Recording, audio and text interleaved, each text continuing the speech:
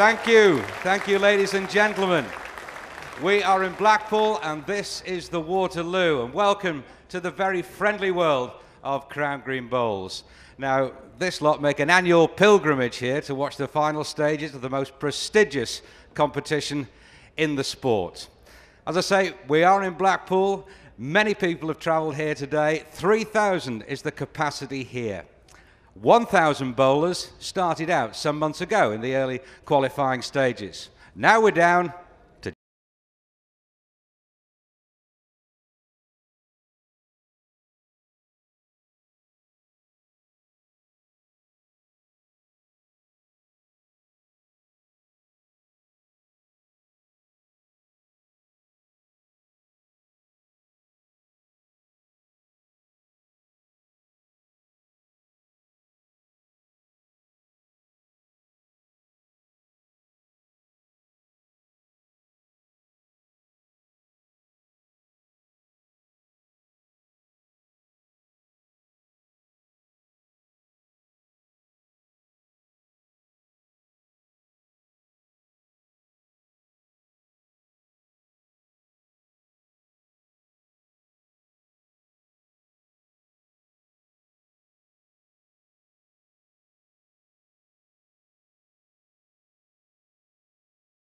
finals then. Would you welcome from Radcliffe, Matt O'Neill?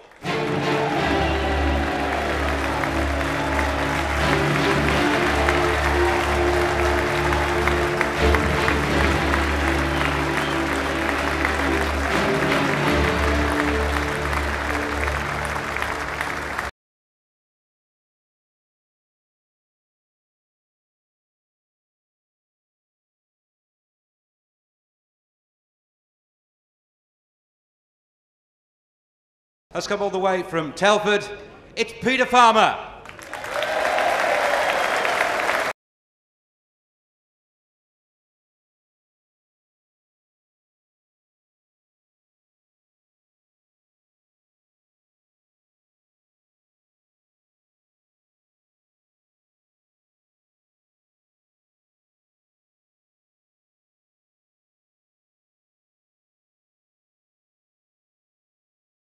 To, to your opponent, Matt. Might be the closest you get to him today, you never know, do you? Now, you've never been in finals today before, Peter, have you? Not this one, no. How do you feel? This is the big one. Yes, it is, yeah. And what about you, Matt? Uh, excited, nervous, you know, can't wait. What would it mean to win the Waterloo? Every, every bowler's dream, I suppose. Righty ho, I'm going to toss the coin. Heads or tails? Matt, Please. Heads. first out. Heads it is. So it's Matt with the block. And your commentators at home are Mike Wakeland and John Gwynne. Well, thank you very much, Shelton. And uh, here we go. It was Jas Rothwell, 98 years ago, who bowled the very first bowl on this very green. And the Waterloo started way back in 1907.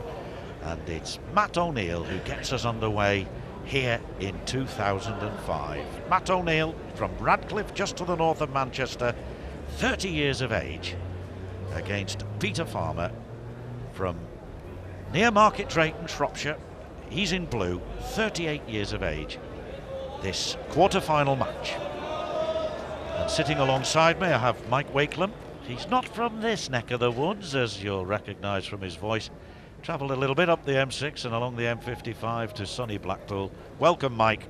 Thank you, John. Yes, Midland's representation in this quarter-finals is twofold, and that's very pleasing because the record of the Midlanders in this competition is that we've only won it three times since it first started in 1907. So Farmer has a lot to live up to in this particular competition. But a good start here for uh, O'Neill looking to land this one just to the other side of the jack, just a touch strong. But he's got that first one lying nicely alongside the jack. There you see. And it's a good push up this way. Just favourite for two. Yes, he's bowling from the far end, from where we're seated, the south stand, if you like, towards the north stand. He's looking to push that bowl out. It's lying in at the moment. And he's on road. He's pushed it onto the back bowl. Well, you've got to say an excellent delivery. He is a postman. The other chap's a milkman, so you're going to get good deliveries through this game, that is for certain. And it's psychologically important in this game to score the first end, get off to a good start. Well, it's 1 0 immediately to Matt O'Neill. So it's going to be O'Neill to lead off here. 1 0 to O'Neill. Remember, first to 21. And this is the first acknowledgement in this game of the difference in weight. It's much quicker going back that way. And it's all about the lead bowl here.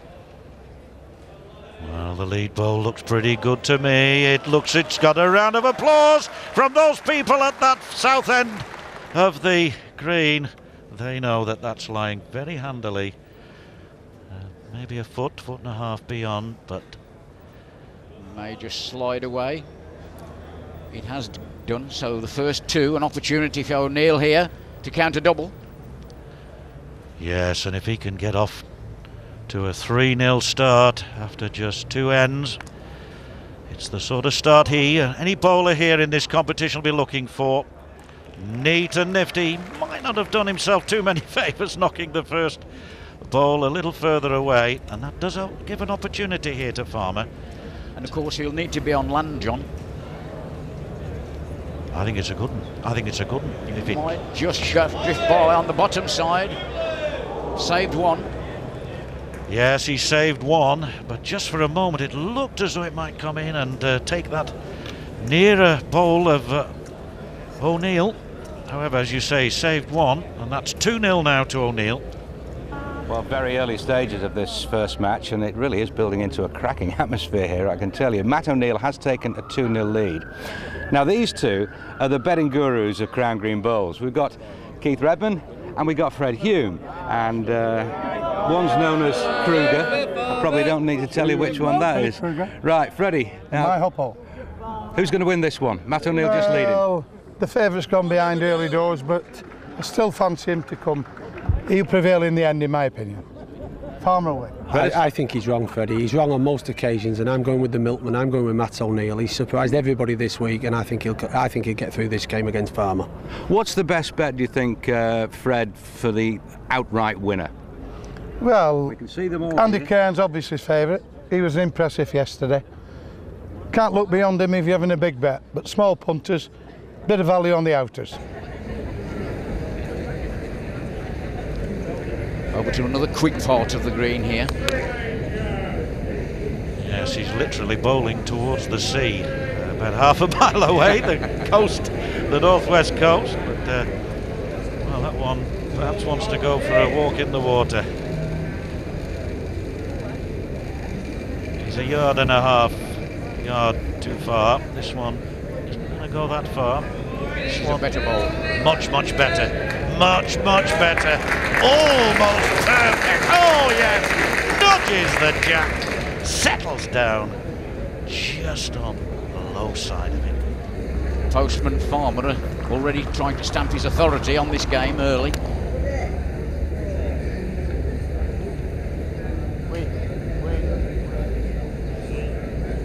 Good try.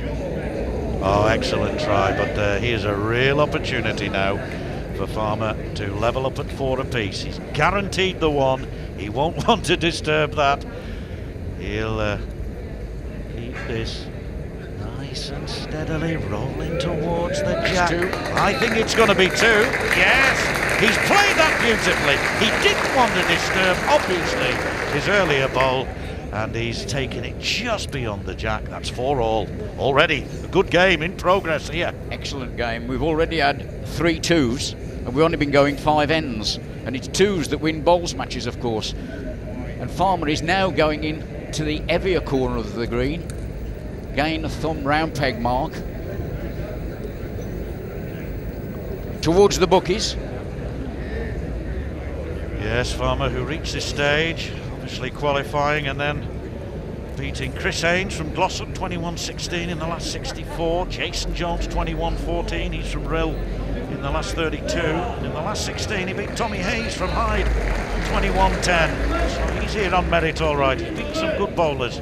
Another good, another good lead there from the Midland player. He'll be satisfied with that.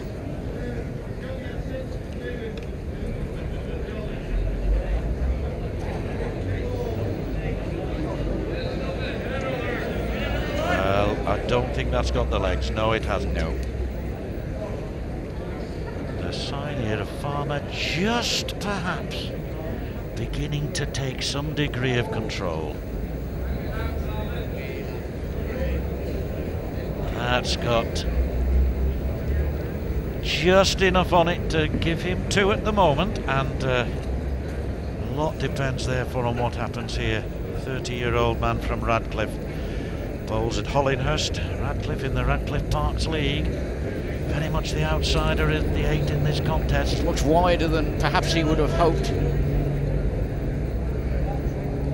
And we might have just dropped in there. Difficult to see from this angle. Yes, we are going to have. Oh, he's got two, Farmer. He's definitely got two, Farmer. So there we are. It's now Farmer 6 4 ahead. The first time that he's been in the lead in this match. Meanwhile, back at the Waterloo, let's rejoin John Gwynne. 9 5, you can see. The man in blue ahead. First to 21. For a place in the semi final of the 2005 Waterloo Championship. O'Neill just short, and this is a heavy corner of the green, and Farmer will want to punish him here. He want to pass his bowl, put pressure on onto the northerner, and he's done that. If he misses O'Neill's bowl, he doesn't want to knock it in.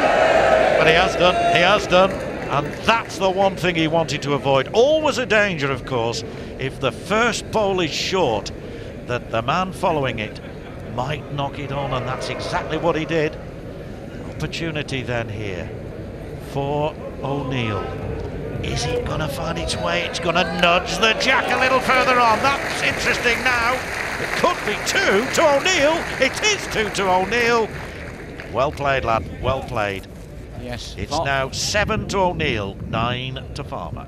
Farmer will be disappointed with that, but he doesn't want to get depressed. Um, he needs to do the same, keep concentrating.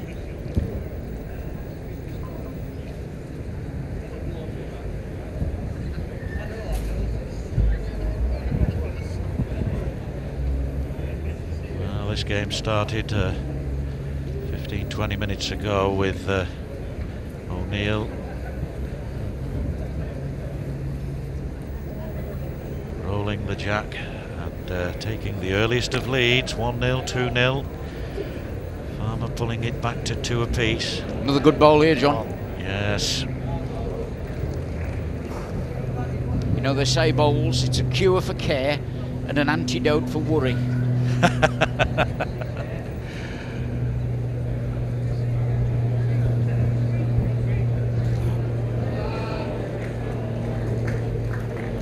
That's got it. looks as though that second one might have it then.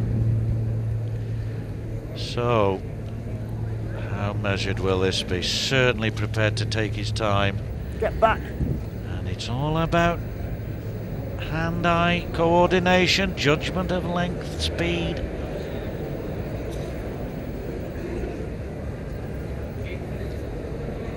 Now a chance for Farmer to get his fifth two. Yes, he's got one in there, and he's got room for the second.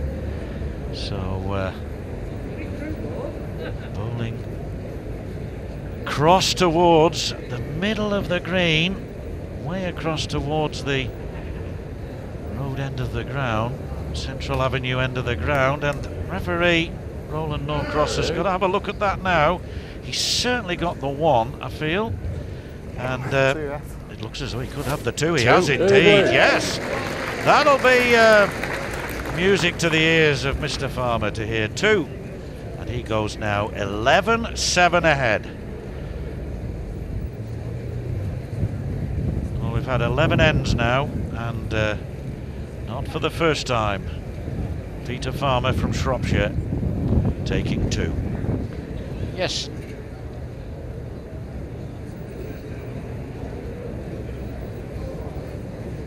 Waiting to bowl, John Bailey.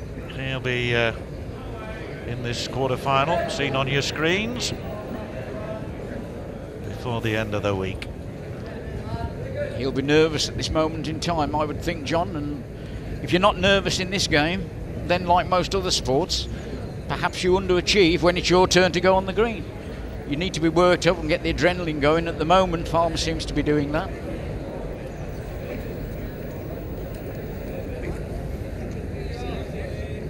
And of course, this is a Midlands North confrontation, and this year, akin to the cricket, the Midlands are doing exceptionally well. They took most of the top tournaments. Yes, I think they might. Did, who did they beat? Did they beat Greater Manchester in the final of the counties? No, the North Midlands county side beat North Lancs and Fylde. I see. Um, and of course, Farmer himself, in an All Midlands final of the British Crown Green individual merit, surrendered to Darren Smith from Derbyshire.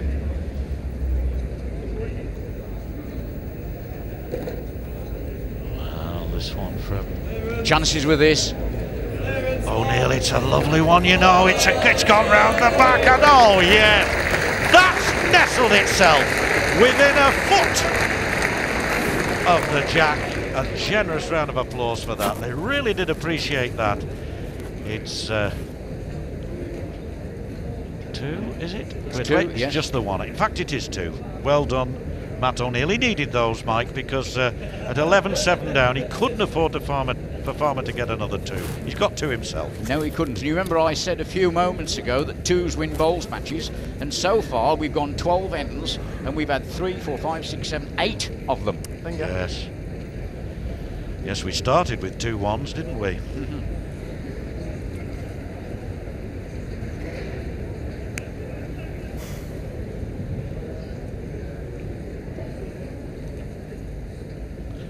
So the 13th end, for whom will it be lucky and for whom unlucky?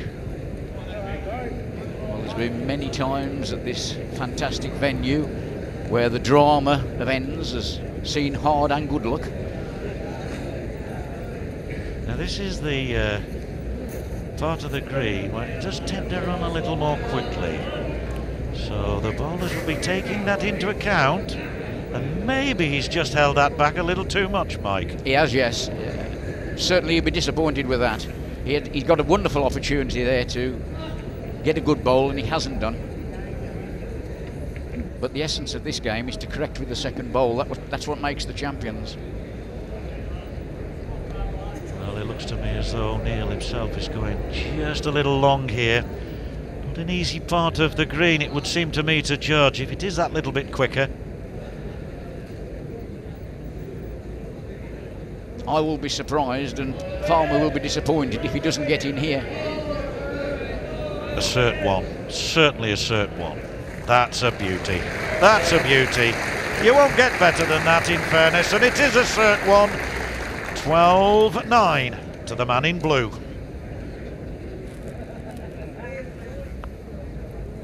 Hmm. Just a brief interlude, popped over the JJ's cap, which is right opposite the Waterloo, and bumped it. Now, thereby lies a tale because Bev is the better half of Matt O'Neill, who's out there at the moment. Uh, is this a bit of a tradition that you will not watch him? Yeah, I can't. Too nervous. Is it now become a superstition, or Yeah, I'm not allowed in. Now he doesn't allow you in. No. So you're barred from the. Waterloo, but just when he's playing. Yeah, I get a phone call and then I go back over. Yeah. What's it like when you find out the good news or the bad news? Well, I've only heard good news this week, thank goodness, and I'm just elated. Absolutely fantastic. Well, you're staying here for the duration of the match, aren't you? I promise I'll come back if the news is looking good. Okay. Okay, and let's get the tea on.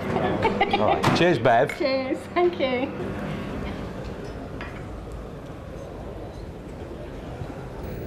Now I need to push this bowl out.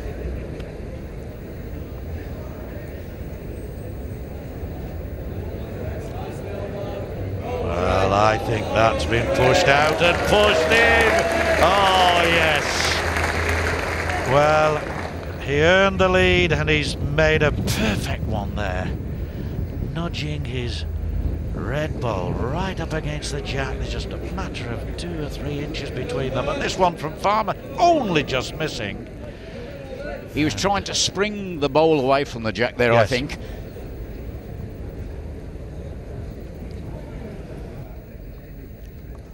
So going a similar line, similar line. In it comes now. It's got about a yard to go. It's got legs, and that again nestles alongside his previous delivery. Absolutely wonderful. I wouldn't be surprised to see a strike here, John. Me neither.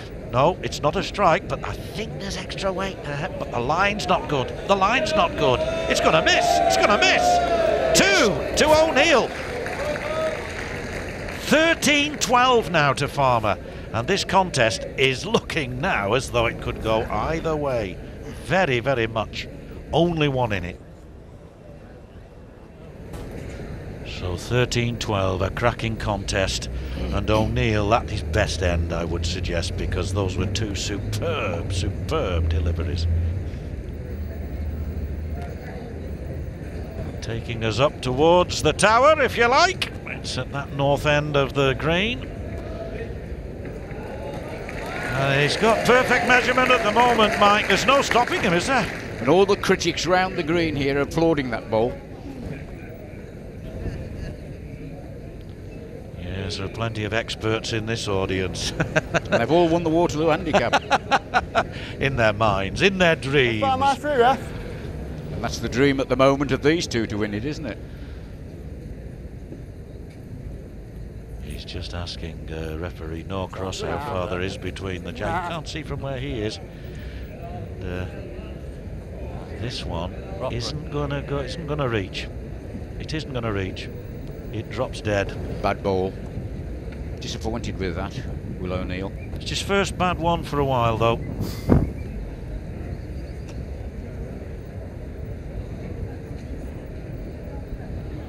Well, we're watching uh, Matthew O'Neill in action and uh, Peter Farmer's second bowl there. Almost denying uh, O'Neill, but he's getting one there. And that puts us level at 13 apiece after 17 ends. And one person who cannot bear to watch Matt O'Neill is his, uh, his partner uh, Beverly. She's away from the green itself. I believe she's in the cafe across the road. I said earlier, John, also that O'Neill had had three pounds on himself at 100 to 1. Well, his girlfriend has had five pounds on him at 100 to 1, so she must feel more confident. Maybe that's why she doesn't want to watch.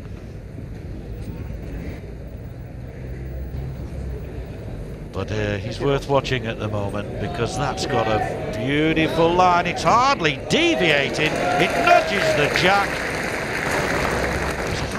There's hardly any deviation there. It just kept its line.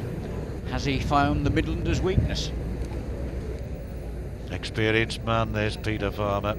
Cool as a cucumber. this is a belter. It's going to nudge O'Neill's on, though. It's uh, counterproductive.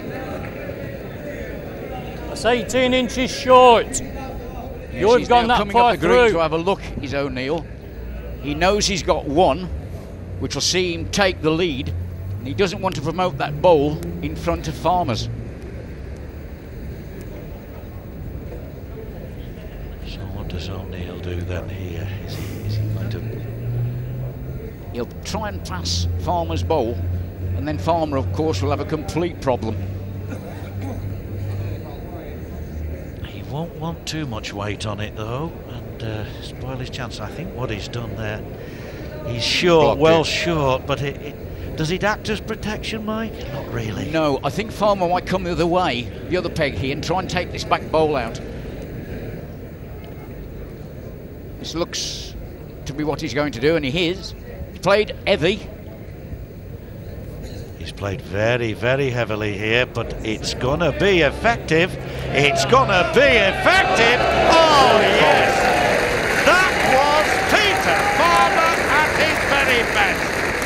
Wonderful end, and uh, 14-13 to Farmer. He really did deserve that. This was perfect weight, perfect line. And there you see what the outcome was. He denied his opponent who bowled a super first delivery. And there we saw the perfect correction of the second bowl. Yes, a case of needs must, I suppose, Mike, but yes, real professional. And now, of course, Farmer extended the length again. He knows that he's O'Neill's got the advantage on the small marks.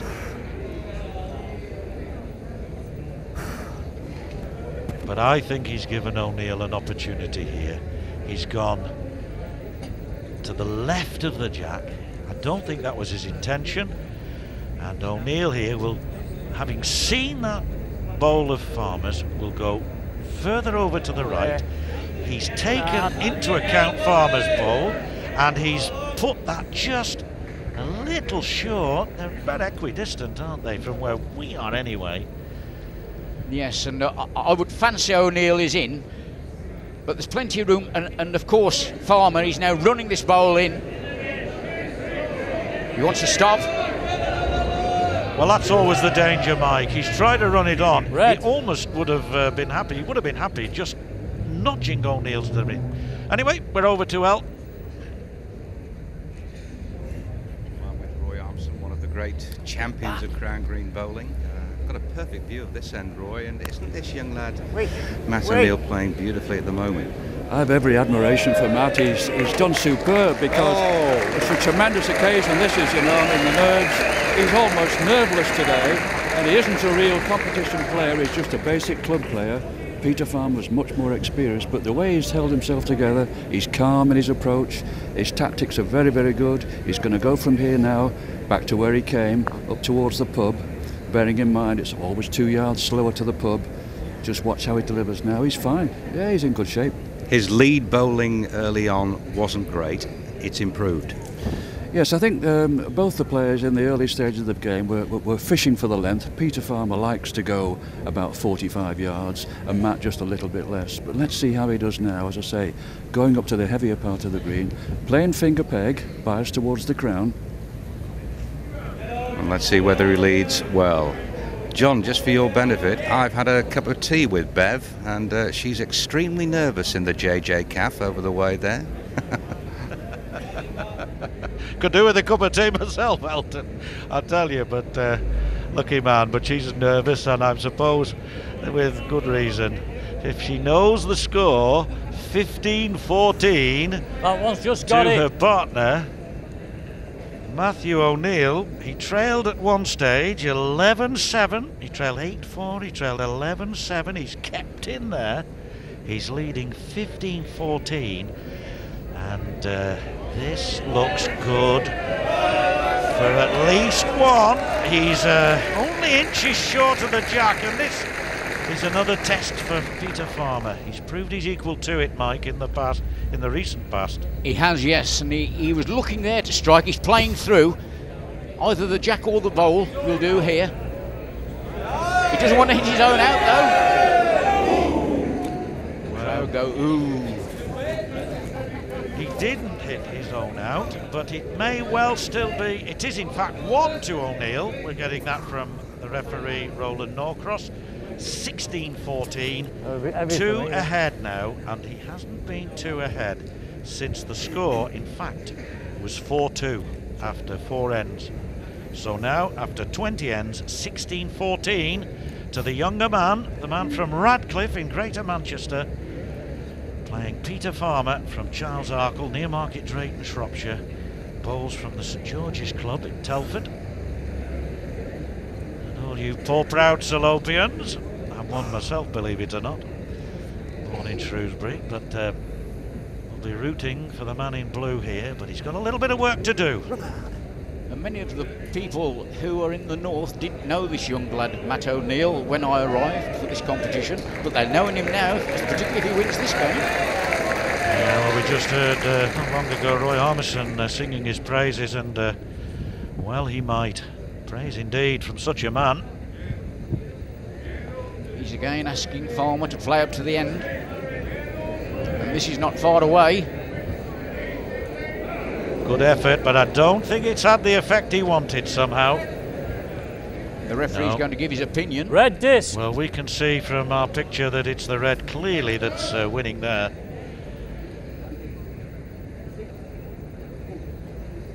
You want it? You want it? Now then, looking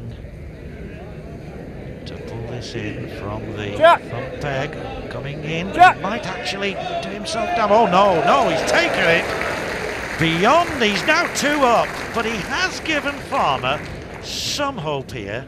If he comes round now, surely on the finger peg, he can actually take this beyond the two ball. No, he's, no, he's gone the same way. He has it. I don't think there's a way through, is there? There isn't, and he knows it. Well, I'm surprised he took that I am. route. I The- thought he would have turned the ball over there, John. Yeah, very surprised he took that route. It's now 18-14 to uh, Matt O'Neill. And uh, I thought Farmer would have gone via the other route. But look at this one. It's taken the jack so that he scores two. But it's left an Number stuck opportunity for. Farmer, one he didn't take. And this is all about opportunity, isn't it? You know, he's had an opportunity there.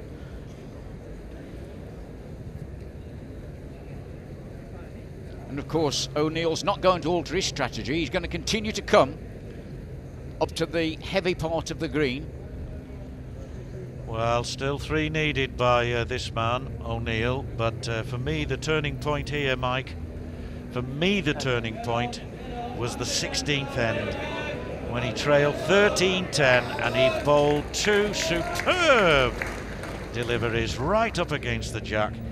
He uh, pulled it back to 13-12 and now he's won five out of the last six points. And you'll recall earlier I said leading to the jack is what this game is all about. And O'Neill at the moment is giving us a perfect example of that.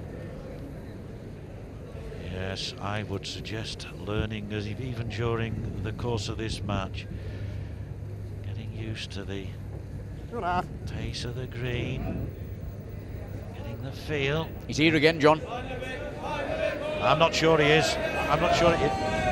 It's running on. It's running on. He's Touched two. his first. He's two. You're right. But still an opportunity for Farmer. Got to get this. Got to get this. Surely can't afford for O'Neill to get two here. Cannot afford for O'Neill to get two. He's not not good enough. Body is- language says he thinks it short. he knew immediately that ball had left his hand that it wasn't good enough. We could see from his reaction. And it's 20 points to 14 to the man in red. One away from victory.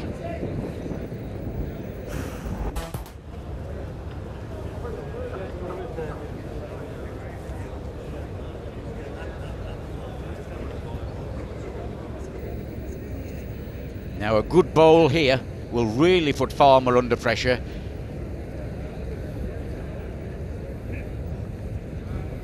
Well, Matt O'Neill has twice reached the second round of this tournament, and uh, for Peter Farmer, though he's more experienced, it's his first visit here, it's his debut at the Waterloo, and uh, if he's going to stay in the competition, he's really got to do something to better that excellent first bowl. What a He doesn't want to be short. That's the important thing. Oh, he's making sure he's not. That's got pace on it. That's got pace on it. It's got pace. It's going to touch the jack, is it? Just, just. You can see the title slipping away, John. Yes, quarter finalist. Quarter finalist.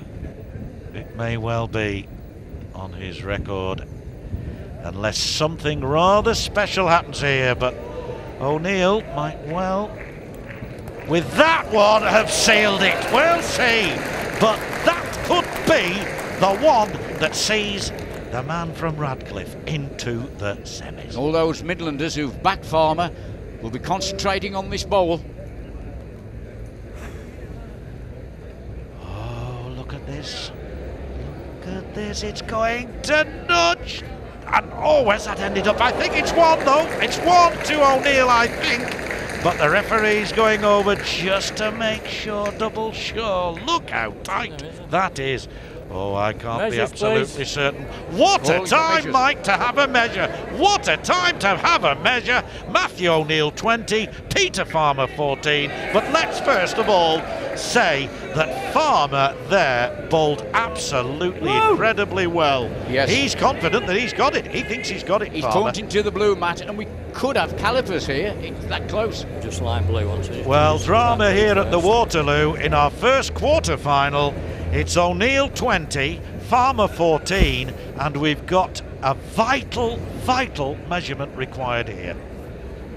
If it goes O'Neill's way, he's in the semi final. If it goes Farmer's way, he'll be leading and still alive, leading in terms of leading the next jack.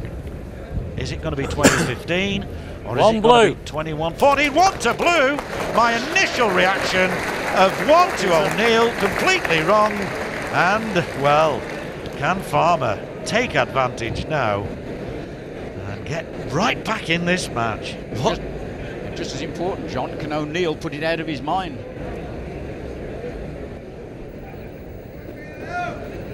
Now, this is a really difficult mark here. At 2015,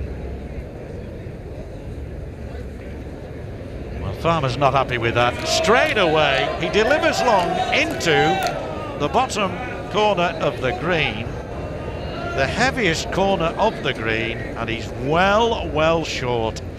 Now, you can see the expression on his face there, says it all. He's not happy with that. Now then, having had the advantage of seeing Farmer's weight and where it left him, O'Neill now is certainly going to go beyond it, but not by all that far. In fact, maybe a foot, maybe a foot beyond. Still a long way. This has got weight on it though. This from Farmer really does have weight. he likes There this, John. He's running it up. Bowling along, it's a belter. It's a belter. It nudges the jack. It's no more than 10 inches away from it. And that, when they're bowling as long as they are in this, is accurate enough, I feel. This could be a winner and a winner and a half if he gets it. It really will be a deserved winner. And this green, 45 metres square, so it tells you something about the distance that this ball's travelling. But he's struggling. Get up, get up, get up. You could hear his supporters shouting. It nearly did. That's one though to Farmer. 2016, 24 ends we've had, and Farmer just creeping back into it. Well, at 2015, and uh, with uh, O'Neill, 2014, O'Neill having one right up against the jack. Farmer produced a life-saving delivery, and he's added to that since. 2016 now the score. Could have been all over at 21-14. We're tough cookies, us Midlanders, you know, John. Well, We don't take defeat lying down. Not this season, we don't. We took a number of titles off these Northerners, and we're after this one. well, I may have a Manchester accent, but I'm a Shropshire-born man, so I'm in both camps. In a cracking game, whoever goes through, you've got to say your money still has to be with O'Neill at this stage. But Farmer is sending him right across from corner to corner now, really testing him. And uh, I'm not sure that this one is equal to it, although it has got legs. It's going to drop down that hill and drop too far. I think it's gone too far. I think it's one to Farmer. It is, and he'll be looking for two. And if he gets two, game on. It'll be 2018 if he gets two. This is a bad ball, John. Condemned by the crowd already. Short. Yes, and uh, condemned by Peter Farmer himself. He's, he's bowled some good ones of late, but he's bowled some, uh, and he'd be the first to admit, some pretty ropey ones too. Now then, O'Neill's going sturdily along the green. It looks good, this one. It's on its way. It's got to stop. It's got to stop. It's not stopped, and well, referee's having a good look at these. They're certainly not as close as the one we saw a couple of ends ago, but they're as uh, difficult. He's decided one, one then to the man in blue. 2017 the score, and uh, you can guarantee here that Farmer will come right across the green whence he uh, came a few moments ago with another long jack. I wonder, John, if that bowl of farmers, which saw him rescue the game, is starting to have an effect on O'Neill. Well, alarm bells ringing perhaps in O'Neill's ears, but uh, 2017, he still has to hold himself together and say, I want one more, one good bowl. But Farmer here, having delivered long, has left himself some way short. Not impressed, this crowd, by that one. Yes, it's a long way up this corner. But O'Neill slipped up last time, if you remember. He was even shorter than that with his first bowl. He's making sure he's not short here. He's really put a bit of weight behind this one. And if it holds, which it's not going to, it's winning. But that's not saying a lot at the moment. Shouldn't be good enough against a player of Farmer's capabilities. But there's pressure on, there's pressure on, there's pressure on, and this is a good one, I think. It's gone way past his first one. I think it's a winner so far. But this does give a genuine opportunity once again for 30 year old Matthew O'Neill to wrap this game up once and for all. He's taking his time. He knows this is important to get in quickly here. Well, he's watching it roll on. You've got a perfect view there. It's a better weight, man- John. It's a belting weight. It's a winning weight, I think. It's got it. It's got it. Yes, one is sufficient. And uh, Matthew O'Neill, the 30-year-old from Radcliffe, the outsider in this competition, has gone through to the semi-final. He's beaten Peter Farmer 21-17. He's won. He's won it. He has won it. yes. Come on. I'm speechless. Absolutely speechless. Well, I can tell you, it was a super game of bowls. John played his part too. What were it to? Oh, I think it was something like 21-16, but I've been sat here with you. I'm thrilled to bits. Can we go and see him now? Yes. Come on. Come, here she is. Come on. oh, she has been through purgatory this morning. Here he is. Go on, give him a oh, kiss and all that. Yeah. Dear. So, well, I know how you feel. I mean, what a fantastic way to start finals there at the Waterloo, Matt. I just thought I weren't doing enough to win the game halfway through. I weren't leading well at all. Terrible. And I just found something nice and straight, small, and I put some good leads up, and uh, it just got me in front. Yeah. Well, it was a, it was a super game, and you brought the crowd to life in the very first game. That that says something. Yeah, I've got some good support. Yeah. So. So an absolutely thrilling start. Well done again to Matt O'Neill. Uh, he beats Peter Farmer, and we'll play the winner of our next match, which is John Bailey against Graham Hickey, also in the. Uh, the quarter final, the bottom half of the draw, Peter Craig will play Charlie Weaver, and then Kevin Shaw, one of the favourites against the outright favourite, Andy Cairns from Rossendale, the only former winner here this week. The next match, would you welcome, first of all, from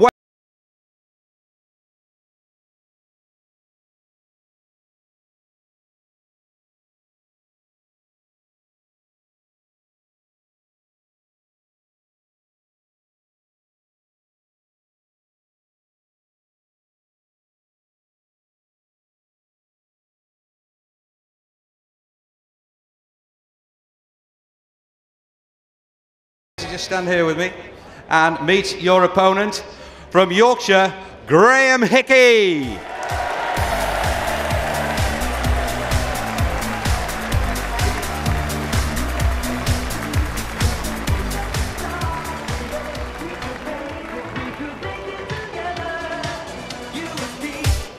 Graham, of course, who's been uh, very impressive in getting this far, as has John, of course. Graham, welcome. I think there's an argument here, if you'd just like to stand next to your opponent for a minute, to say that we've got uh, the best of Welsh and the best of Yorkshire here today. Yeah, well, I just hope it's a good game between best of Yorkshire and best of Wales. I think you've got a fan club over there, haven't you? Yeah, Yeah, there they are, and one up there as well. John, you're representing your country. That's correct, yeah. And uh, same as Graham said, as long as it's a good game, that's the main thing. So I'm going to toss the coin, and let's see. John? Heads it is. You've got the block. The commentary team is Mike Leach, and once again it's John Gwynne. Well, there we are. Thank you, Elton. So John Bailey has the block. He wins the toss, and uh, I'm sitting alongside Mike Leach himself, uh, four times a semi-finalist at Waterloo. I suppose you could say almost really the best man never to win it, Mike. Welcome. Yes, thank you very much indeed. But beautiful conditions for playing today. Uh, but the nerves will get to the players at some stage during this game. Well, a great start there, and that must give him uh, some degree of confidence, Mike, because when you start with a ball, a ball that goes right up against the jack, as that first has from Bailey, it uh, must make you feel good. It certainly does. It just relaxes you just to get that first lead right in front of the jack. Now he needs to get two, and he has done. Two good bowls. Yes, that's coming very nicely indeed. What perfect measurement. My, my, my, with your first two deliveries. Well, I think Graham's thinking about striking at the first end. It depends if he can just get past his own bowl. He is going to strike. Well, if you don't know what that means, it means he's really going to bowl this hard straight and he's hoping to do some damage here. He's failed to do so. So an early two there for the man in red, John Bailey, the Welshman, taking the early lead. 26 years of age. He's, uh, as I say, from Llanrwst, not a million miles from Llandudno. His club is Deganwy and Llanrwst. He's a single man. His dad, Harry Bailey, is here somewhere watching. And uh, he's beaten Dave Twigg from Warrington, Mark Ferris from Stoke-on-Trent, coming from 17-11 to win 21-20 and he's beaten Dean Ferris 21-14. So uh, he's had a he's had a good tournament. And what a good start to this one, Mike Leach. Yeah, another good lead, just drifting two foot past, that's all. Graham really needs to get into this game early now.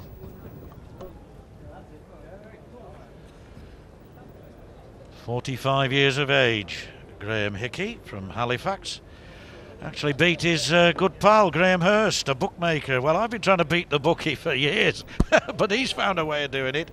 21 16 on the bowling green in the last 16, and prior to that, he KO'd Graham Wilson from Oldham 21 13, and the great Noel Burrows, who's from Hazel Grove in Stockport 21 20. That was an absolute cracker, that. So he's got a good pedigree in this tournament this year, hasn't he, Graham Hickey, to beat uh, three such bowlers? Oh, he's had a fantastic tournament, and both these players have had to have endure very tight games, particularly in the last 32. Well, one there to uh, Bailey. That'll take him 3 0 up. And uh, good start there for the Welshman then. Rather appropriately wearing red. I wonder if he had the choice. Very early stages of this match. We're with the gambling duo, old Kruger and Redders here. Um, 1 0 to you because last time you backed the winner in the first quarter final, Matt O'Neill. Yeah, I said the milkman would deliver and he didn't let me down. He knows nothing, this man. You know nothing about I was just guessing that game. This is the real game. I'm Right. anti Yorkshire. Oh, right. Anti Yorkshire this game. So you've got Welsh blood, Freddie, have you? Uh, maybe my grandfather's side. Fancy John Bailey Strong. The Yorkshireman will prevail. He's Yorkshire champion. He's rubbed out Noel Burrows last year's winner. He's rubbed out the big man Graham Wilson. He'll take the Welshman to the cleaners. Icky will be in the semi-final. So, Bailey obviously now favourite. Yes, and he's bringing the game now down into this uh, southwest corner of the green. And that again is a lovely first bowl to behold. He, he started the match, didn't he, by uh, showing us down in this corner what he could do. Yes. Graham changed his peg there. Recog- recognised he couldn't get in on the hand that John Bailey had used. He changed his peg. At least it'll give him a guide for his next bowl. But he's going to be looking at two down again. Yeah, because we've got a perfect view of this one coming in. Yeah, lovely stuff there from Bailey. My, he looks to be ready for this. He looks to be on form. And Hickey's got to find his game pretty rapidly if he's going to stay in this contest. You're quite right, Mike Leach. No chance. Two to Bailey. It's now 8 1. Well, well, well, what a start.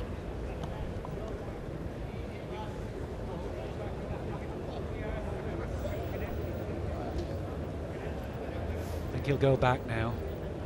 His thumb tag back towards the middle of the green. This is the sort of distance he likes to play. Yes, it's a sort of, well, it, it's not length, it's not short, it's that medium distance. You, I think you said about 40 yards, isn't it? Yes, I mean, on an on a smaller green, of course, that would be nearly corners. This is a very big green, lo very long corners. Very few people play the full corners. So effectively, he's playing corner to corner, perhaps on a green that he might be used to, the size of green that he might be used to. That's right, John. That's exactly what he's doing. Graham Hickey again changed his peg, but this time successfully. Yes, and uh, well, he hasn't had too many rounds of applause uh, so far in this match, but deserving of that one. He's forced John Bailey to change hands as well. He's gone the trying to follow Graham Hickey's ball in. He likes it. He's certainly reached. Is there anything in the way? It's it. well, only the jack itself. He's uh, taken it. Yes. Well, well, well. now then. And Graham's delivered this very quickly, and he's very short. That's got to be very, very disappointing for his supporters. They really uh, won't be encouraged by that. And uh, suddenly we find that uh, Bailey has extended his lead now to 9 1 and uh, looking pretty much in command of this. One of his fans, his biggest fan, watching this at home will be Finley, his son. He's only seven and he tells me that he's absolutely mad on bowls. He's a big Andrew Cairns fan, so he's going to be able to watch him in his quarter-final game in due course. But at the moment, he'll be watching his dad, hoping to get back in this match. He's 12-4 down, and with it all to do. He's also got three daughters, Graham Hickey. Natasha, 19, Virginia, 15, and Darcy, 10. No shortage of support from them either. Yeah. Well, his son obviously will be hoping for a Hickey Cairns final, and th then there will be trouble in the family. Dead right. well, Graham's in here. That might drift out and not count. Only one. One. There's one. Well, that's a definitive comment. One. Only one, Graham. And, uh, well, it sounds almost as if he hasn't got total confidence in John Gertrude. He wants Graham Hickey, yes, he rubber stamps, if you like, that which the referee has already announced. My, my, my, there's real pace. He struck at it. He's gone for, he's gone for the strike. Right through it's gone. Hickey, one. I'm not sure that was the bowl, really. No, me neither. Got to say, I'm not as experienced as you, but uh, got to concur with that. However, it was his choice. Another one to Hickey. It means now that it's 12-5, and Hickey's actually now won three ends in a row. Yeah. Chipping away. Yes, just chipping away at the lead. The problem is if you only get them in ones, it takes a long, long time, or it seems to, to catch up. He, he just needs a, to catch John Bailey and maybe steal a couple at one end, and then that gap won't be so great. Well, coming back down into the corner where they've just left. And uh, a similar length to the previous one, a little way from the corner itself. Oh, well, I don't know, it's run on to within, what, three, four yards of the edge? Yes. He's come a, a big swinging finger peg, which I think is a very difficult mark. Now, if John Bailey knows this green, and he should know a little bit about it from his previous experience, he might change his peg here and go the easy way. And he has done. He has done, yes.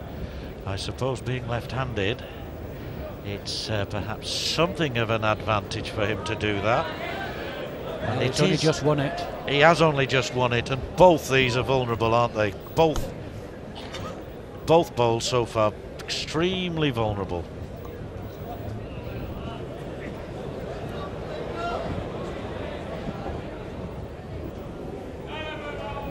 So far it's blue winning. And I'm told that uh, Hickey's seven-year-old lad, in fact, is here watching it, so uh, there we are.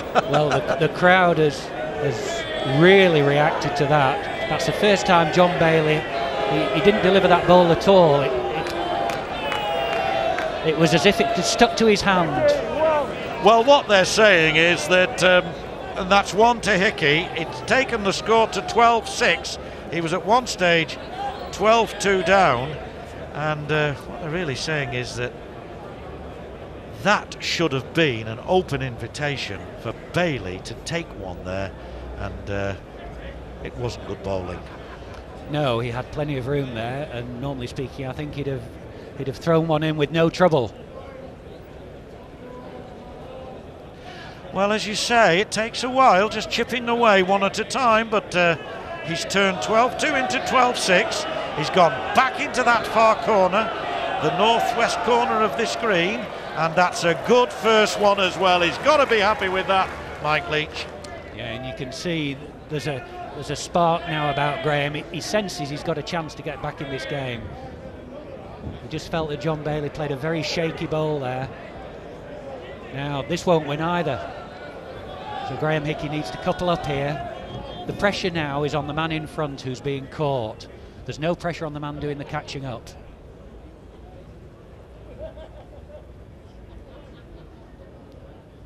Twelve six the score. All the Hickey fans hoping that he can continue this revival.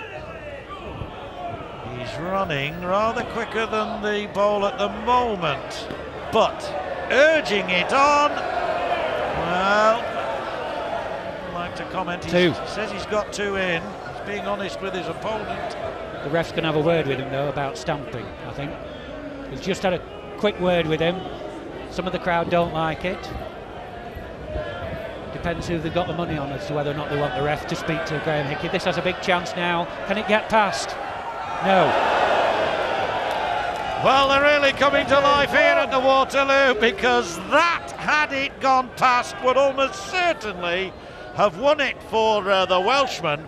But as it is, Hickey takes another one. He's now made 12-2 into 12-7, five ends in a row, and totally predictably, he's coming back down into this bottom right-hand corner. And isn't it great, um, and I say this also from a personal point of view, to see Crown Green Bowls back on TV?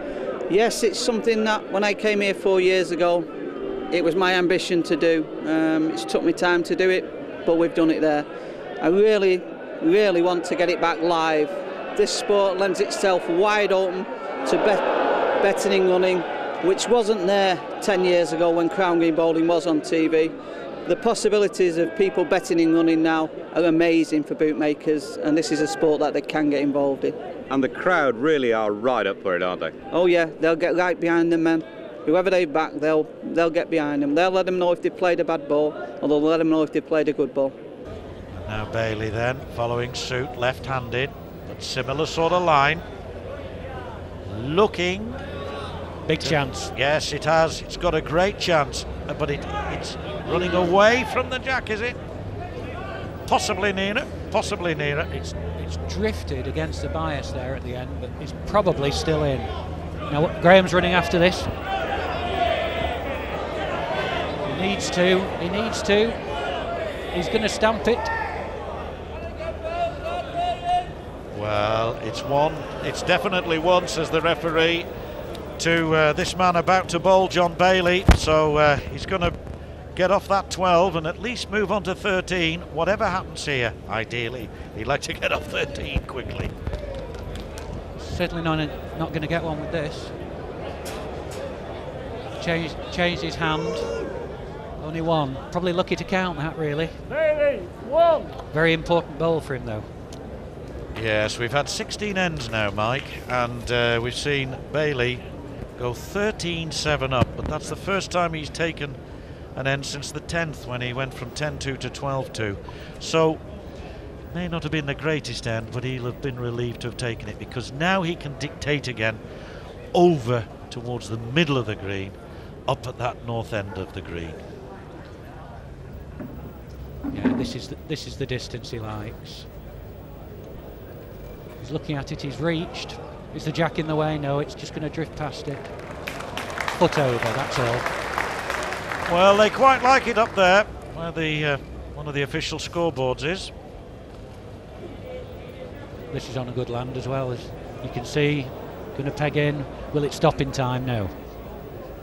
No, I never felt that that quite had what it takes to score somehow.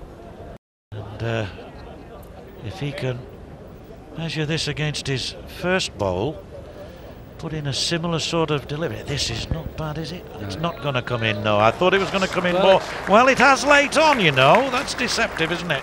Very similar to the first one. Opportunity then. Graham Hickey needs to get in here, otherwise all the good work of the last few ends is gone. This isn't going to do it. No, you could see his body language.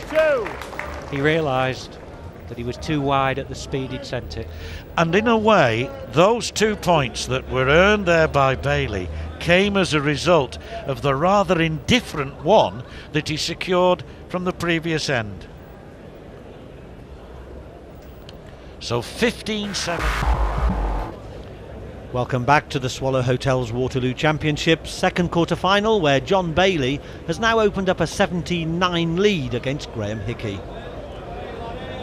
Another good lead from John, just 18 inches, two foot short, really.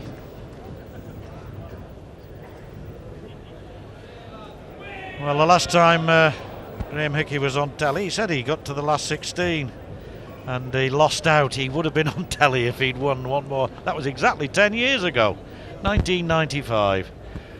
Turning the clock back here anyway and moving one round further into the quarters. Can he make it into the semis? Tall order, 15 9, 17 9 down.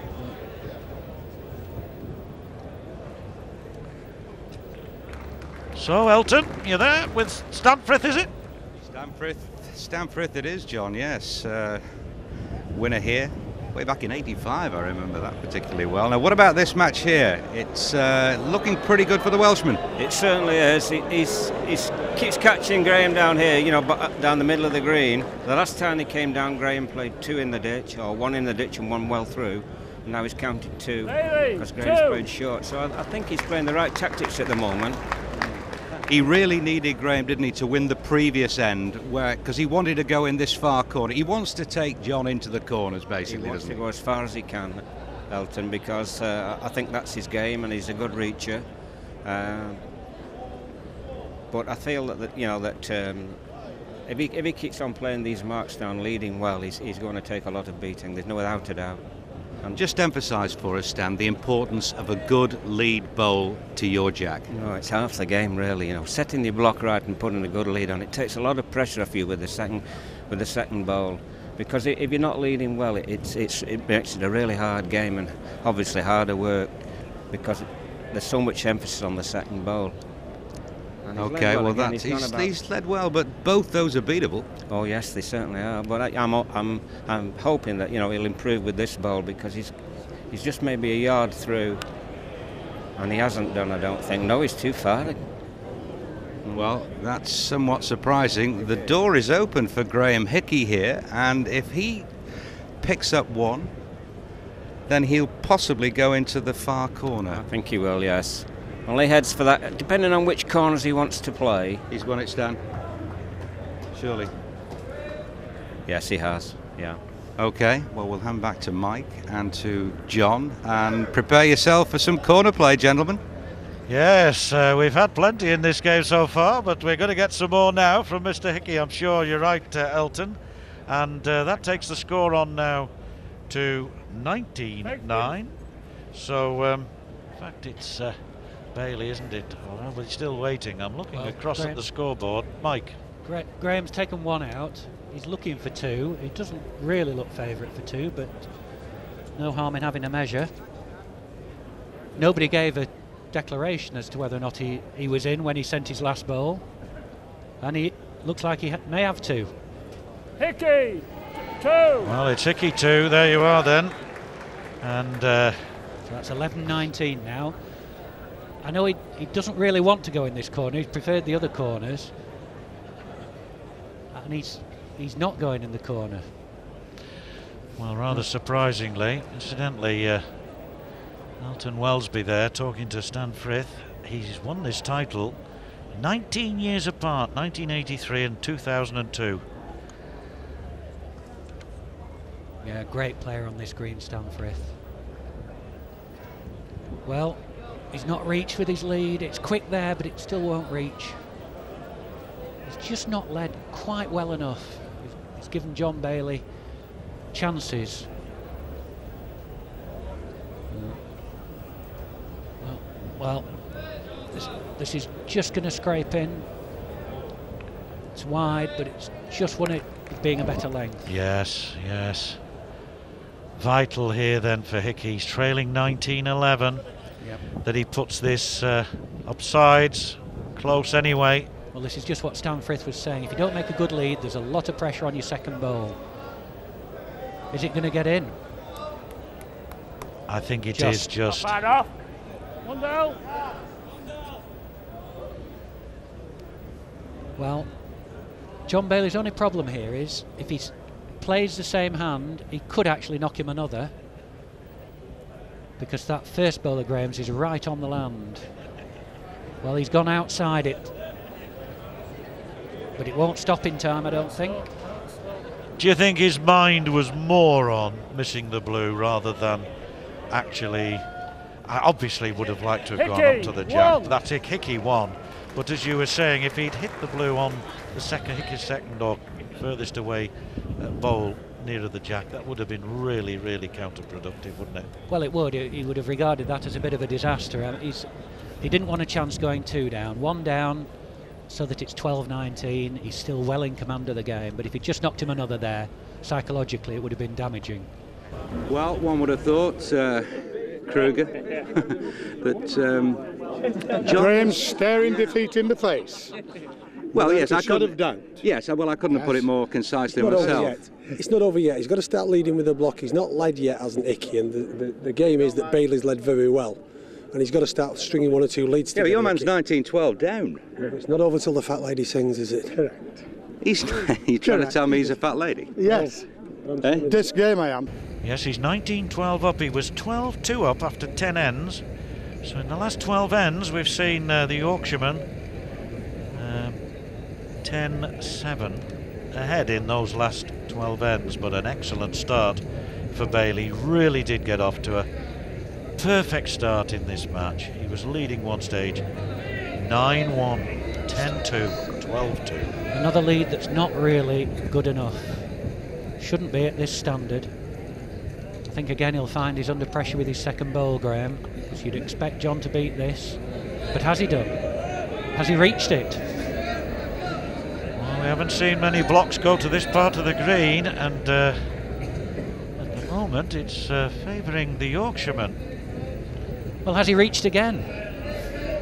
He, n- he really needs them nearer than that. That's taken a lot of pressure off.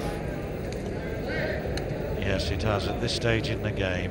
19-12 the score, and one good delivery here from Bailey can Get put on, him lad. within one of victory. He's got to, gotta like do well it. to beat it, but Oh, knocked him another. Mike well have done. Mike well have done. Nip and tuck again. Certainly one in, in blue. But he may well have two as a result of that. But in a way, it would make up for the, the one we saw down here. Hickey's taken two. Well, that makes up for the one we saw down in this other corner a few ends ago, which went against Hickey. And they say, don't they, in the longer term, they all balance out. Well, maybe it has. Anyway, 1914 now, after 23 ends. Well, that was a poor end for John. He shouldn't have been anywhere near that bowl. It wasn't on the land. Again, Graham, I'm not sure he's reached. He just will not lead as close as he needs to. He'll do very well to win this game leading like that. That, that, that uh, pr- presumably, Mike, is the tension in the arm and the the fear, really, of bowling way too fast, way too weighty beyond the beyond the jack. Well, that's a lucky bowl. That, that would have that would have gone two yards through if it hadn't hit the jack. Right, right. Now, oh, and Graham Don't know if you saw that. Graham, Graham was that keen to play. He picked up John Bailey's ball. Every credit to John for making sure he didn't, because if he'd sent his opponent's ball, it's a dead wood. Yes. John made sure he didn't do that. Great sportsmanship. Well, it's Will a Graham sport- repay it now by beating the ball? It's a sport renowned, isn't it, for its uh, comradeship and its sportsmanship, and that is ah credit to him. You, you, under those circumstances, you can't ask for better than that. John will be wishing he hadn't given him the ball now. yes, yes, there's sportsmanship and sportsmanship, isn't there? Well, well. Just underneath. 15 19. Hickey, There's some pressure coming on now. You can see it in both players. John didn't deliver that last ball very cleanly. Just hung on to it a bit again. Well, 1915, you've still got to strongly favour the man in red, the 26-year-old Welshman. But even though we're in ah, Blackpool, we might not yet quite suggest the tide has turned. But if he takes a two off this, then perhaps.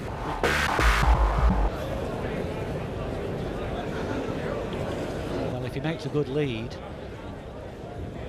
he's done well to count the last few ends with the leads he's played.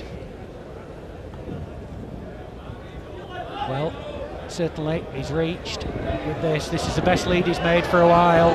This is a good ball. Well, he's put two in succession together that have just touched the jack like that, and it's always nice when it's the first one in this case. The leading uh, bowl. He's followed this up, John, but it's just narrow, only just perfect length. It's done its best to win it. It's fallen over.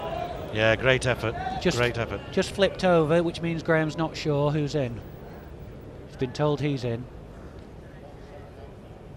Now, can he can he couple up? Can he make two here and put enormous pressure on John? It's just not quite going to reach it. He's done its best. Well, He just tends to run down there sometimes, a little more than you expect, but on that occasion, not quite. And it's between that and the I think red. it's only one. He thinks it's only one, but he's thought before and not been correct, with all due respect. well, I'm surprised John hasn't had a look at that. Me He- he- too. He knows he's got to reach though, but he might he might get too wide again if he's played with any pace. But no, he's close, close. Oh, he's gone done the gap, right through the gap. Now he'll be furious if it turns out he's two down. he's Ah. pointing to his own. He thinks his own is second. Graham's not so sure. Graham- That, Mike, I suggest, was nearly a very good ball, but nearly isn't good Next, enough, is it? Well, the point about that ball, if he'd run the jack full, of course, he'd have been game. If he could have picked up the jack, he'd have had Yes. two. It's Hickey one looking for two. And if he gets the two that I suggested earlier, he could. 1917, from a position where he was 12 2 down, suggests that um,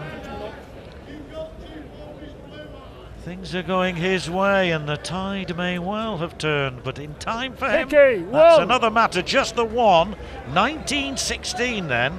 And uh, you wouldn't expect a Yorkshireman to give up uh, easily, and he hasn't done, has he? No, no, he's he's battled because there's no question about it. He's not played as well as John Bailey.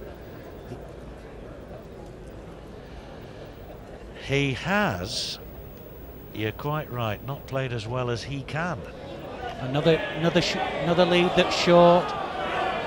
Now John Bailey really needs to take advantage of this. Let's see how he delivers it. Door open.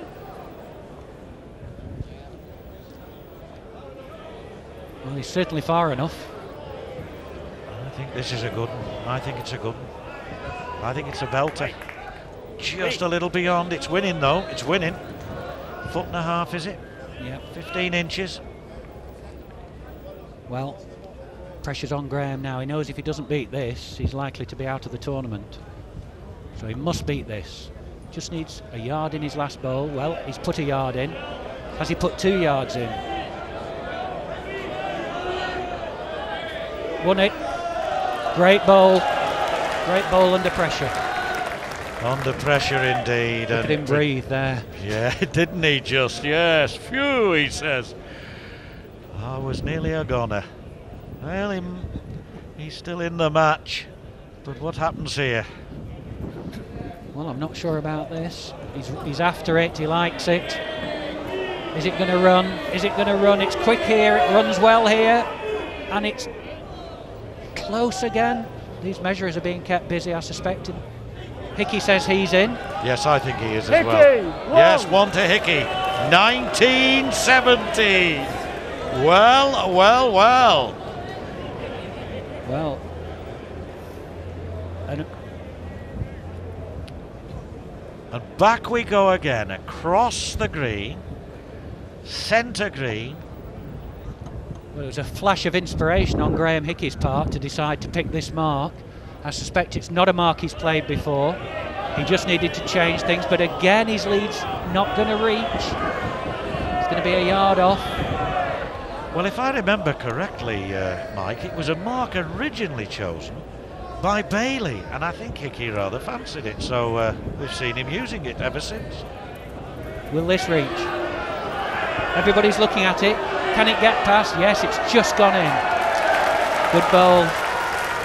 So again, Hickey's looking at the prospect of being game over if he doesn't beat that.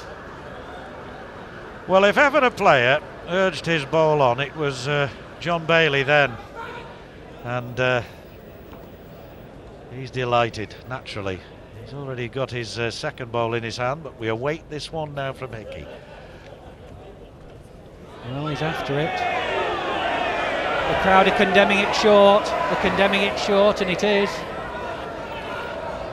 Well, it's a poor bowl, I'm afraid. He needed, if he did nothing else. Now, John Bailey with a bowl in his hand, line to be 20, plays for game. If he plays reaches on the land, he'll be all right, but he'll be apprehensive about knocking him in. And it's that apprehension that's made him play short. Game's still alive. Yes, played short, but he's got that vital one. He stopped the rot because he had seen his opponent come from 19-9 down to 19-17 and that one point alone I think despite the fact that he couldn't find the second could be worth a lot lot more Well, who'd have thought it would come this close when he rushed into a 12-2 lead. Now, but this has been the difference in the game, although this time he's a yard short. Well, that shouldn't be good enough to win. Slightly balking Graham. He's standing on the mat, just thinking about changing his peg, and he has changed his peg. He's gone the right-hander's thumb peg to avoid hitting that ball. and he's played one, just gone in. Well there's no doubt about it as you can see for yourselves that he's winning by some way there and this could be a match winning bowl if he beats Hickey's best bowl He's reached. If it misses the jack, it goes out. Now then, it should be 1920 after this next bowl, and then they're going for game together.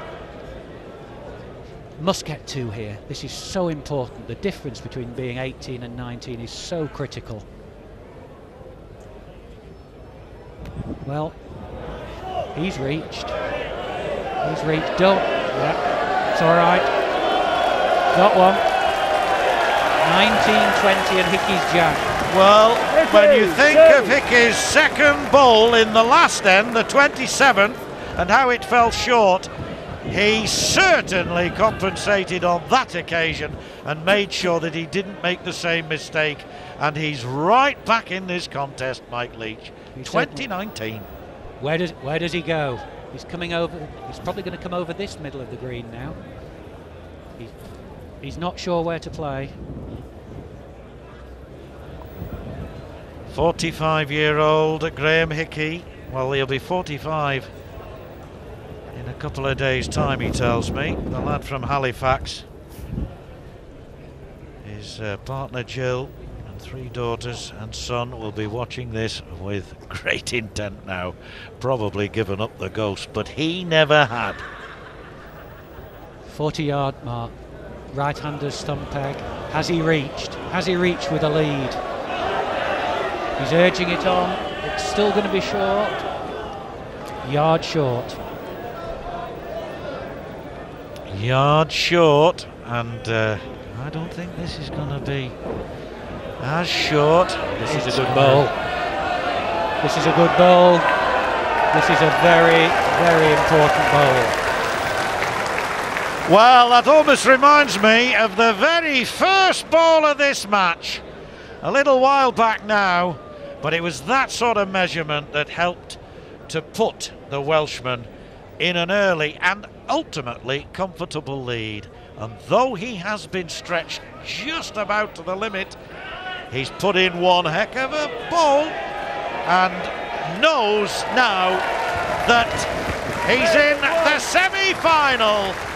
What a match, what a great effort by Hickey, coming back from 12-2 down. But it's the 26-year-old John Bailey from near Llandudno who reaches the semi-final. You want, you wanted.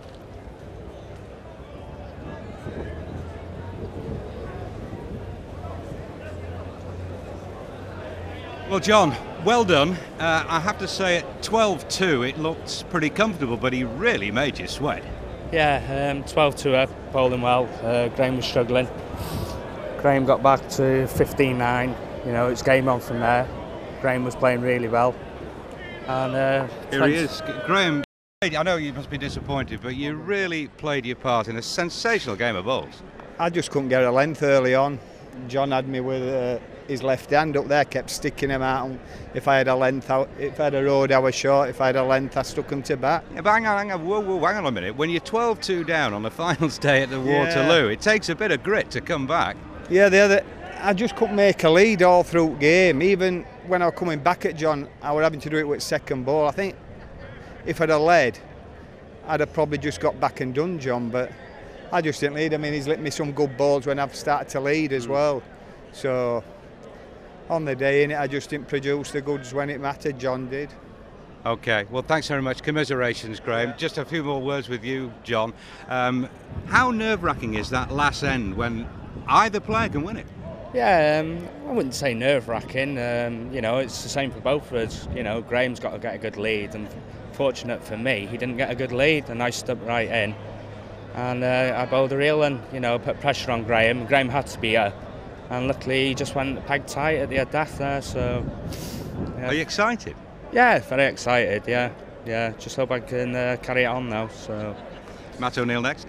Yes, Matt. I don't really know much about Matt. Obviously, he's played well this week, so um, if I just carry on playing like that, I think I'm in with a big chance.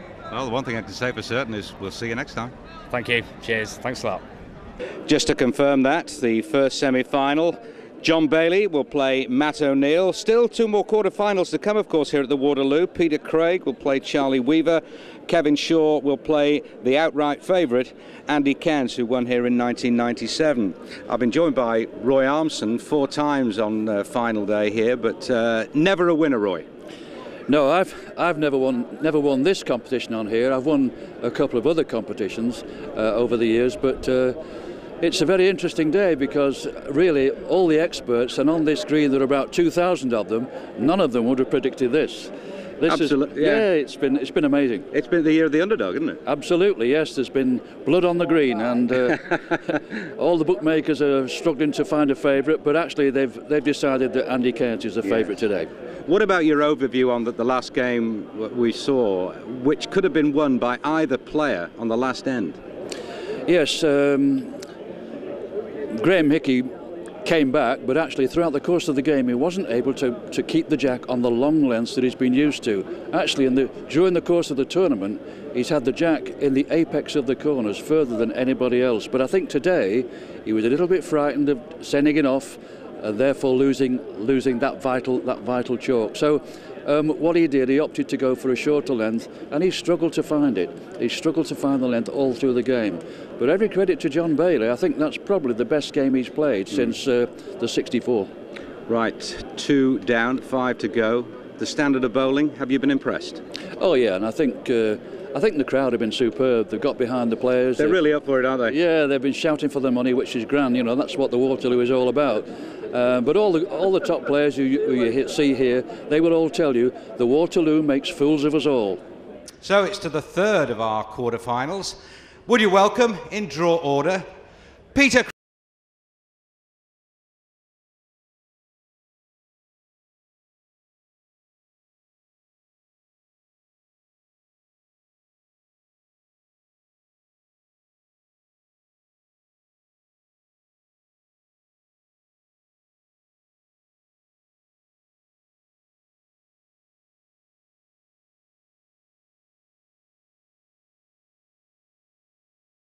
introduce your opponent. He's from Whitchurch, and it's Charlie Weaver.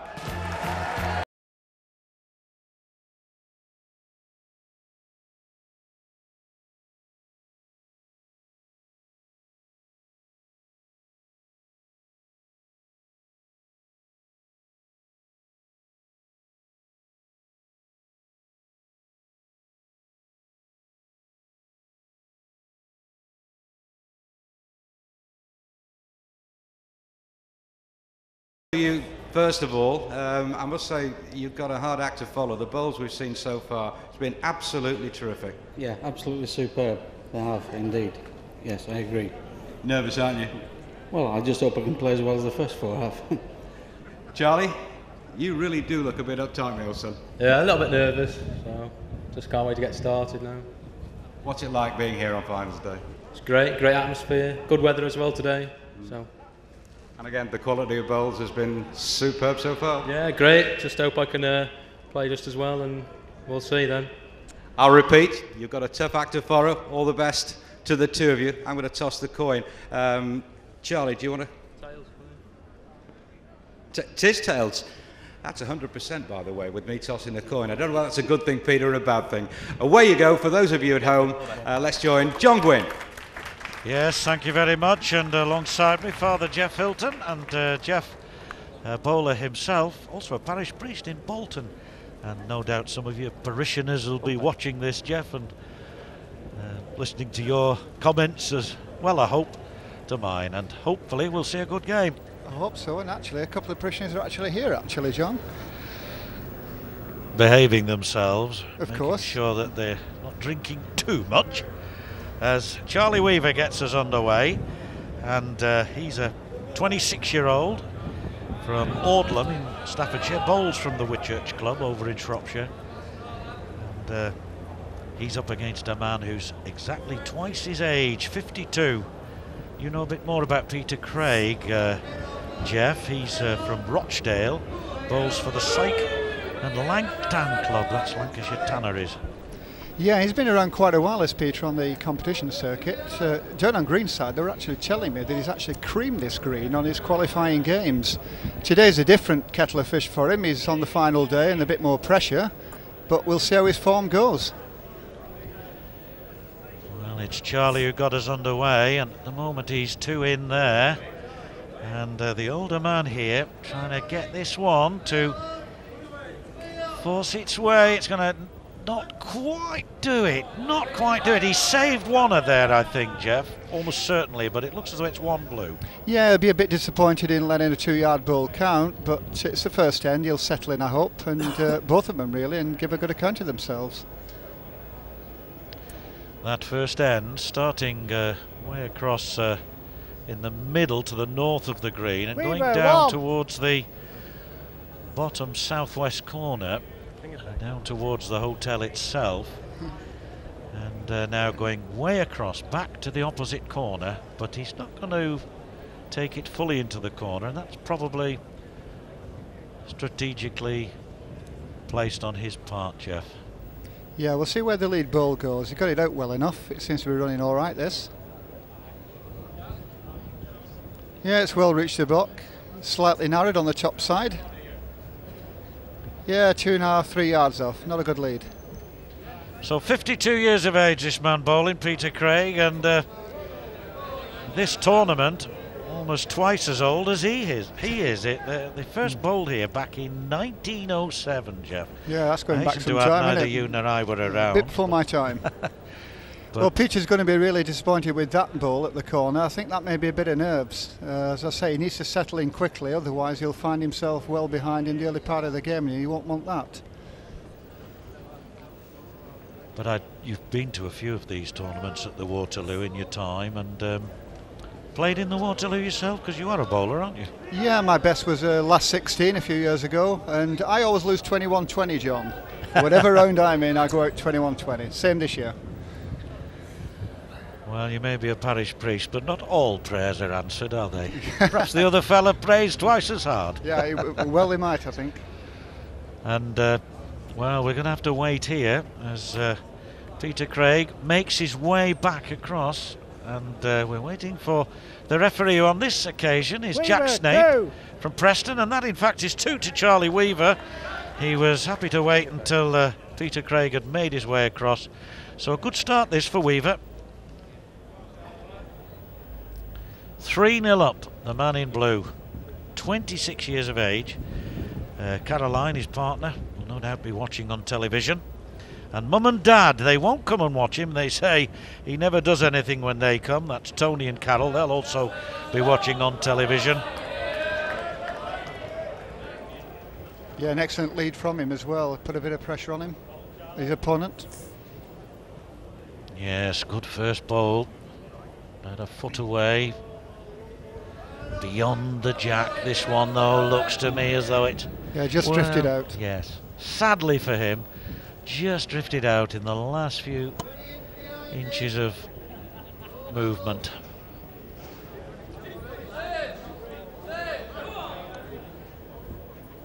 And that one short as well. What chance here then for Peter Craig? Be a good one, wouldn't it, to take this one? It'll need a good ball to beat that, I think. He'll have to play a dead length on the line. It's coming in well enough. I think it's just going to be short. Yeah, giving up. Two and a half yard off. It's the shortest of all of those, all four of them, and uh, so um, we wait once again for Peter Craig to arrive at the um, business end, and then we'll get determinably the umpires or referees pronouncement. It's certainly one to blue. We'll wait and see. I think he might have two here. well, I felt from for some time uh, for some time that it's been two, but uh, it is deceptive as we've already Next, seen. So they're going to have to measure. So um, at the moment, it's uh, impossible to say what the definitive score is. Suffice to say that. Uh, Charlie Weaver's been bowling since he was nine. Peter Craig tells me that he started pretty young as well. And uh, he's the man in red, the man from Rochdale hoping that this isn't two, otherwise it'll Yeah. be No, 5 0 to Weaver. Two it is. Weaver, Two it is two. to Weaver. So 5 0. Um, nothing is certain in sport, certainly in Crown Green bowling, but uh, 5 0 represents a pretty useful start. So who are you on this time? Well, I'm on Craig this time. I'm on Peter Craig. He's a teammate of mine and a right good battler, but he's not started very well here. He's uh, up against it. He's 5 0 down and uh, needs to get hold of the block quickly and get, get settled. He's not settled yet. That's an easy one for you then. Yes, my man's coasting. It looks like I'm going into two on lead. My man's what five nil ahead. Yeah. Does he lie in as well? The ball's underneath, I think. This one's definitely under. Yeah. He'll count this end. I think that's drifted underneath. So he's one then for this man now bowling. Uh, He's off the mark at least in this match. How he'd like to take a second though. No, he's short. Short and under the land.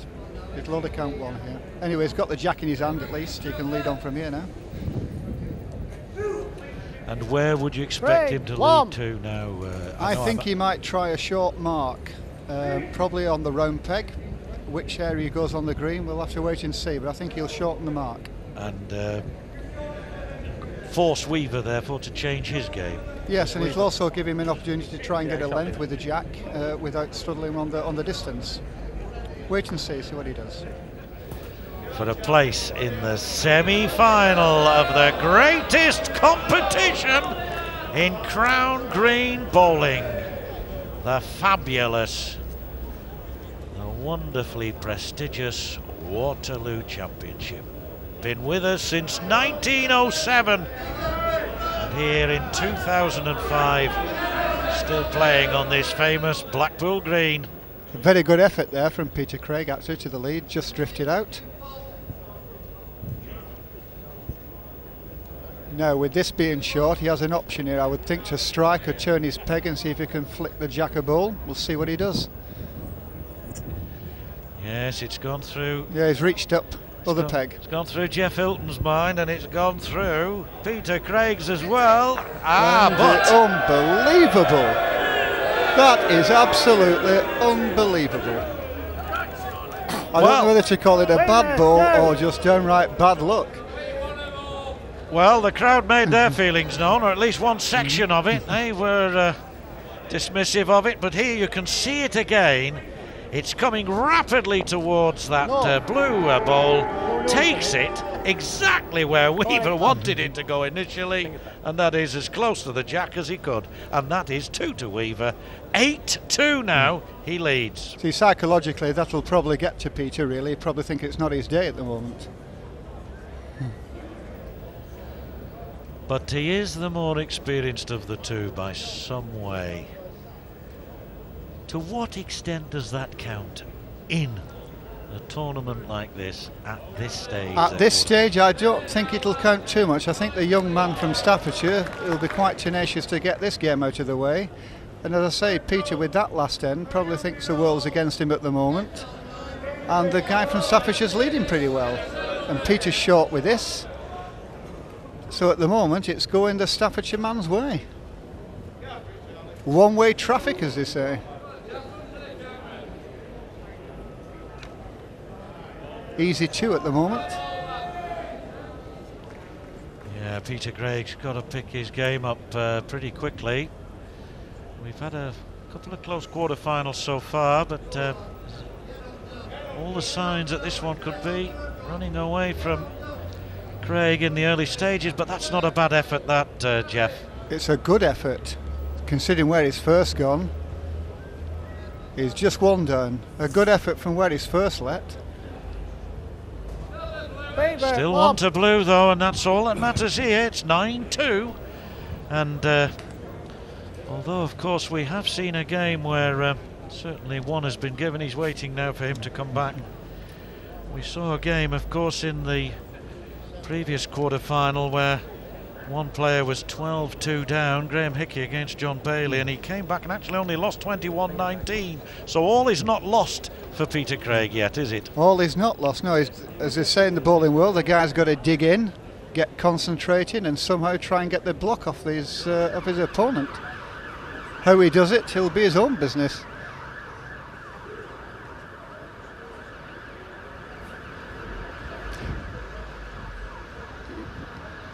Yeah, I would think that these two bowlers, this is probably the pinnacle of their careers. Uh, to play in a final day at the Waterloo. Uh, they might not admit it sometimes, but I have no doubt that in their own mind to arrive here today is a tremendous uh, achievement uh, and total excitement. And of course, the worry is they want to go on the green and put on a good performance.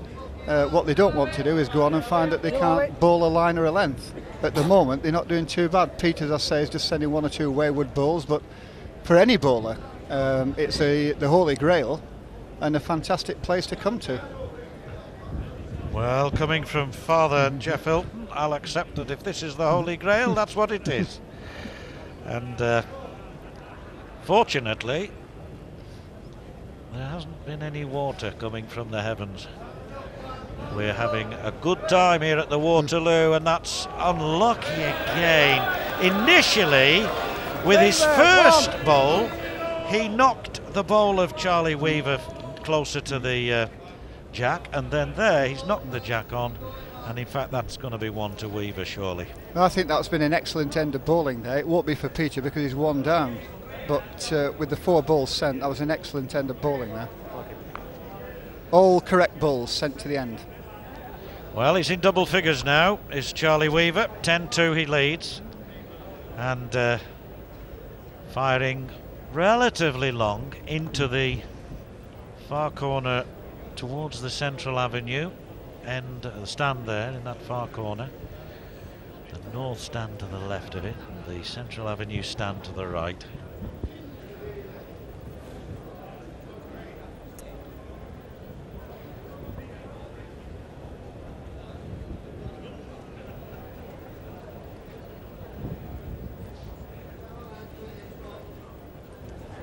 Clever man, Peter Craig, isn't he? Is he the man who was at Cambridge University and got a degree? I believe it was, yes. There's nothing like a thinking bowler on the green. No. and uh, got a degree at Cambridge University. And what did he do with his cantab? He uh, became a bookie.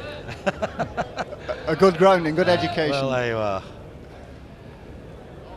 He read all the books, and uh, since then, and then he decided to make a few. I'm sure he's coming under a bit of pressure in this game. Um, I'm just hoping he can get under the block for a few ends and settle in. Well, this is not a bad one. I just, just thought give for a up. moment- Yeah, it gave up just at the end, didn't it? And uh, again, it's going to be Weaver Weaver, adding come. to his score only by one, but it's 11-2. And even though we've already seen one fight back, not quite all the way, admittedly, but one fight back from adversity in this uh, competition in the quarterfinals. We're going to have to see another one here from uh, Craig if, if he's going to threaten Weaver. Talking to a couple of bowlers on the green side, John, they're saying that the surface of the green, although excellent, is difficult sometimes to get a length on it with both balls. Really? Mm. That's interesting. And why do you suppose that might be? I think it's particularly the size of the green and it's fairly flat. And at the moment with the grass, and we're in September, the greens are not what they call flying greens. You've got to push them a little bit. And occasionally, depending on where you are on the green, they run a bit or they just hold up a bit. And if you get it into your head, you can't get a length on it. Uh, that all takes a part in the uh, the way you perform. Well, they're coming down towards the uh, Waterloo Hotel end of the uh, of the green at the moment, and uh, I'm told that this is where the heavier part of the green is. So you'd expect the bowls to hold up, wouldn't you? You would, yes, extent? yes, you would. It would also help if the bowlers themselves had the knowledge on the green where exactly it does run and it doesn't. Um, some might have that knowledge and some might not know. They just send the ball to the block and find out and find during the out when of it match. runs. Now, don't tell me he's knocked him in again. Well, if he has, you've got to say he's unlucky because I don't think he's bowled some bad balls there. No, he's knocked him in again with a, At what point does he say to himself, blow it? Surely not. Well, you see, there's a theory that you should never knock your opponent in in bowls, that you should look at the lie of the bowls and send the correct ball to the end, but of course it never works out like that. And he must be thinking at the moment he's probably one of the most unluckiest bowlers in England. Well, he's in the quarter-final of the Waterloo at Blackpool, and uh, certainly at this particular moment, he's holding centre stage with uh, Charlie Weaver. There's no greater venue, no more prestigious competition than this. And it's the title every bowler wants to win, every bowler worth his salt.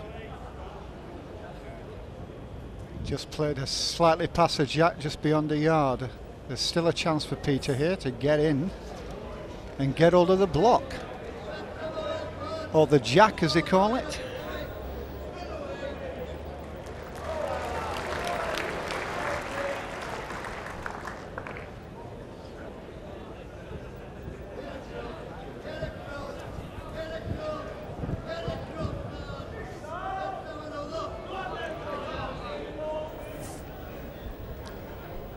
Now then, what do you reckon? Well, Peter's line one. Can he reach for another? Do him a world of good if he can.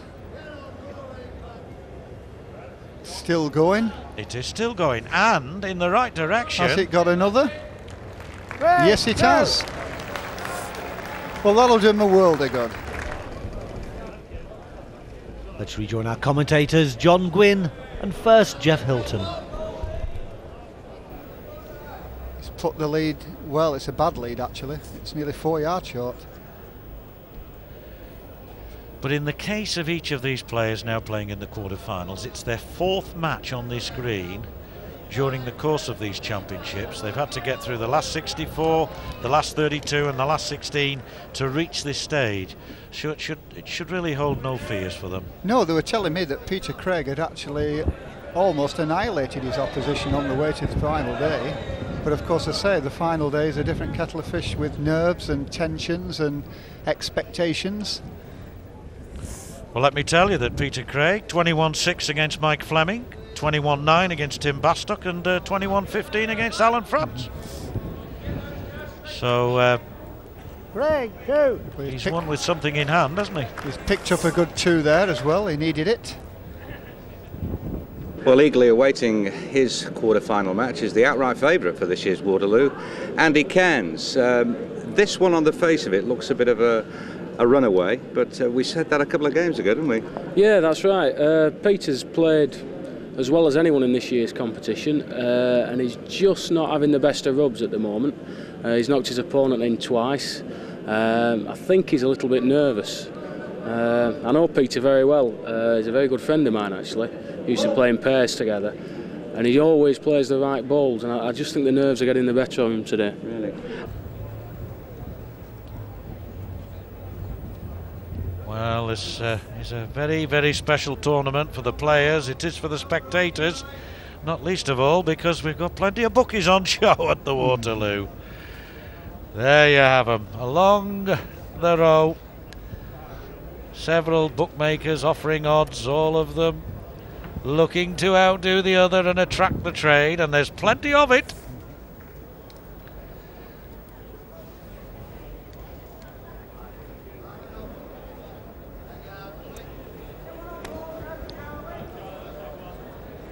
Well, he's drifted his second ball behind the line of the other two there, and he's still a yard and a half off with his nearest. An easy pick up there for uh, the man from Staffordshire. Leader, one. Yes, an easy pickup makes it 15-7 to him, and uh, the effect of that uh, baseball cap is it makes him look a little bit like Ricky Hatton, the boxer, and he's certainly putting in a fighting performance this week, isn't he? And uh, Ricky Hatton likes a game of bowls now and again, loves a game of darts, I know. Doesn't mind uh, putting on the boxing gloves from time to time and I might try it myself one day. might come in handy in Bolton. I think Peter really would dearly desire to particularly be leading for a couple of ends with the block. He's been broken up at every other end he's sent it. He's got one in here with a very good ball. Well, so far, two very good balls. One from each player. Now then, is this third one going to be as telling as it? Oh, no, it just deviated away, didn't it? So. Now, can he couple up here on a tight end? Every chance. It's every chance of getting another this, and it has. Excellent. Well, let's say that that was one of the best ends that I've seen here. All four deliveries relatively close to the jack, and uh, you've got to give this fella credit. That was measurement almost. Yeah, that was an absolute perfect second ball when you're lying in. Not too far, didn't do any damage, and got the end result he wanted. And just wonder if he can lead on from here. He needs to get a few ends together, and yeah. quick. Well, three twos to him. He's just got one. Would put us level, of course. So much easier said than done. there are a lot of people on this uh, famous uh, bowling uh, arena, or in the seats anyway. Who talk Everyone a match winner. Two of them have microphones in their hand. the real performers are out there. And Just drifted. Yes. Might be good tactics here from uh, from Peter if he can just make these leads it might just unsettle a little bit of the opponent on his length and put a bit of pressure on. He lies two now. If he can get away with these, Well, Jeff, let's remind ourselves that Weaver was 5 0 up. Oh! dearie me, dearie me. Well, that's what they call a chair leg. Unbelievable what happens at bowls. Yeah, it was two to Craig, and then suddenly Weaver decided that he would take the bull by the horns and managed to create two for himself. And surely after that, Peter Craig's going to be thinking. Well, can't bowls "It's be a not mine." cruel game? Yes, yes. And just looking at Peter's body language when that last ball came up, said it all. Well, I'm with Kevin Shaw, who plays Andy Cairns, of course, in the last of the quarterfinals, the next game in this year's Waterloo. We've just seen Charlie Weaver play an absolute peach there, Kevin. Yeah, it really was. Peter was coming back into the game there. He's been playing fantastic all week, Peter. Uh, short lens, putting him close. Charlie's just made two there to go. 17 9. Big difference from 15 11. Looks like Charlie, one has to say, but who knows in this extraordinary game of Crown Green Bowls here at the Waterloo. Yeah, it turns quickly. Yeah, there's plenty of people thought they've won. Nearly got over the finishing line and then they stood up here watching. So, uh, no, you need your 21 before you three. This fella Charlie Weaver, he's only 26, you know, but he won the Shropshire Merit uh, 2001, so he was only 22 when he won that. And it's nice to see one 26 year old already in the semi finals. And uh, the way things are looking at the moment, 17 9, we could have a second one. In fact, it would be remarkable if we had two 26 year olds in the final. Certainly would, which yes. is not out of the question. No, no. Little work to do here yet, of course. You see, see, bowling at this level is not necessarily the, what they call the old man's game at all. Uh, a bit of fitness and a bit of keen eye as well. All comes in. Stamina, as they say. And I suppose the ideal age that, that maybe to, to have the experience to go with the with youthfulness and the skill is what in the 30s possibly Hmm. 30s approaching 40 so uh, it would be tempted to say Peter Craig's past his best now don't think I'm saying that for a moment I don't think I, I don't think he'd agree with you as no, well. No, he wouldn't, and quite rightly so. But certainly, Charlie Weaver's got a future in the game. Peter's just overcooked this. Gone two yards past. Now, has this reached? Has this reached, John? Methinks not. Methinks not, because although it's supposed to be quite quick down that uh, corner of the green, there's certainly no evidence of it there. This one might.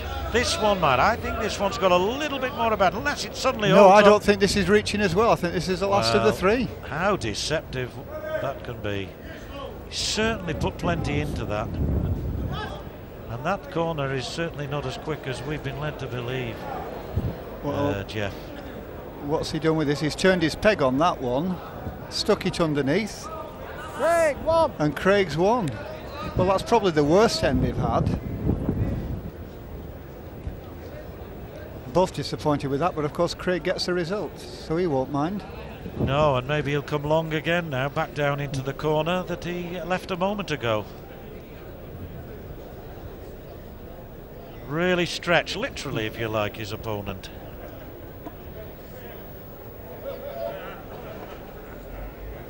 News agent, this chap, Peter Craig, and uh, he said to me, I'd like to be making the news instead of delivering it. Well, he's got something to do in this one. He's 17 11 down.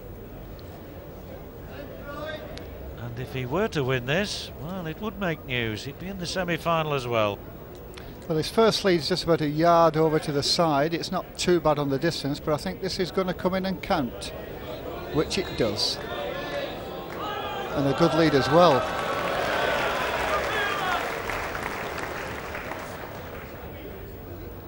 That may be the ball actually that breaks Craig's back if he doesn't beat it. He has to reach up. He's given it half a chance. He's given this half a chance. And it's just give up. Oh, he is unlucky. He is unlucky because, I've you know, a fraction more on that and it would have been surely a winner. As it turns out, it's uh, Weaver's excellent, excellent delivery. that uh, holds sway at the moment and probably will have to satisfy himself with one. Yes, I'm sure, pretty sure he'll uh, bowl cautious at that, which he has done. Because by going for a two, Weaver, he's one. in danger of ending up with none. None at all. Yes. Mm. So, 18 11, and three more needed by Charlie Weaver. 10 more needed by the man in red. This is the 23rd end of the match. At 12-2 down after 11 ends, it looked as though we might not get this far, but uh, full credit to Craig, he's hung on in there. Well, he's pushed this under the land. Nothing for this.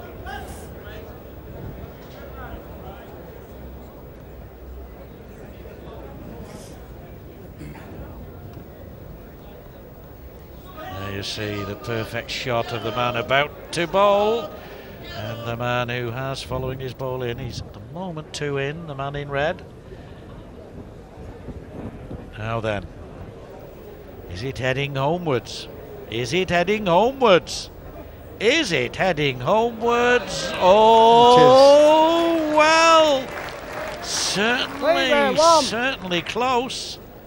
And he's taken one. Yeah, turned in one. You were right, Jack. that was an excellent I ball. Excellent sure, left ball, last ball. Yes, wasn't it just 1912? I mean, he didn't. That was worth three points. I think it- because because he, he, he took one, and had he not taken that one, he probably would have given his opponent two. If Peter had counted two there and led well at the next end, there'd have been a lot of pressure on Charlie Weaver. As it happens, he's beaten the uh, the lead bowls and he's leading out now 1912. Was that the year the Titanic went down? Well, we've had the uh, yes, we've had the Beethoven's 1812. Now you're right, it was the Titanic that went down in 1912.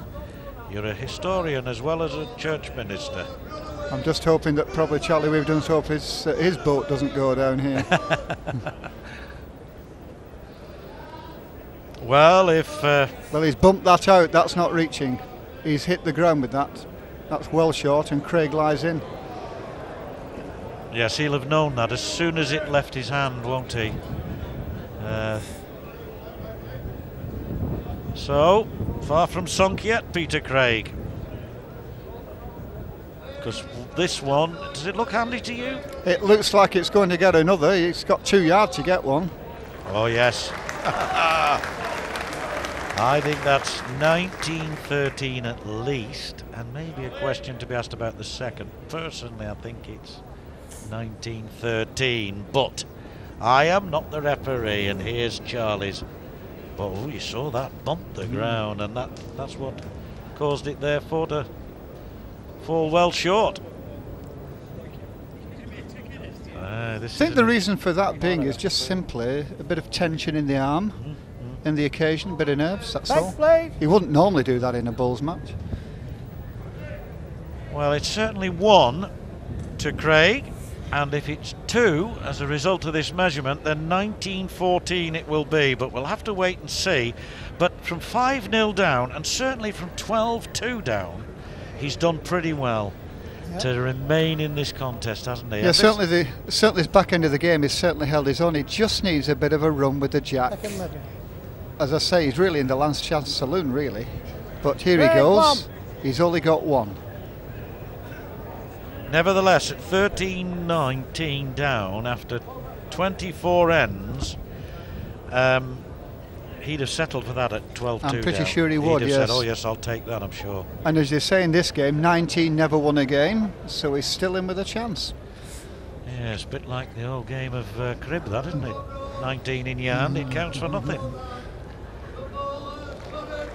Well, there's a fair lead, John. It is a fair lead, it's a good one. It'll take a good one to beat it. Well, I think he's played short at this. So do I. Not hard to see. The brakes applied very early there on that particular one. Not so on this, got a bit more pace about it. Sits nice for two, this. Oh yes, does it? Hey, that's that's a belter. Oh yes, he'll like that one. Now this will hurt if he can move that away nip in here. Well, he's reached up, hasn't he? Yeah, well, he has to reach up, but what has he done? Now then, Two to Craig. Craig, two. It is two. Two to Craig. You're right. 1915. We're slowly getting back into the melting pot. Well, you'll get four to one now, Redders, on on your man Peter Craig. He's just picked up another two. That's 19-15. Yeah, he needs to make a good lead here. He's just working his way back into it, but he got off to a nightmare start at 11-2 down. And he's been struggling leading, but he's, he's just working his way back into it. But he's still up against it. He's got to say Weaver is one to six here. Weaver, he's still big, big favourite. Freddie, I tell you what, uh, it's never say die at the Waterloo, isn't it? Correct. There are comebacks every game at the moment. Uh, Charlie appears to have a decent ball. Craig has definitely got to beat this, else he's out of the tournament. It's a massive ball this, absolutely Ball's massive its ball way, this. And it's going to win. It's won it this. It's definitely It's won it this. running. For what you want this. World Cruise Road to nothing. To be Won it. 16-19 with that good ball. Charlie has this one ball to try and beat it. It's on its way. It, it's just underneath. Never Very give up, close. Craig. He's an absolute battler, absolute battler. It's 16-19 now. If he counts this next end, he'll nearly, he'll nearly go favourite. Your quid's in here. Oh, I, I'm on in big style here, Craig. This is uh, Well, this has gone out. well, well out. Well beyond the jack. I think he's under pressure now, the younger fella. Well, I as really would- think he's under pressure. As they would say around these parts, the tide is coming in.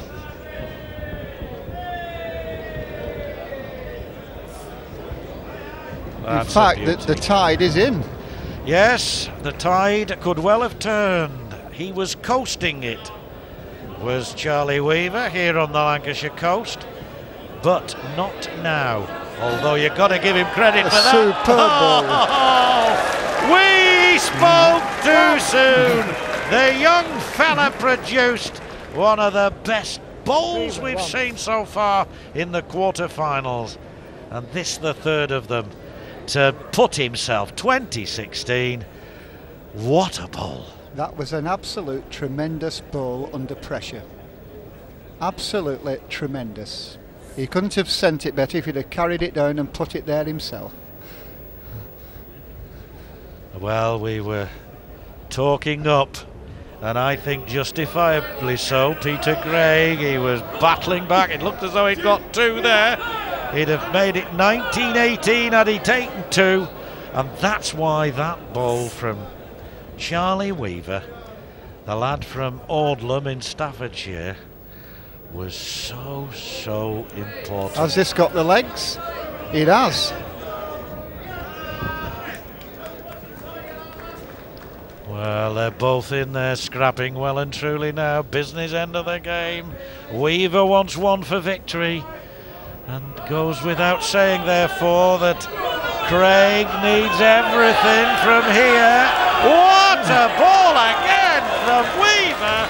He's winning, and now it's up to Peter Craig to produce the bowl of his life. And he's struck. Striking here. Is it going to go? He's looking at it. Oh! Got the gap. All over then. 21 16 to the 26 year old Charlie Weaver. We have two 26 year olds in the semi final. Well, this is the end where it's just finished. Charlie, you needed the one. You got the one. Yeah, I was, uh, got a good lead early on, and uh, Peter kept coming back at me, and I just couldn't, you know, I got a couple out, I just couldn't get there, and uh, played two good balls at the end to get out. And so delighted. How nerve-wracking was it out there, Peter? You seemed nervous early on, but th- then you certainly seemed to settle. Well, I just had a very, very bad end. First end was terrible end. I should have got round his ball and got in, and it's cost me dear. He got the first five before I got going, and that's the difference at the end of the game, isn't it? Five chalks. A little bit of luck going, but Charlie, good luck to him. He's, uh, he's played up and, and connected right in the middle of the green when it, when it was a critical stage of the game. I was counting two. If I'd got, got to, I'd have been nearly back with him, you know. But he's it's, it's four chalks difference on one end, and he, but he's played a very, very good ball. It's good luck to him. Yeah. Do, do you put this down to, to valuable experience now? Oh yeah, yeah. He, I mean, he's only a young lad, isn't he? He's, he's a different generation to me, you know. so anyway, he'll uh, he'll go a long way, won't he? Obviously, yeah. Peter, thank you. Commiserations. Charlie, let, let's have a word with you now. Um, the young guns are going pretty well. Yeah, myself and John, we uh, grew up through the county, right? We were both the same age, and uh, I don't know, it's still nerve wracking. I still pretty nervous early on, and towards the end I was pretty nervous. In the middle of the game I was all right, I was going well. But uh, I thought you were very uptight when you when you made that dreaded walk towards Yeah, me I at the very yeah, start. I could see you, your cheeks were puffing out, you were blowing. I was, yeah. I just don't know what to expect really. It's a big crowd and. I don't Must be a great experience, though. It is, yeah. You look back at it and just, you know, played in crowds like this before, and you just you get knocked out. You want to go back again, and you want to experience it. I'm just delighted, really. You've still got a bit of work to do. There's a small uh, matter of accounting for either Andy Cairns or Kevin Shaw in the semi-finals. Yeah, I just see who wins, and uh, and I'll just have to take it as I find it and uh, try and play well. So- You're beginning to sound like Brian Duncan now. Have you started playing like him? Well, yeah, it'd be a pleasure to play like him and emulate him, but uh, I just have to say I just got to take it as I find it now and uh, hopefully play well. well done, Charlie. Sure Thank you, you. will. Thank you. Thank you. So Charlie Weaver takes his place in the semi-finals along with Matt O'Neill and John Bailey.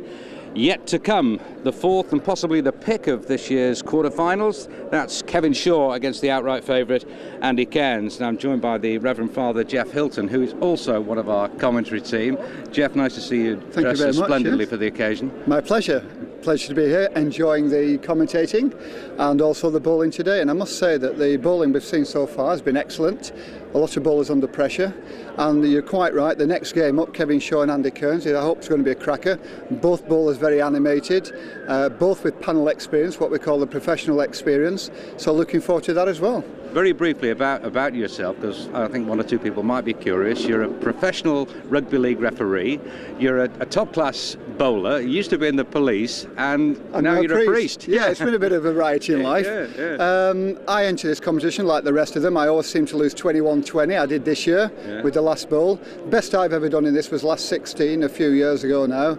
Uh, keep turning up every year, seeing if I can uh, get into the final day and try and win that holy grail, which is a bowler's dream, really.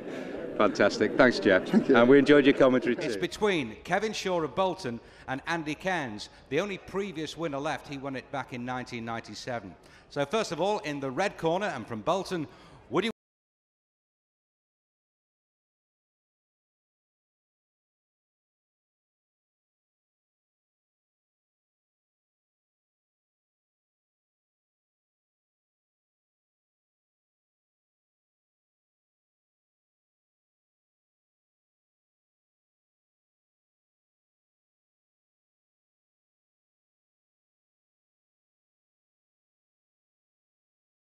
from Rossendale and weighing in at, I'm not saying a thing, Andy Cairns, ladies and gentlemen.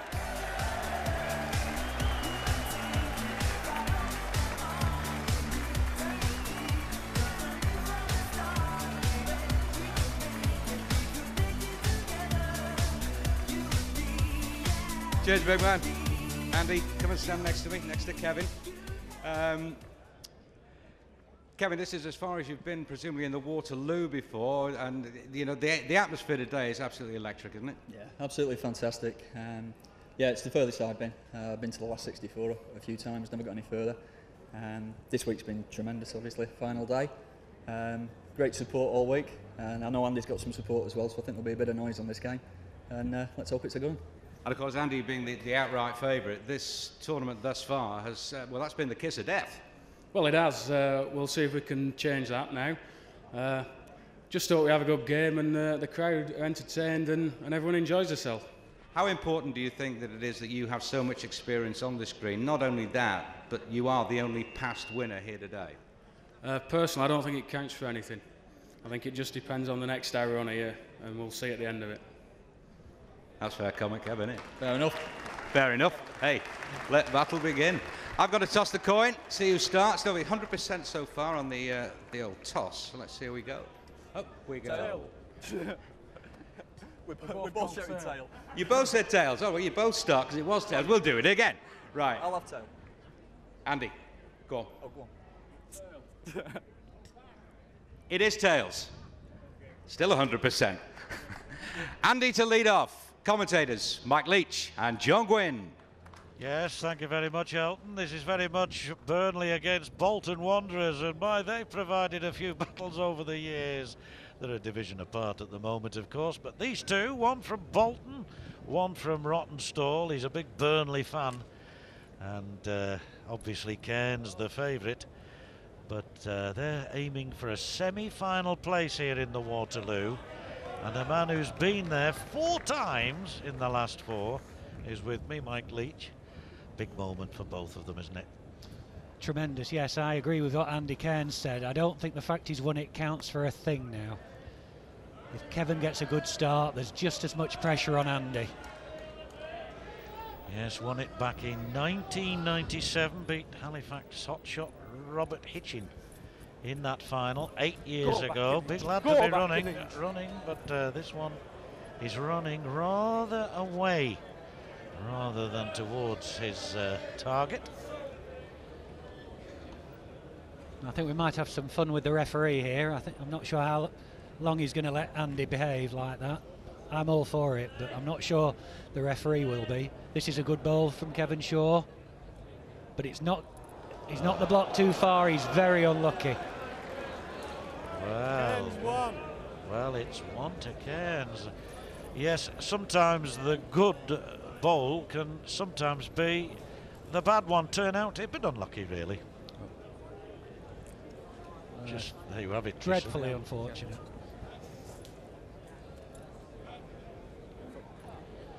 So one to the big man in blue. Andrew Cairns, 32 years of age, Rawtenstall.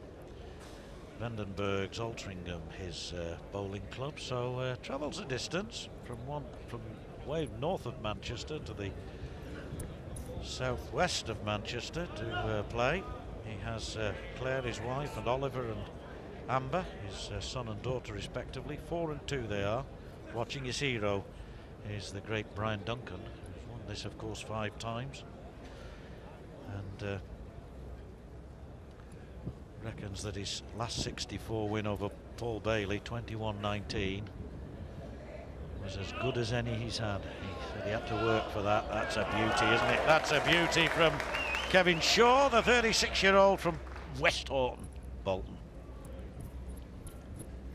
Good start to this game. Good start. This ball won't come in though.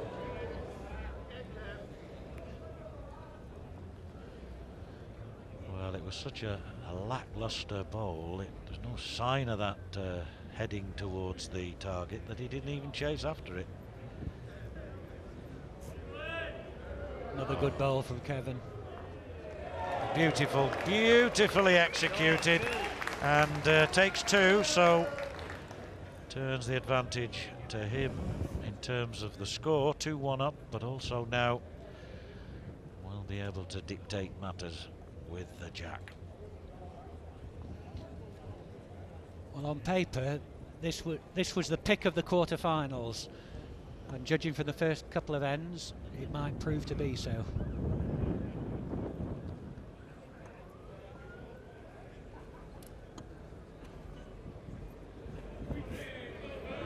Well, uh, he's rather more athletic than his opponent in terms of the way he looks, and I'm sure Andy Cairns won't mind me saying that.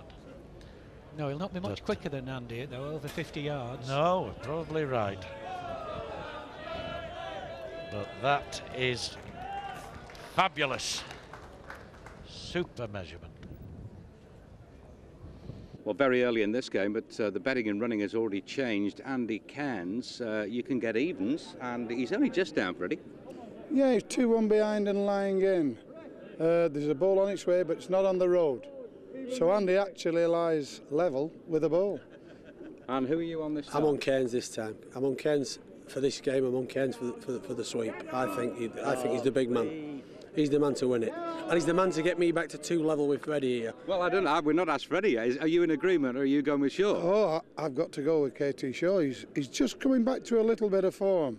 He's been out of sorts for a while, but he's an outsider, of course, but nevertheless a chance. Well, you can hear one or two members of the crowd shouting, Get up, get up. They'd find it hard to believe that it hasn't, has it? Oh, yes, it has, I think. Oh, I don't know. You, yep, he says so. He says so, I think so. Uh, never always right, but it is two. And uh, that last one wasn't impressive, was it? But it, it's, it's there, it counts. It's on the scorecard. Well, already ding dong. Andrew Cairns 1 0 up, then Kevin Shaw 2 1 up. Now it's Andrew Cairns 3 2 up. If it's going to if it's going to be like that, it'll be a belter all the way through. Yes, our referee for this, Larry Whiteley. You were saying you know him quite well, uh, Mike? Yes, uh, but he's, as I say, he's got a difficult job. Judging, of course, is not necessarily officially part of his job, it's to enforce the rules. And he'll find that both of them may transgress the rules, and it's up to him to decide whether he's going to bother too much about it. It all adds to the atmosphere, of course, if people can run after them. But he won't want anybody stamping the balls in. And presumably the players look to see who's going to be the referee for their match because, as in any other sport, some referees perhaps are just slightly more lenient than others, and uh, there's a lack of perhaps what we might call consistency. Well, there is, yes. I, I'm not sure any of us change our game depending who the referee is. We just we just push the rules as far as we can until somebody stops us. Well, uh, words from a man who's obviously been there, done it, worn the t-shirt. Oh, that's very nice indeed. He nudged that second ball onto the first very niftily. He took two, so now it's now 4-3 to red. So it's really topsy-turvy this. Fair lead, two foot short, right in the way. Andy Cairns has reached with this. They're already hooting and screaming at it, the crowd. Bang! Oh, he's hit the block. Lucky, lucky man. Well, yes, it was uh, heading for the ditch, wasn't it?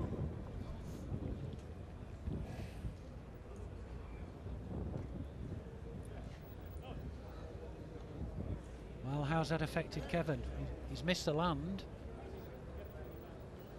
May or may not have won. Can't see from here. Well, it, it's it's and tuck with that one that uh, Cairns uh, hit the jack with a moment or two back. He's not short again. He's not hitting it again, is he? No, not this time. It's going That's- right that's- between that's and running gone on. out. Yes. Shaw says it's one to him.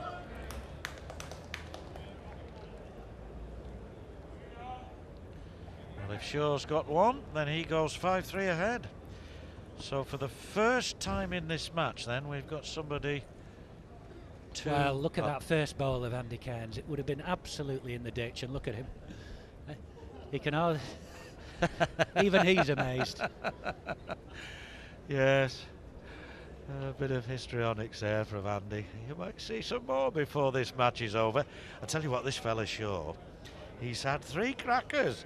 Last 64, he beat David Hayward from Staffordshire 21-19. Yeah. Then he beat Robert Withington, Winnington rather, from Hyde 21-20. And then he beat John Martin from Cleveland 21-18. Yeah, so he's used to having tense games. You don't win a tournament like this without having some close games somewhere. Maybe games that you, you, you win that you shouldn't have done. You can't just win this tournament from in front. Actually, Robert Winnington's from Northwich, not Hyde. Sorry there, mate. Not that there's anything wrong with living in Hyde. I live next to Hyde in Denton. Well, he likes this. He's after it. Can he pass his own? Can he get past his own? No. No, it always looked as if his own was going to be a blocker there. Now then. Cairns lies in. He's changed his peg to make sure he doesn't run into those short balls of Kevin's. Well- just drifting out, but possibly counted. Can't tell. He was half successful in that he got it wide of those two from Kevin Shaw. But as you say, uh, Mike, I think the red there is the one that counts. Of those we can see. Two. Two, in fact. No, it's two to Cairns. Well, well, five apiece. Well, it just goes to show how deceptive it can be, even on our monitor. Um, mind you, perhaps I'm deceived by the fact that there is red actually on Cairns' bowl, isn't there? With Yeah. a blue ring around it. And I think it was that I was looking at. So Fair lead. It is a fair lead. It is a fair lead. Yes, there's a, a red mark in the middle and then a blue ring around it.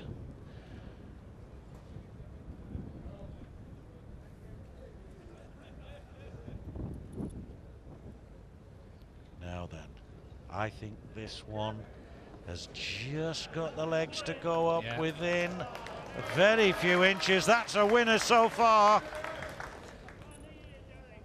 Well, you can be sure that Andy will reach at it. He's, he's trying to play on it to take it out and leave two, but he's just going to go tight. Just skimmed it now. Right bowl. Wrong execution.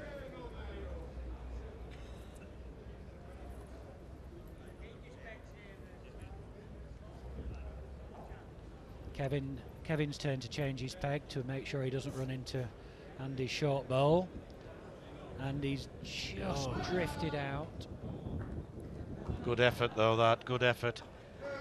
He's surely won in, has he? Yes, surely won. And uh, his name is Shaw, for sure. He's won. 6 5 for sure. Some, some of the crowd were shouting that it was two, but Andy soon told him it was only one. And you wouldn't want to argue with Andy Cairns, would you, You really? certainly wouldn't. I should imagine he's a pretty good arm wrestler. Andy favourite for the tournament. And in fairness, if it wasn't for the fact that he was playing Andy, Kevin would be second favourite at the start of today. Kevin was uh, telling me uh, prior to the match, uh, Mike, that uh, he'd actually taken time off the game uh, to concentrate on having some time with his family. Now, that's admirable enough, of course, but uh, was persuaded to have a go at this, and uh, who knows? He could end up as the champion. Yeah, well, sometimes a bit of a layoff doesn't do you any harm. But he'll, however much of a layoff he's had, he'll be he should be on form at the moment. He's played Saturday, Monday, Tuesday. Well, when you've got a family comprising Jacqueline, his wife, and two lovely girls, Samantha five and Holly three, why not take some time off to be with them? And one there to Cairns. Well done. It's a real belter there, six apiece. Yes, it's building up, isn't it? They're jockeying for position, both testing each other's out. Kevin tried to, to go a bit further. I think Andy will stick to relatively short lengths, but he, he'll try different marks around the green. Well, for the first time, we're going down into what has been described as a heavy part of the green. And uh, down in the southwest corner. If the ball could carry on on its course now, it would end up in the uh, pleasure beach. In the pleasure beach, that's right. But it did have a bit to go.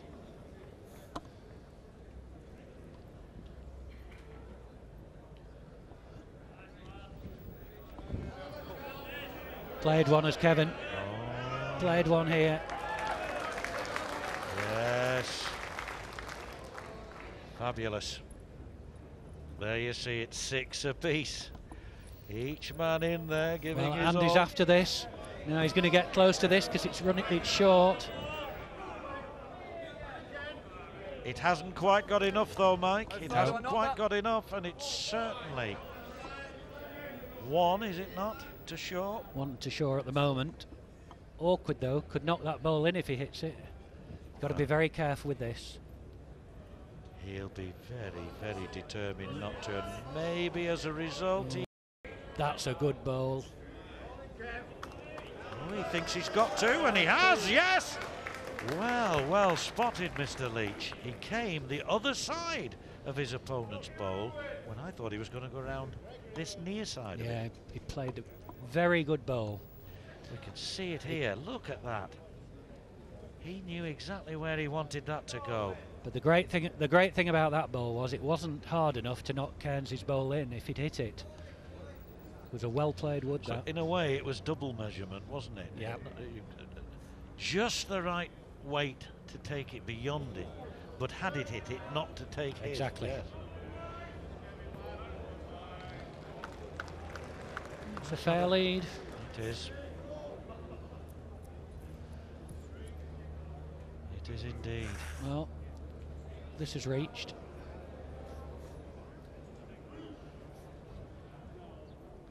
Well, it's more than reached, and uh.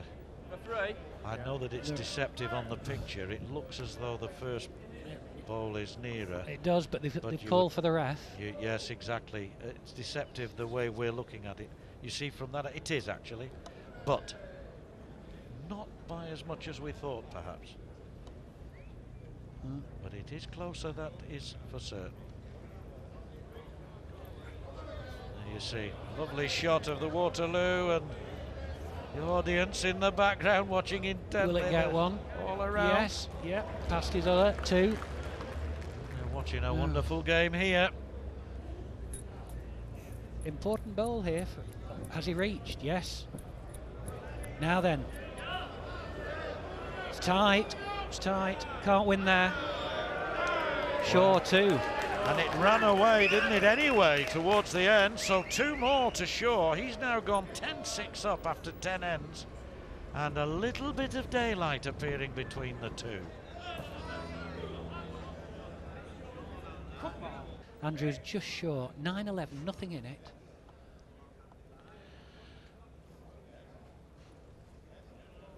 Well, Kevin like, well, he would like this if it'll come in, but will it? It won't look at it. No, It's no. Just drifting now against the bias. Tricky little mark, this. Well, this man, who's an occupa- his occupation is a production manager, textiles business, Webber and Marley in Rawtenstall. He says, "Thanks for letting me have time off." He better reward them with the title, though. Another, another good ball here. Well, I think Nice. that's an understatement, Mike. I think it's an absolute belter. I know what you mean. Well, it lies to be 11 all unless Kevin can do something quite remarkable with this last bowl.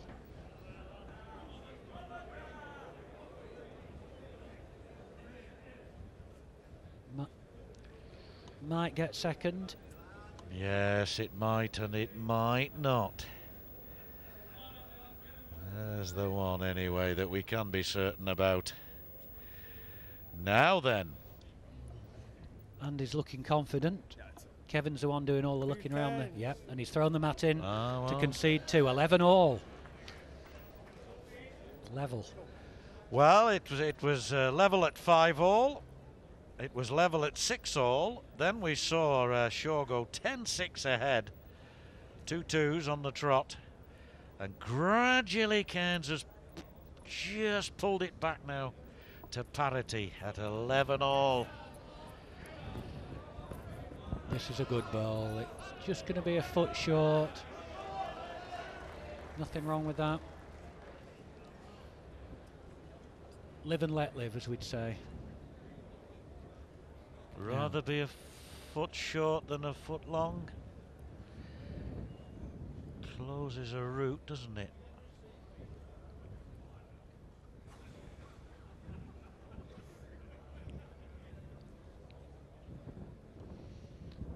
Kevin took a lot of time over this delivery.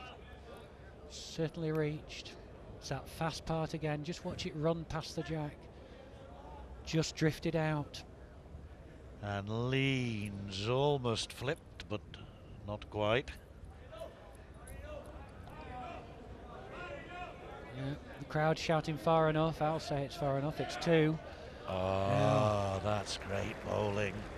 Now, what's what's Kevin going to do? Is he going to try and beat those, or is he going to try and reach, try and run the jack, make two himself? Lot of chances, lot of things to hit, and he's gone for it. And he's close. Oh, he's done. Oh, he's two down. He's still two down. He hit one of Cairns' balls and flicked off and hit his his own. But it could so easily have gone for him there, and I, I still think that he did the right thing under the circumstances, don't you? I think it was the right ball. Yeah, he's very close. He's certain to take one out, but he just flicks his own as well.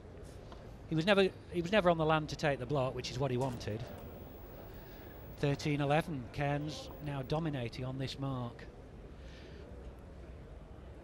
And he's taken it deep down now towards that southwest corner, bowling towards Grind. the pleasure beach again. Grind. And, uh, The, cr- the crowd shouting that ball to grind means it, they want it to peg as hard as it could because it was just outside the jack line. Now this is downhill but heavier. Will Kevin remember that? Or has he played short again? They're shouting, run away, lad, he's short. Not won it. Yes, maybe he's compensating, overcompensating for the fact that it will run away down towards Miss that it corner. anywhere. Miss it anywhere. Has he missed it? Can, if, he, if he hits it, he's knocked it in nearly. Well, uh, we can't tell from Still that one shot. down. Still one down, you reckon? Right.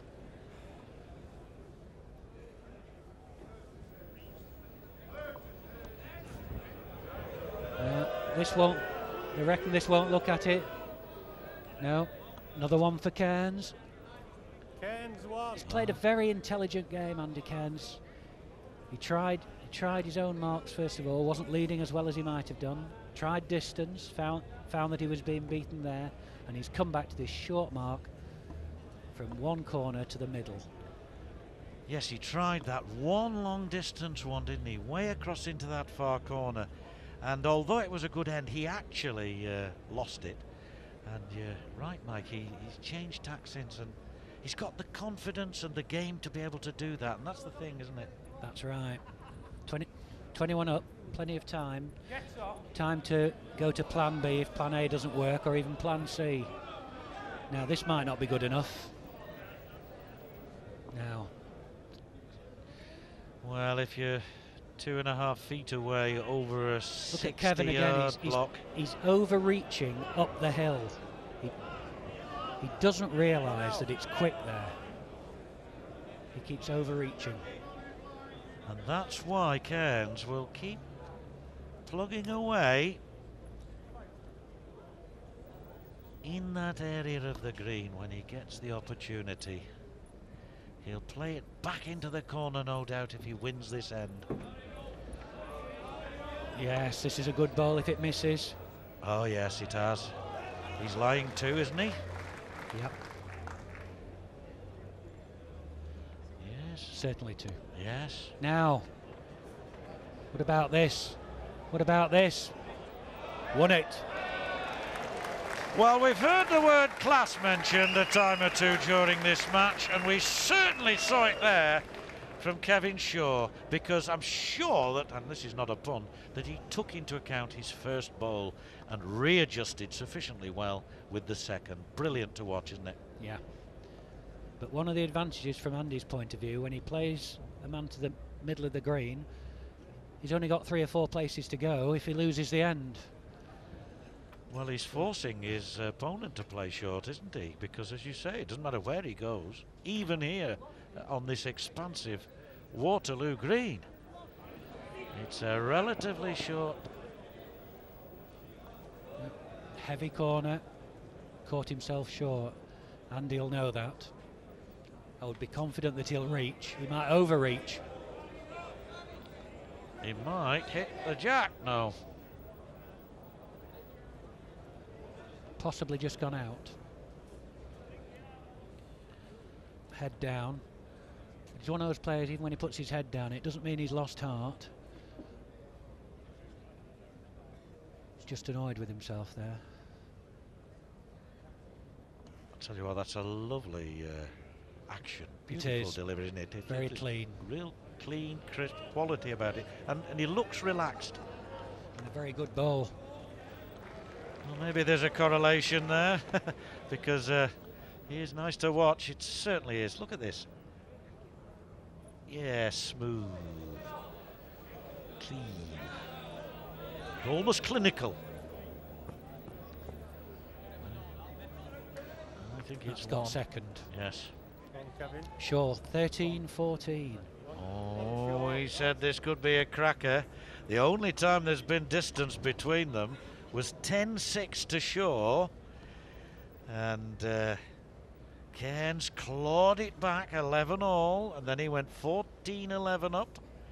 Now it's 14 13. Ding dong, they call it. A ding dong affair. Where's he going to go? Is he going to go in the corner? Methinks he will. I think this will, well, maybe not as much length on it as perhaps I thought, but 40 yards though. yes, I'd say 45. 45. Yeah, it's gone on a little further, hasn't it?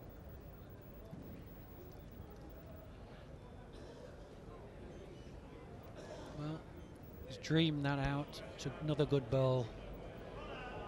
They're saying run hard. It doesn't need to run very much. Foot short. Good ball. Well, I'll tell you what, uh, Mike, the last time these two met, Kevin tells me, they were in the moorside, just near Oldham there.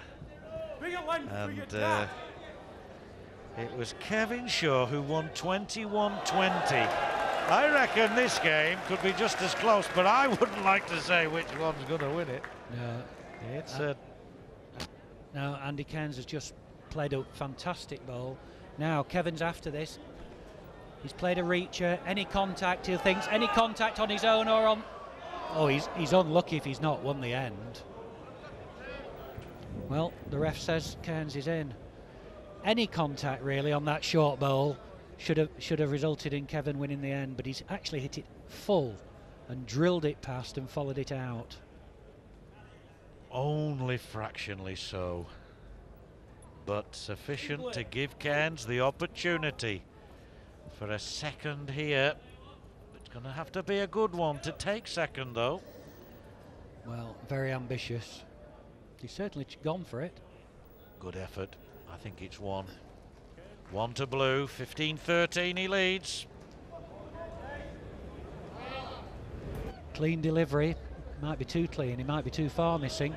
Is, is there anything in the way? Has he hit his own? Knocked his own in. Well, there's nothing wrong with that.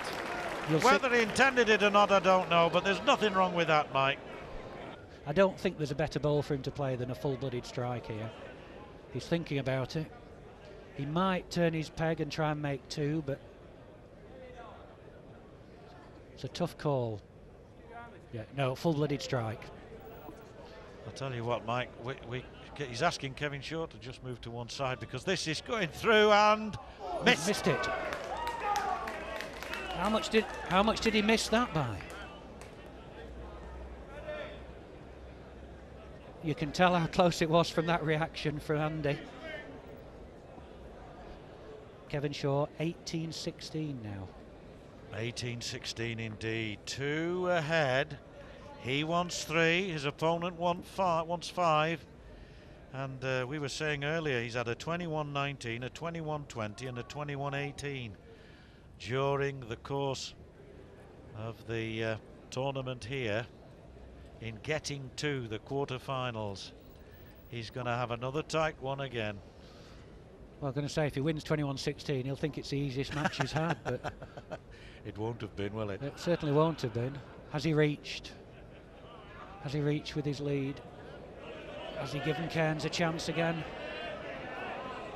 This, ca- this game, I think, is going to go right to the wire. Yeah. I'm not sure that his lead was intended to be quite that long. Are you? No, I agree with you. I think he sent the jack further than he intended. Will this win it? It's not a bad one. It's not a bad one. Given the circumstances, in order to better that, there is a danger that you might just overrun, send it into the gully, into the ditch. But uh, you've got two men here, top of their game, giving their all. Prize, a place in the semi-final at the Waterloo. There's no better competition. And at the moment, there's no better players in the game. These two are giving their all. Has Won it missing. Nearly, ooh, nearly knocked it in, but hasn't done. Cairns has got one here now. Is it going to be 18 apiece or is it going to be 18 17? He'll have to change his peg if he wants to get another. Can't risk knocking Shaw in. Come finger peg. It pegs up a bit. It it'll look too low, but it pegs up a lot. If it if it'll just reach, it'll get one.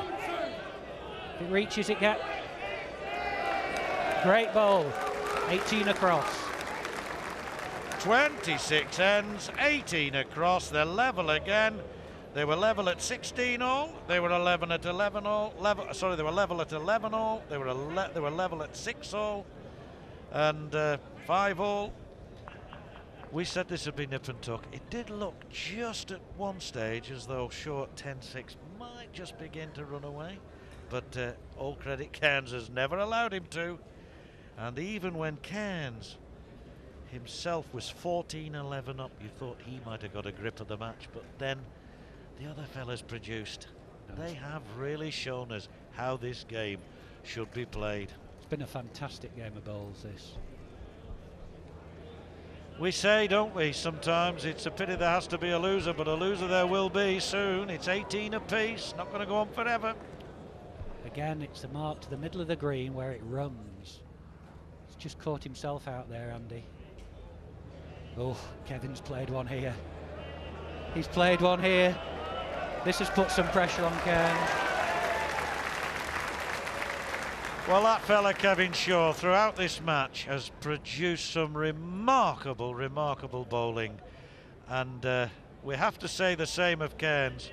But in particular, the man in red has rolled that ball up neatly to touch the jack, to nestle alongside it sometimes, to finish within inches of it. He's done it again. And this at a vital stage in this game.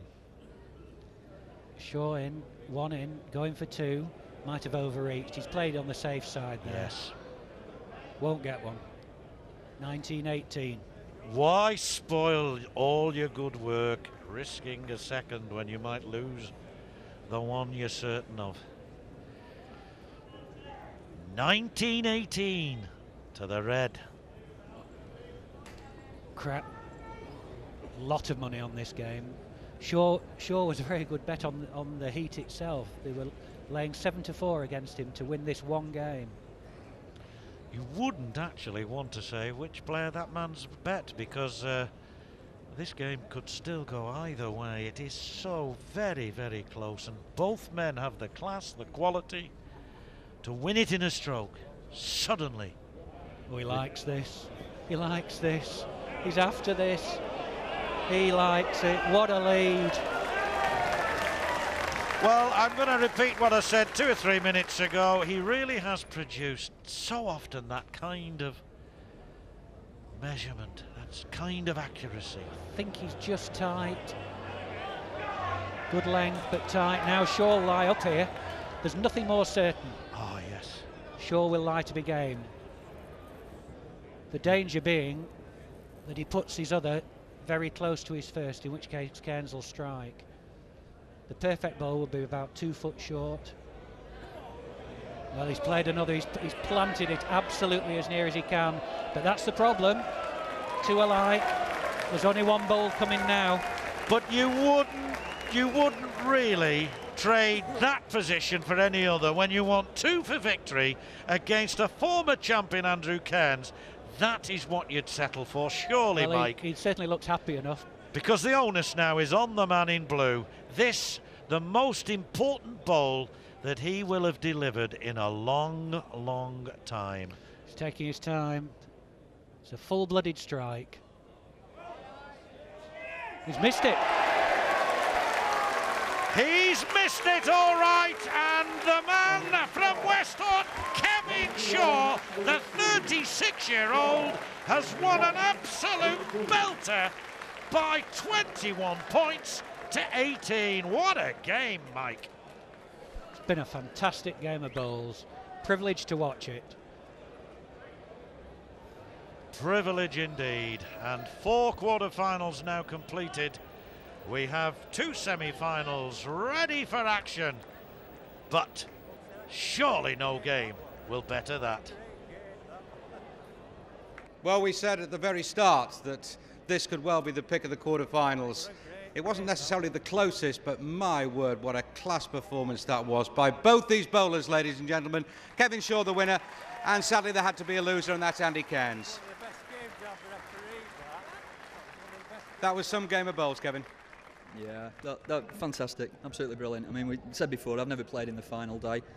This is a superb atmosphere to play a game like that, to win. Absolutely brilliant, and uh, Andy played smashing as well. Good support from the crowd, and fantastic to be involved. Andy, not trying to rub salt in the wound, obviously, but we did we have talked about the curse of the favourites in, in this tournament so far, and it, it's hit you this time. Yeah, it has. Um, I've just not played uh, as well as I have done over the last few days, but I, I thought Kevin played very well, uh, beat most of my leads, um, and he's put them closer than I have, so that's what it's all about. Yeah. Still a great experience, though, for the finals day at the Waterloo, even though you've got to sort of watch the semis now in the final. Well, it is. Uh, I'll go to the bar and have a and have a beer and watch these lads play, and I can relax now, I suppose, and look forward to next year. Maybe I'll buy it. Eh? Maybe I'll buy it. He said he's going to buy the round. Well, we're all in. All the cameramen are going in in a moment as well. anyway, just a, just a word on, uh, as you said, you mentioned before, you know, the first time you finals day here at the Waterloo. Is it all that you expected it to be? Yeah, it is, and more beside. It really is. I mean, the green's in fantastic order as well. It's running, it's running superb. It's a pleasure to play just a single game on here, which you do from the last 16 onwards. And uh, I get another game, which is great. Thoughts on your semi-final? Excuse me. He's got a touch of hay fever. Is it? it, it Oh, no. I got a cold last weekend and can't shake it off. Uh, semi-final, if I'm totally honest, I didn't even think about it. I've come here to play Andy this morning. Obviously, I've got top weight on with Andy. Concentrate on one game. I'll have a think about the semi now. Okay, thank you. Andy, commiserations once again. Ladies and gentlemen, Andy Cairns and Kevin Shaw. Well, Kevin Shaw has probably realised by now that his semi-final opponent will be Charlie Weaver. The other semi-final, Matt O'Neill against John Bailey, and that will be next. Well, we've got the the betting boys with us. I mean, that was just a magnificent game of bowls, and as, and you're a loser. I'm a loser, but I enjoyed the game. That was that was what it's all about. It's a fantastic game of bowls. Kevin Shaw's played 100% better than he's played in the previous rounds. He was nearly out the other day. He's played fantastic bowls because Cairns has played well and lost. That's what it's all about. This is the magic of the Waterloo. This man's crowing like the man with the Cheshire Cat here. He's 3 1 up. Can't get enough of it, Freddie. He's not a honorary citizen of Wales now. They've been on the phone. They want him to play for Wales. They can have him. Take him away. Well, in a moment or two, Freddie 3 1 up, and the, the Yeah. little rivalry here. 3 1 up, uh, not many games left for him to get level. Superb climax that to the quarterfinals. Absolutely magic. Excellent for the game. Okay. Fred, Redders, thanks very much indeed. First semi-final then. Let's welcome them onto the green. First of all, in red, Matt O-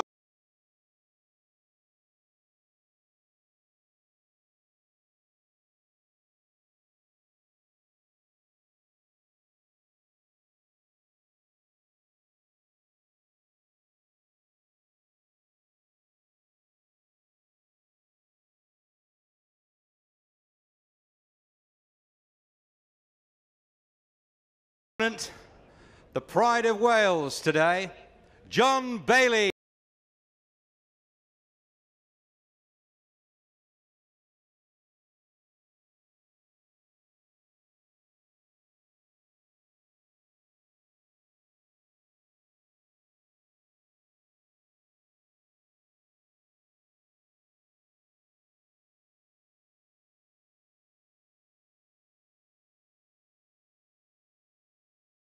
Okay, I think you could say the heat is well and truly on, Matt. Yeah, it's getting a bit tight now, isn't it? Mm. Yeah. But hasn't the bowling, John, been absolutely terrific? It's been a great standard all day long. It's been very good, very high standard. Well, both of you will be pleased to know, following the exit of Andy Cairns, that neither of you are favourites because it's been the kiss of death, hasn't it, this week? And in, in most of the qualifiers, the favourites have gone out. It's extraordinary. Yeah, it's, it's been that way all week from the last 64 onwards. You know, so I'm sure everyone left in it thinks they can win it. So there is going to be a brand new winner of this fantastic trophy, um, this tournament. Will it be you, John? Well, there's a long way to go yet, so just one game at a time. He'd love it to take it back to Wales, wouldn't he? Ladies and gentlemen, I'm about to make the toss right here. 100% record so far, whoever scored correctly. Not that it matters a great deal. John? John? Oh, it's come down tails. Righty ho. Game on. Our commentators, Mike Wakelam and John Gwynne. So here we go. They say, don't they, that in sport it is wonderful to win a semi final. It is just about the worst thing that can happen to lose in a semi final. Yes, it's not nice to lose in a final, but at least you've enjoyed the day. So a lot to play for for these two lads.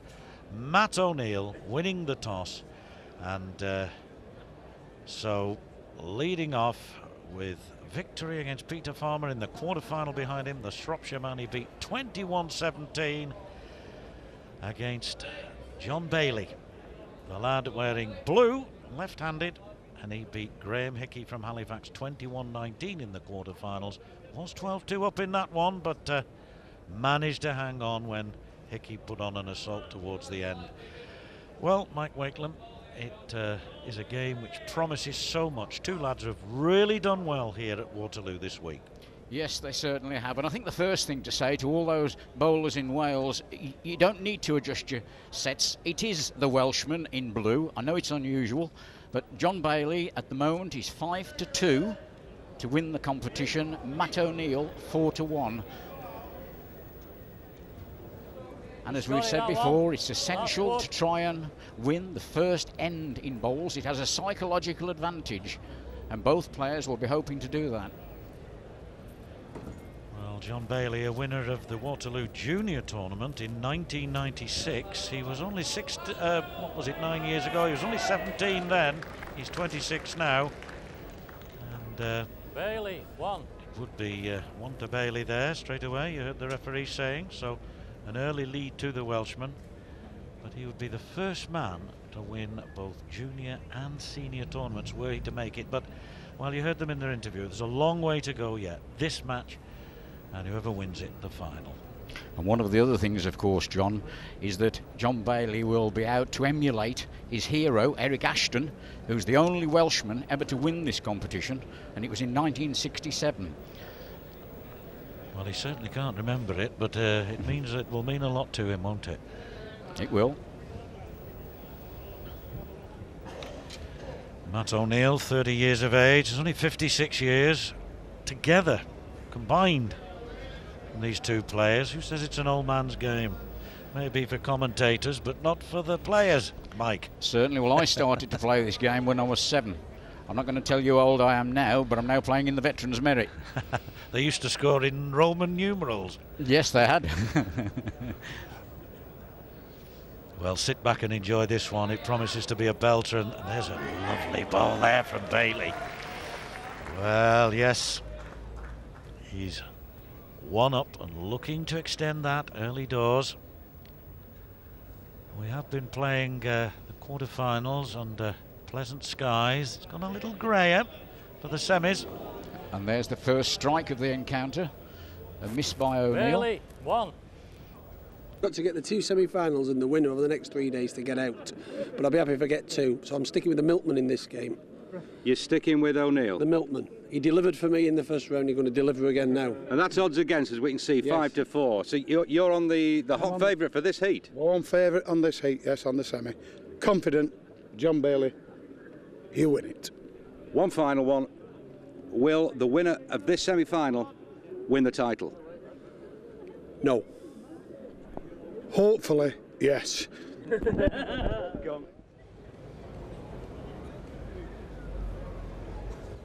Yes, this is the theatre of dreams for many a bowler. All united this week in one cause to win this particular tournament. Only four men can do it. Two of them in action right now. And for all those spectators that are here, John, the Waterloo, you know, it's it's like Grandad's cough mixture. One good dose and you can't leave it alone. They come back year after year after year. And uh, there's a useful one, is it, for O'Neill? No, I think it's run a little further than he wanted. So there you see, Bailey 2 0 up, but uh, bowling here. Running this bowl in, Bailey.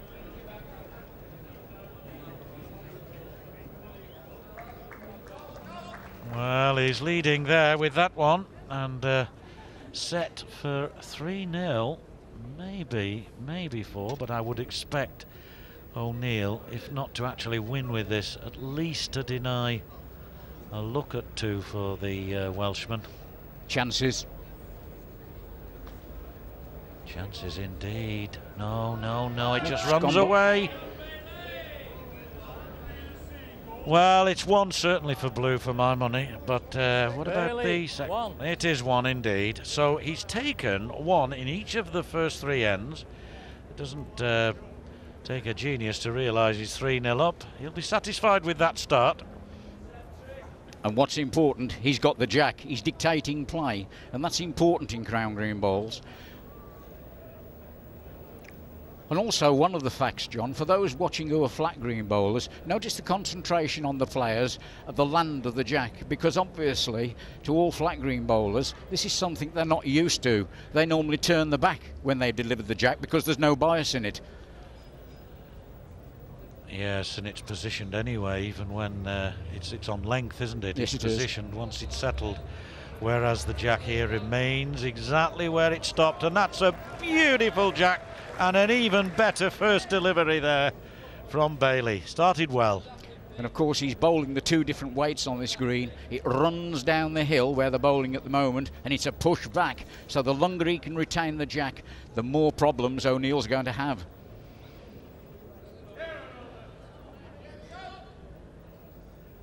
And uh, having put the first one within reasonable distance, neatly close to the yellow. This one, is it going to follow? It's got the potential. No, it's running away. It's running away. That's amazing, that, uh, Mike. It's just gone down the other side there. Um, it looked as though it was going to count. Sort of slanted away down the mini crown. Could have a strike here. We could, we could indeed. This lad from Radcliffe, North Manchester, I think he's positioning himself for just that. You're dead right. Here we go. Is it? It doesn't look as though it's going to go anywhere near where he wanted it to. So, two on this two. occasion, and it's 5 0 to John Bailey. Well, what a start. Four ends, five up already. He must be uh, delighted. And that's Charlie Tattersall. I mean, how would you actually bill yourself, Charlie, apart from bookmaker extraordinaire? Um, well, I used to be a bowler many, many years ago. I could play the game. Um, I played on the panel, played professional. Uh, I've been coming to the Waterloo since 1954. Um, What, what are your earliest, earliest recollections of it then, Charlie? Uh, the earliest recollection was there was only one tournament ever to play in, which was the Waterloo, the absolute Waterloo. All bowlers all over the country.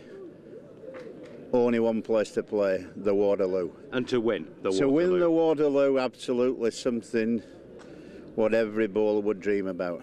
I've seen all the greats. And who would be the greatest? Undoubtedly, Mr. Brian Duncan. Absolute superstar. Unbelievable. Um, when bookmakers came here, they trembled. He, he, he won the tournament um, five times and nearly sent bookmakers to the grave. But you know so much about the history of the Waterloo going back. I mean, what are we in? It's 98th, 99th year. Yes. I, I came from a place, Rochdale, and I used to go on a bowling green called Falinge Park, and my father, kids went, you know, they played at bowls. And there was one old chap there who was 82, 83 year old called Billy Gillis. Wonderful Billy Gillis. And he used to get his bowls, and I'd say, Dad, what's he doing? He says he's going to Blackpool on Yelloway coach. What's he going to do? He's playing in the Waterloo. Absolutely unbelievable. Meanwhile, in our first semi final, John Bailey leads Matthew O'Neill 7 1. Notice Bailey, smooth delivery, very important in Crown Green bowls, because if you make a mess of it now, where it ends up is anybody's guess, and he needs to push this bowl up the heavy corner. And he's pushed this one far enough. It's a good bowl, this.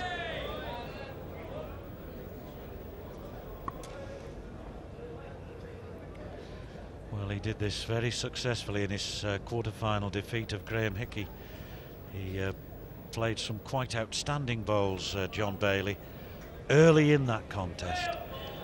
Was leading 12-2. In the end, even though Hickey, not playing his best, came back, He had enough in hand and won in the end 21-19 and he started in exactly this way with a good measured first ball and in this case is he going to land a second one He close is. to it he certainly made it difficult for the uh, lad from Radcliffe hasn't he Yes, and I think if he doesn't get in here, O'Neill, it's time to think, well, as this game started to slip away from O'Neill,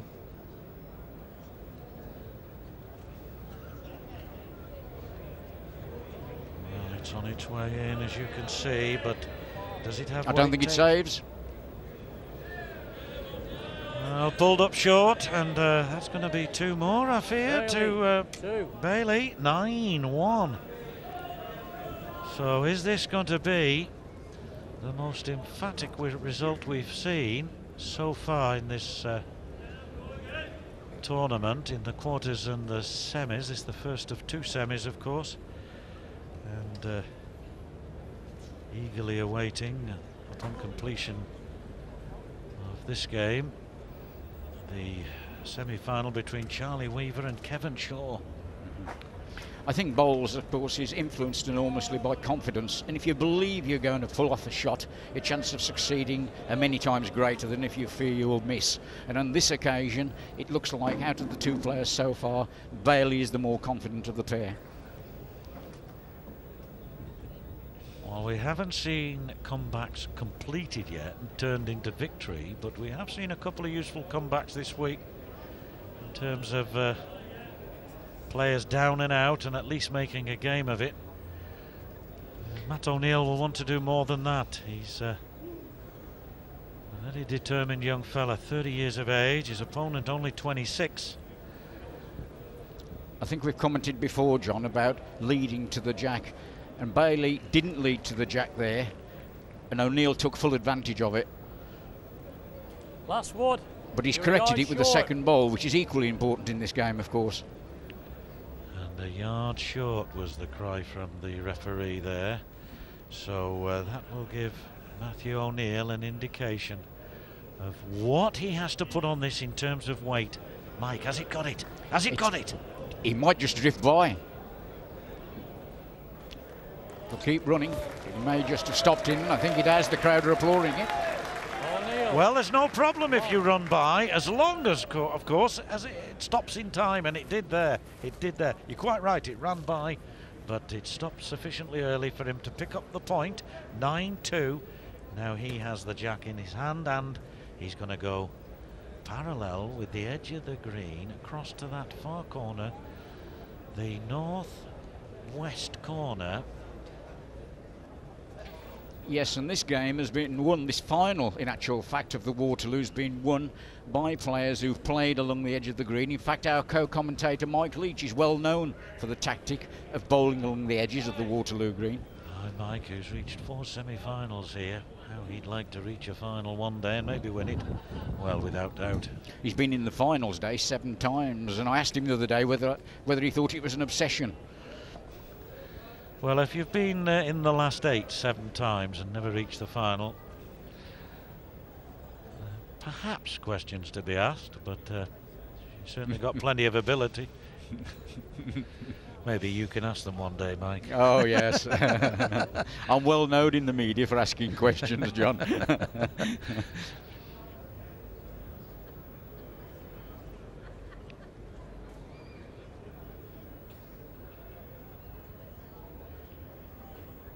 Crowd watching intently here. Sorry, Mike.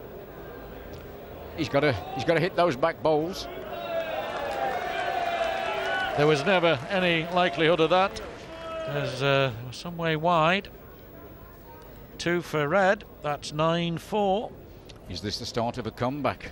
Well, his tactic of going along parallel with the green there, parallel with the edge of the green, certainly worked well, didn't it? It did.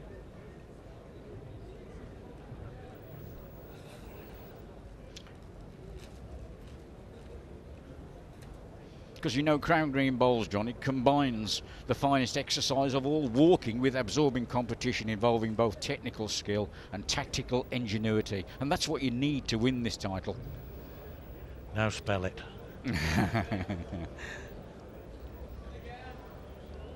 That's a good lead bowl. Isn't it just? Well, he's happy along there, isn't he? Evidently. And it could be the making of him. We'll see how Bailey responds. Growing in confidence now, the milkman. 18 inch. Yes, I.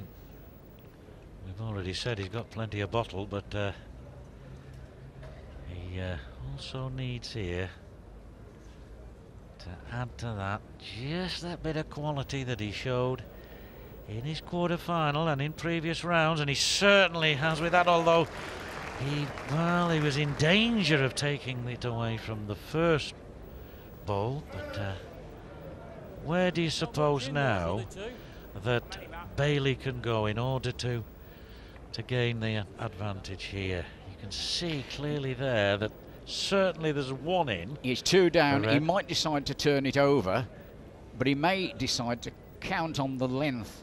It's a difficult choice here that he's got. He doesn't want to be short.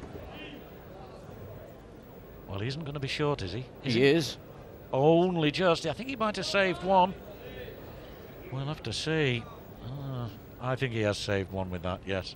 One to red, indeed. Nevertheless, the run continues for Matt O'Neill, trailing by 7 1, by 9 1. Now it's 9 5. Game on again, perhaps.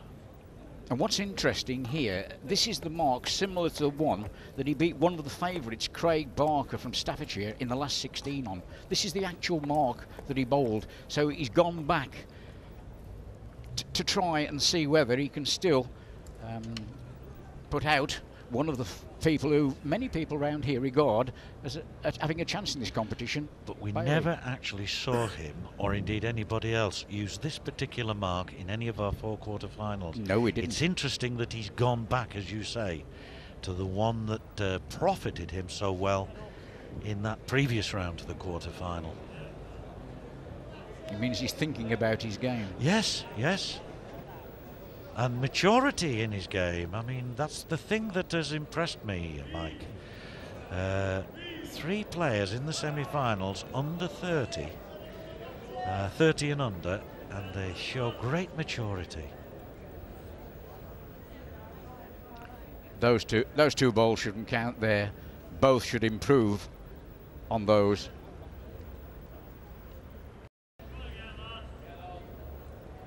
In fact, the fourth player in these uh, semi-finals is only 36, Kevin Shaw, and he really is mature. Showed in his uh, defeat of uh, the favourite Andrew Cairns in the quarter-final. Now, if Bailey's going to do anything in this game, this is the sort of end he should get in. Bailey, one. As this one, well, it it's handy. Could have been better, but could have been a lot worse. He's gone from corner to corner just about. And look at the concentration here on Matthew O'Neill. No need to worry. He's watching this ball. I think this has got a little bit more speed in. Won't stop.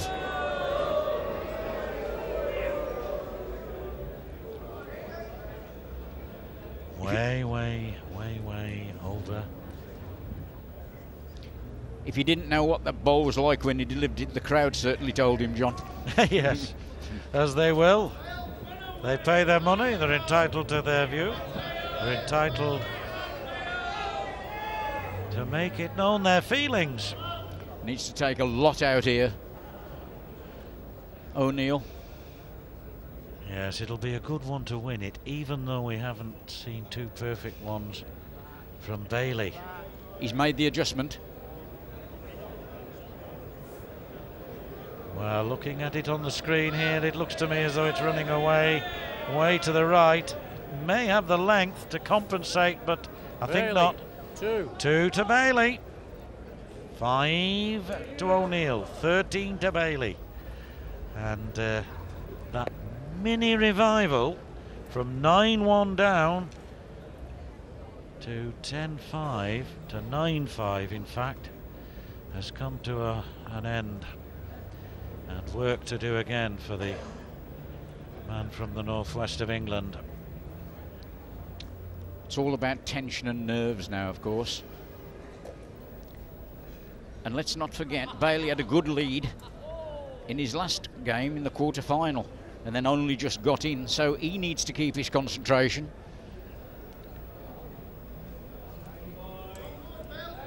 He'll keep his concentration. Yes, over to Elton. I think he's down below. That's right, John. Uh, Roy Armson with me, and John Bailey has found a mark he really likes here, Roy.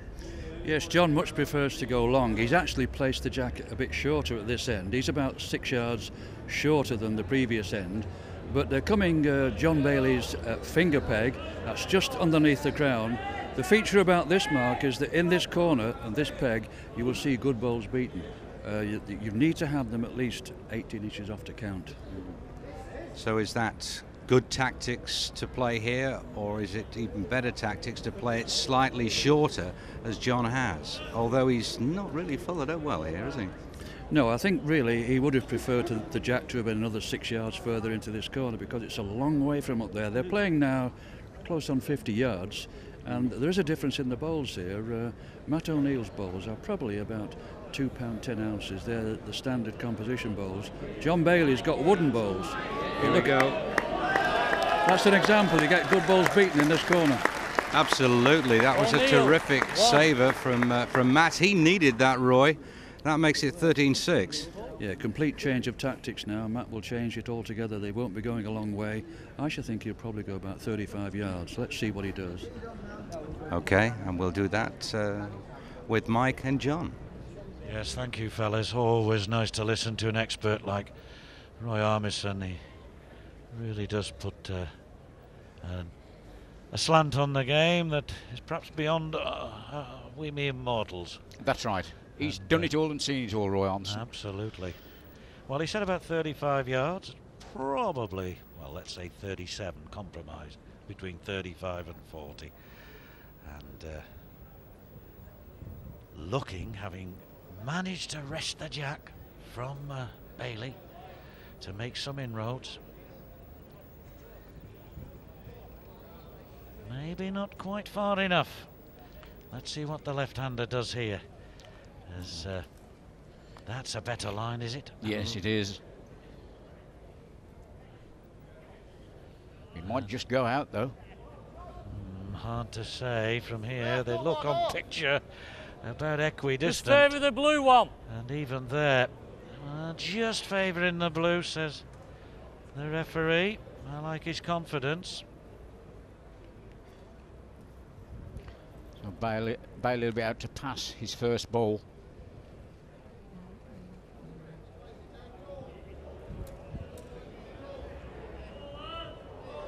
Well, you only have to let the crowd tell you how good that was. They, they enjoyed it. And so, so. Well the referee's indicated about two feet away. So Bailey's aware that he has plenty of room to get in. It'd be nice if he could tickle that jack around the corner to count two. back. But he's too wide.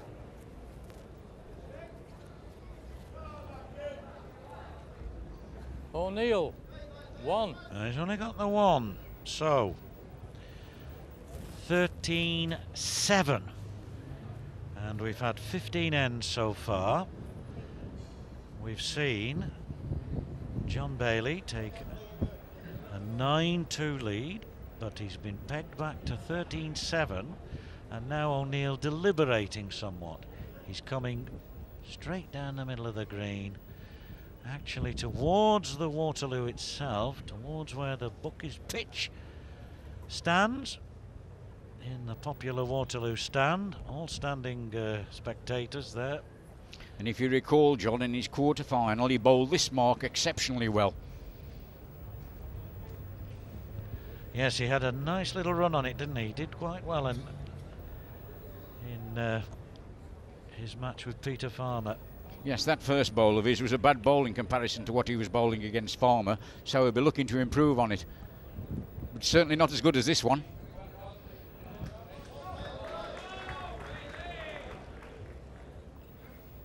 Well, you don't have to uh,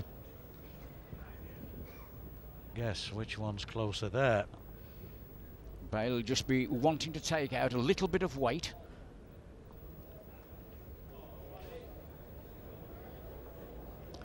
Somewhere about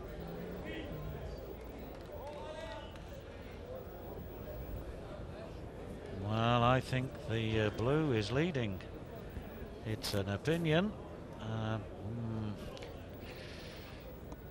The referee has indicated that his opinion is also agreeing with yours, John. yes. So, it's nice to know somebody agrees with me now and again. Even if we're both wrong.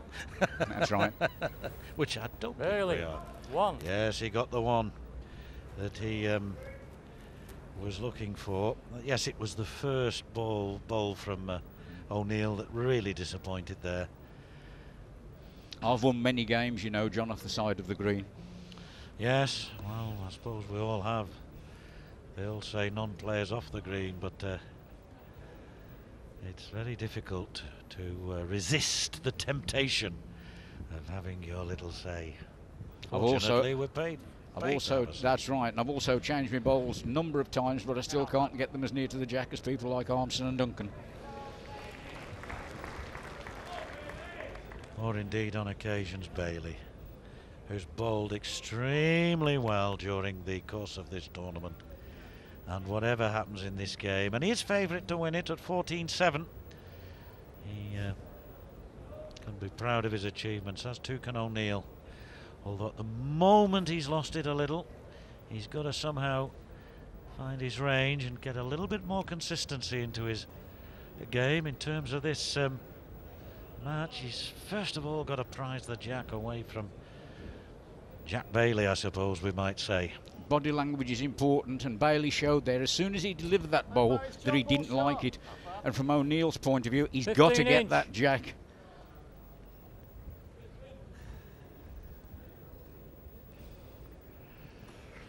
Well, this man. He's thinking of striking here. Yes. Yes, he is.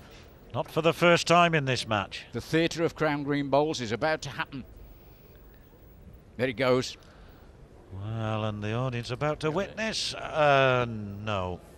He's always been good at bowls, but he was never at school the best marble player in the world. No. No. So, it Bailey, looks to me as one. though now it is 15 7. Bailey 1, and he's on, been on a little bit of a run here. Three on the trot. We see these players smartly dressed, John. There were some famous names who won this competition in the old cloth cap in the old days. That's all gone. Dress is important today, improving the image of the game. I saw a picture the other day of Len Moss of Denton winning in 1919 here, and he was wearing a bowler hat. And I'll tell you what, you can bet your bottom dollar that bowler hat was made in the town where he resided. And uh, Denton being a famous bowler hat town once upon a time. And 1919. This has got some history, this competition. It is, and there's a famous book written by a man called John Vose, who lives in Blackpool, where he describes that many years ago, the bowlers hadn't used to bring their bowls in the bowls bags, they used to bring them in their overcoat pockets.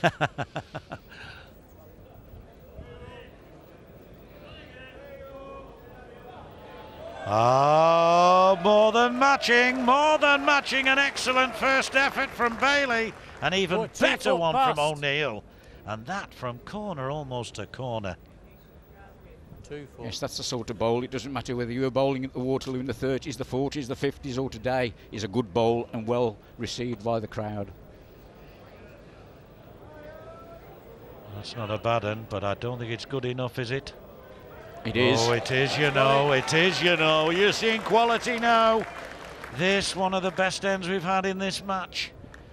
What else to come? O'Neill breathes on his fingers, steadies himself, makes sure that he's got the perfect grip on the ball, and there you see the delivery. It's racing down towards that corner. It's important, this one. Could wicket off. Oh, it's gone against him. It's, it's two. Well, that was a terrific Bailey, end, and in the end, it was uh, all uh, Bailey. As a result of that, he certainly put extra pace in that, and uh, in the end, it just didn't work for him. Uh, amazing. Two to Bailey then. 17 7. Just look at this now. That's Mike. right. It really is shifting, and it's hit his own, knocked the jack comfortably between those two blue ones. 17 7 now to Bailey.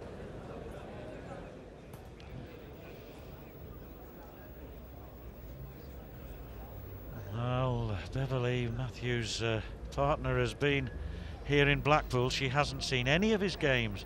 She sits in the cafe across the road. She's no idea what the score is. And I suppose that moment when somebody tells her what the final score actually is must be dreadful one for her. I wouldn't think if she does, she'll ever go to Al- Alderdine, Wales again.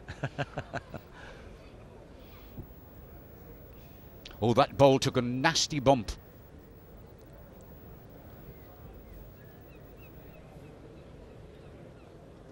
Well, it's also taken a not so wonderful path, possibly as a result, Mike.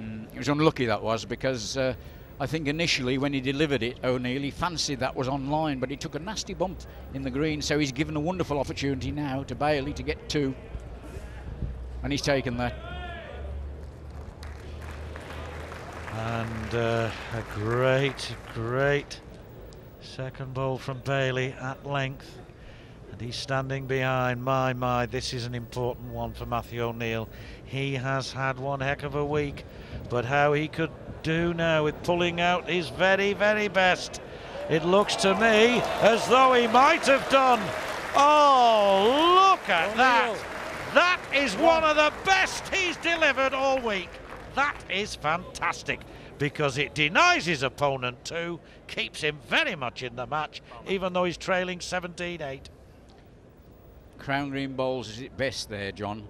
But we have to remember, John Bailey was 19-9 up in his quarter final.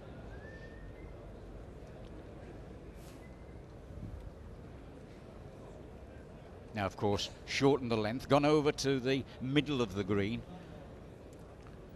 Well, John Bailey was actually 12 2 up at 19, and the actually only won in the end 21 19 against Graham Hickey. So he knows what uh, it's like to have pressure put on you. At the moment, he is very much the favourite at 17 8 to win this. But it just looks to me as O'Neill might have the measure of things right now. Just put in an excellent bowl. And this is even better, I think, from Bailey.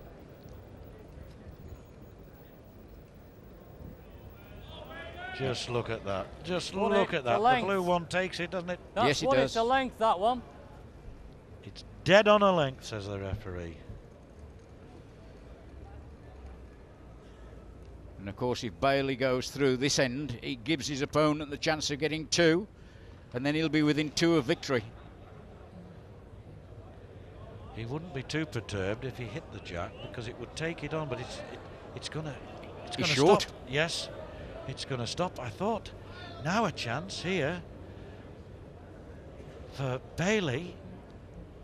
He's got one in, and this one could put him within two of victory. 1780 lead. He's guaranteed one here unless something untoward happens. He's got to run away. He's got to miss that. Oh, risky. I think he's still one in though.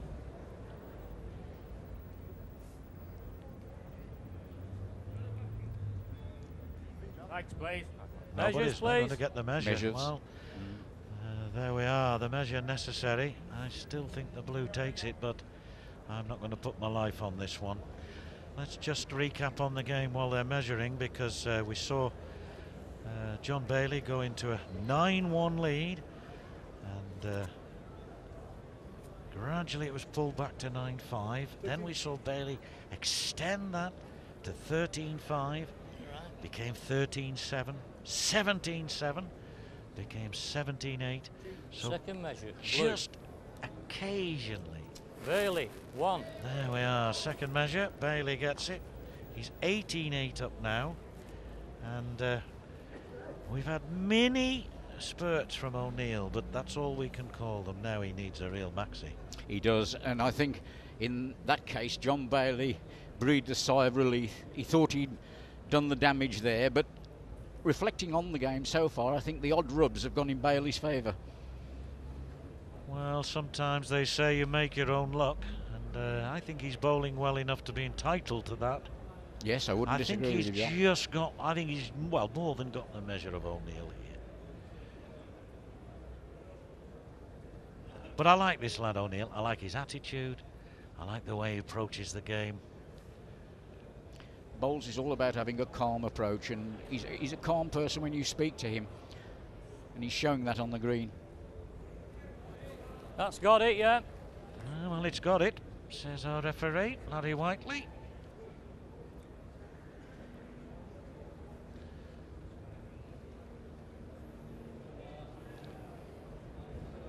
Gone out. Wow, not impressive. Still one then to O'Neill. Can he make it two? Put himself in double figures. And this would be the only the second two in the match to O'Neill, and we've played 20 ends.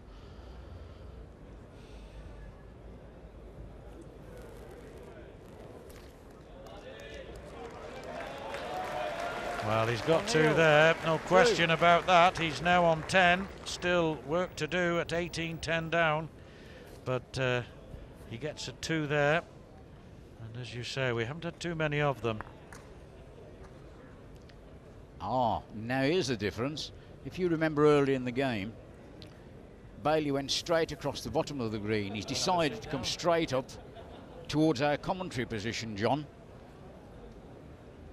Oh, Yes, it's O'Neill. uh, O'Neill, but I know you're right. He, he did. He went That's right. along, uh, parallel to the edge, at the north side of the green, and now he's gone along the eastern side of the green. Correct.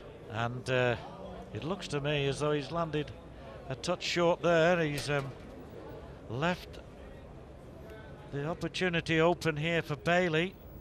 And he needs to take these sorts of opportunities and retain that advantage. And he has done.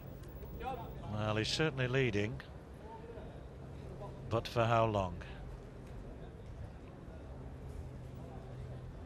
He's impressed a lot of people during the course of the few days he's been here at the Waterloo. Matt O'Neill, and is he going to impress them some more here? Maybe not. No, he's come May- away. So, having chosen to come down this eastern side of the green, he uh, hasn't made it profitable. And is this going to be a second one? It could be, could be, could be. Gonna have to wait here, Mike. We're gonna have They to will, wait. certainly one. There's one blue. I just have a feeling. That's two. Bailey, two. Yes. Within one of victory. So 10 20. Bailey leads 20 points to 10 and uh, can't surely let this slip. When did you last see somebody in a position like this lose here at Waterloo? I've seen all sorts of things happen at the Well, Waterloo. I'm sure John. you have. But uh, There's an old saying, a game's never won until that 21's on the card. well, there's the fat lady who sings from time to time here in Blackpool. But um, as far as I know, she's not round these parts.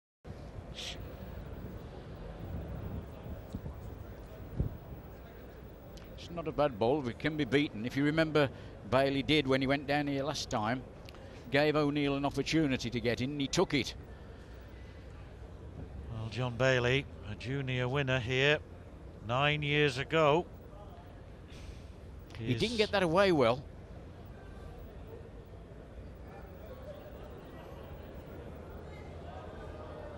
Well, he's managed to get it upsides, more or less. That's length, isn't it? It is, and it's a shot bowl at the moment. It is. Comfortably. He's running this down. He fancies this one. Expression on his face. Well, it may be in hope rather than anticipation. Oh, brilliant. You were right. Nudged it off the inside of that uh, excellent bowl from O'Neill. And look at this. Wonderful. Superb. Takes his opponent out and puts himself in. Now, you suspect O'Neill has to do something similar. Shut your eyes, Bailey. No, no, no, no. That's one to Bailey and well earned as well. In fact, 21-10 the victory, and a fitting bowl to win a match with. The man who's a junior champion here is in the final. Well played, lads. Good game. Take matter.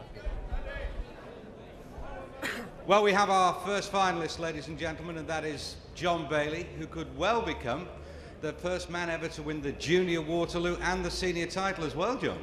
Yeah, that's correct. Um, but you know, there's still a long way to go yet. But I suppose it's on the cards, and just hope that uh, we can play as well in the final. Matt, I don't think Bev knows yet. Now, who do you want to break it to? I'll you? break or- it to her. I'll break it to her, yeah. Put my arm around her and... But you still had a fabulous day. Oh yeah, smashing. Had a good week, yeah.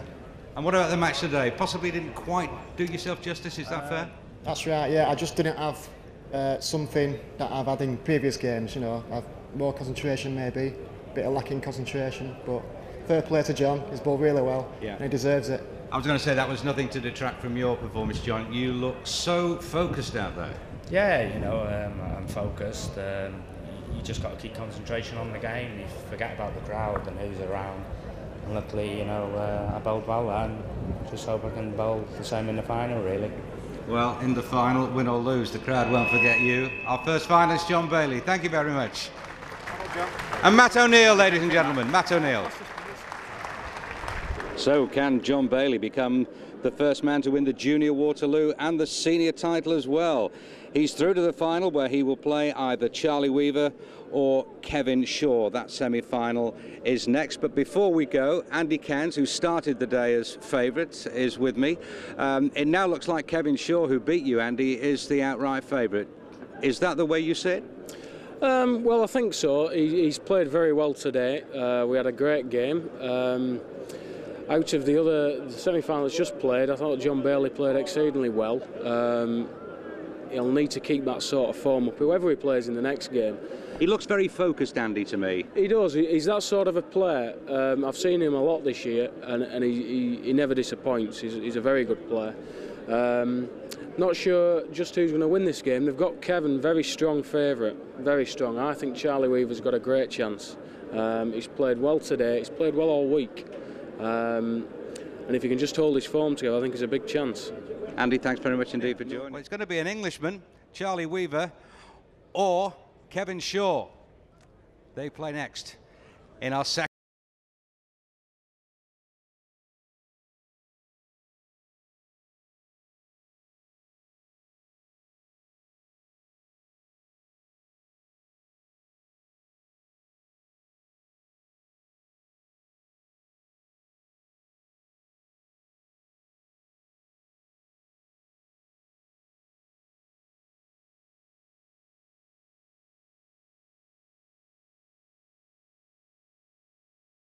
Now, is this curse of the favourites going to continue?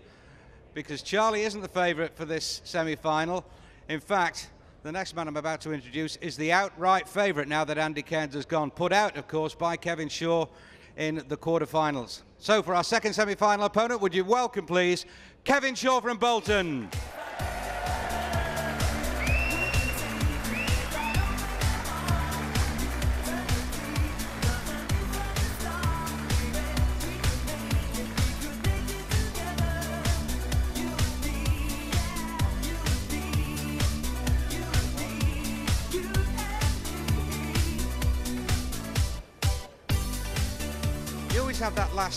Sort of practice end, don't you, when you come out? It's become a bit of a ritual for you.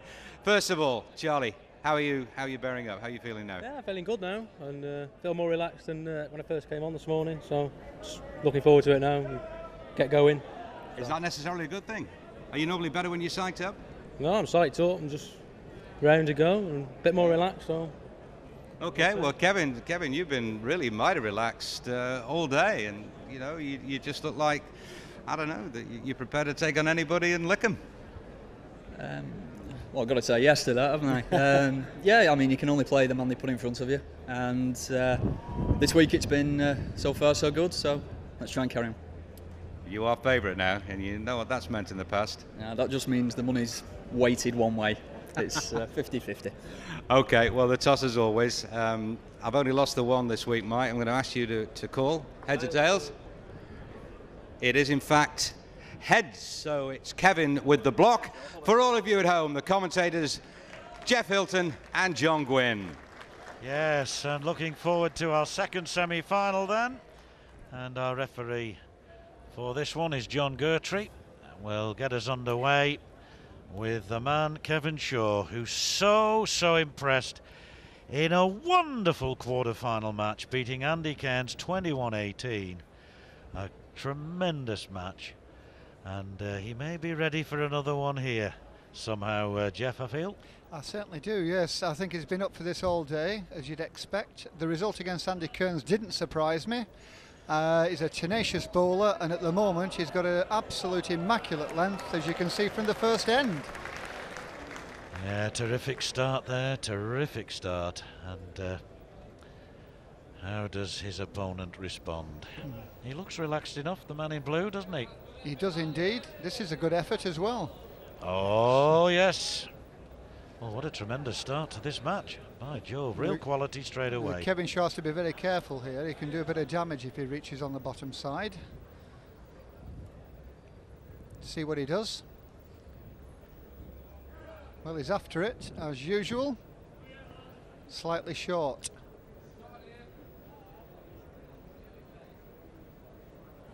Yes, a couple of feet more would have been perfect. But uh, Charlie Well, this Weaver- is the ball, correct ball, it's correct weight, done it. What a good ball.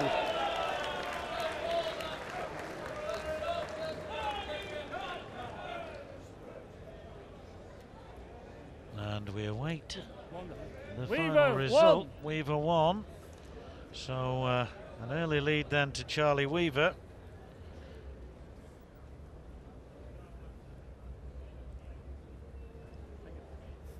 Well, here are the betting boys. Now, one man's absolutely delighted, and that's uh, and that's Freddie Hume. You're 4 1 up on Redders here. Yes, uh, not a difficult opponent to beat, Rudders, but he is learning.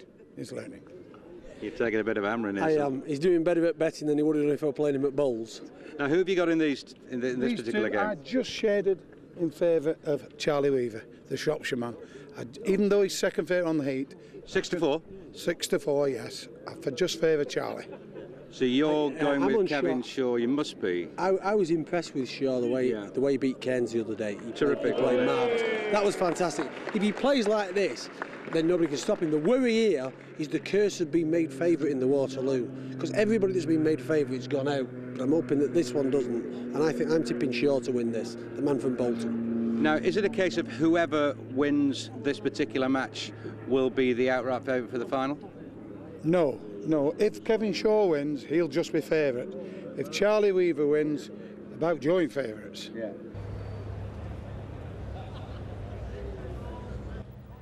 Charlie Weaver lives in Audlem, Staffordshire, but uh, plays for the Whitchurch Club in Shropshire.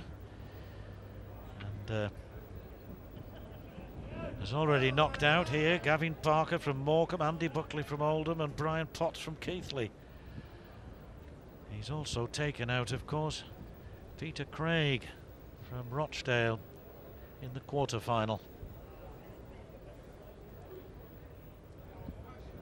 But Kevin Shaw's got the scalp of scalps, hasn't he, in Andy Cairns, the one ex-champion left in the quarters. Not the easiest of draws for him, and he, he took him took him 21-18 in an absolute quality classic game. I think Kevin's confidence at the, mo- at the moment in time is absolutely sky high here. I'm pretty sure in his own mind, despite the dangers of being too complacent, I think he's got in his own mind that he can win this today. And this guy's well short with this ball. It's Weaver. Shaw two. Well, Kevin Shaw takes two, takes a 3-1 lead. And uh, the man from Westhoughton, Bolton, who plays for the Railwaymen's in Bolton, he remembers very, very fondly, there we see Weaver now, is going to have his odds pretty rapidly changed. In fact, the man from Mirfield has said enough is enough. Thank you very much. he's a Yorkshireman, all right. He's made his money, now he's going one. But uh, an interesting story surrounding Kevin Shaw because he's a big football fan, supports Bolton Wanderers. But he said, I had my first game of bowls on the very day that Manchester City and Spurs drew in the 100th FA Cup final at Wembley. I remember it well, 1981. And if I remember right, it was Tommy Hutchison who scored in, in, in scored for both teams, both ends with headers and Spurs went on to win the replay, much to my chagrin and those of other City fans. But that was the day that this fella, who's now 36, first played bowls. Well, you can work out how old he was. Mm. He's 36 now, born in 1969. He was only 12. Well, ironically, I might be finishing up playing for his team next year because I've just actually moved into Bolton. Yes, you're parish priest at. At Bolton. In, oh, Breightmet, yes. Yeah. N- not very far from Radcliffe, where, of course, uh, our previous player came from. The lad who was beaten, Matt O'Neill. Right next door, in fact, isn't it? Right next door. I like Kevin's style of play. He runs after balls, he's enthusiastic. This kind of environment, he'll lap it up. Oh, look at that one. Yes. He's got them both. He's got them both, yes. Well, it's Weaver all in the won. game. It's legitimate, and it paid off. Doesn't always, does it? It But doesn't always. Uh, certainly That was a, a great strike there from the other end of the green. So, 3 2 to the man in blue. And Charlie Weaver now has control of the jack. Won't be anything like as long as we've seen latterly. Coming into mid green. Right in the middle of your screen. Look at that. About 30, 35 yards. Yes, and a fair lead with it. Bang on a length. Oh, and then it flipped even closer, just at the last minute. It had second thoughts first, though. I think Kevin's slightly gone over the top with this, unless it drifts in. Just pegged up. Good length. Yes, both good length there.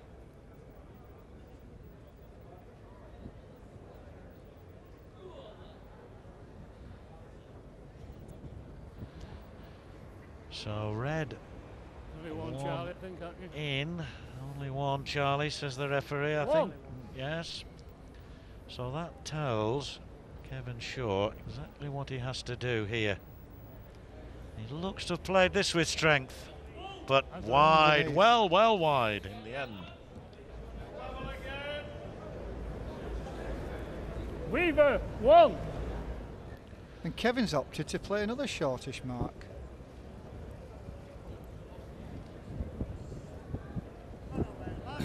Well, he's not got the opportunity to play a particularly long one anyway from where they're starting from. But uh, I suppose he could have driven it deeper into the corner, couldn't he? Oh, he's seen some excellent stuff at the moment. They're getting well and truly into this match now. Took a little while.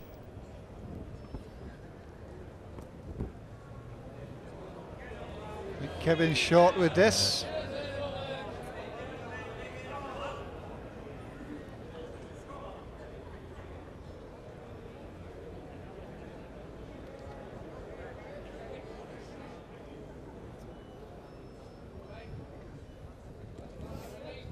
Weaver, one. 6 5 then to Weaver. So, the man who bowls for the Whitchurch Club in Shropshire, lives in Audlem Staffs just over the border, not far from Market Drayton. Uh, know that area reasonably well. And uh, his dad and mum play bowls apparently. They'll be watching on television, Tony and Carol. But they won't be here, so they never do he never does anything when they go to watch him, so they, they don't mind watching him on the telly at home. That's a different matter. So they'll be hoping he can maintain his lead, 6-5. Well, he's just gone past a yard there. It's, as I say, I think Kevin would fancy to beat this ball.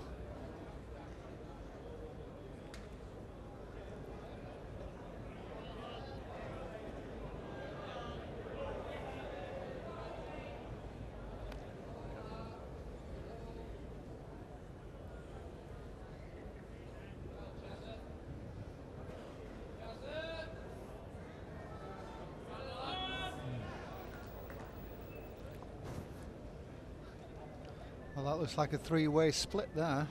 It does. I think it just favours the two certainly to the right as we look. But uh, hard to say which of those two is closer. Well, this will drift out Yes. on the.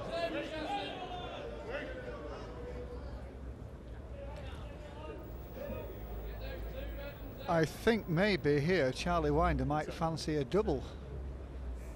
See what Kevin has to say. Oh, Weaver, two. Oh, well, John Gertrude calls Weaver two. And that means now that he's put a little bit of daylight between himself and his opponent. Three the lead. He's 8 5 ahead. And Kevin Shaw, who was involved in an absolutely brilliant quarter final, is going to have to produce his best to deny Charlie Weaver here. Still a long way to go yet. But that's not a bad start.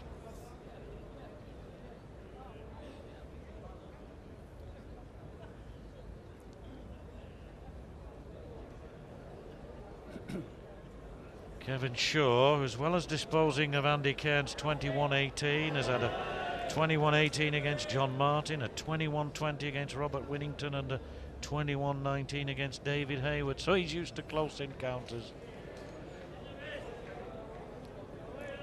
Well, he lies in here.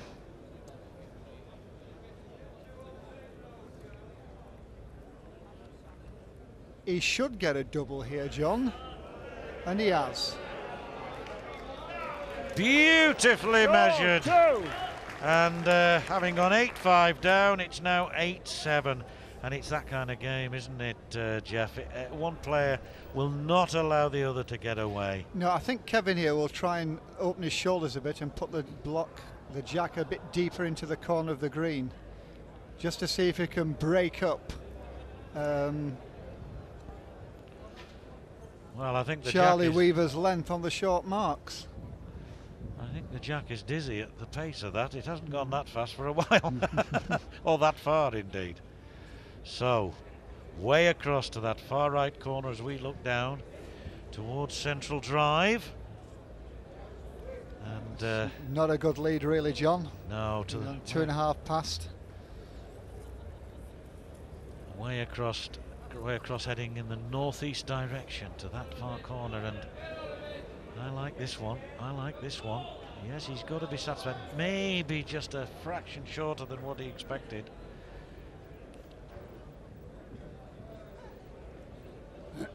Has this reached? I doubt it. Has I this reached? Doubt it all. He's 212 bulls. They're quite a heavy bull. It's just gone in, I think.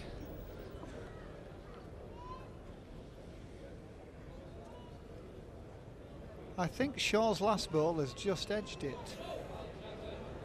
But I think this might do some damage. Oh, No, it's I not. thought it was. I think Shaw's on here. Shaw, He is indeed. Yes, he has. Well spotted. Eight apiece. So his choice to go deep towards the corner paid off in that he just picked up the one, but it's level at eight apiece and effectively now both of them wanting 13. A shorter game. Could say first to 13 from here. They've had their practice. Now start in earnest, lads. Well, he's stalking this one up the green. There you see the jack come into focus, and there you see, just stopped. Couple of feet short, maybe a yard. I don't think this is getting here, John. This is pulling up well short. Well, the jack has only just come into our screens as that pulls up. So uh, It just tells its own story.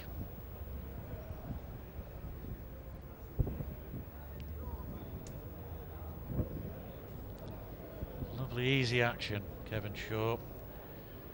Very relaxed.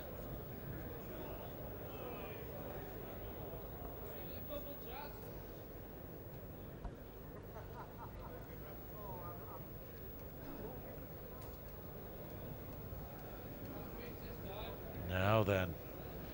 Now then. Now then, here it enters the frame. Now then, it's going to run beyond the jack, but it could be a good one.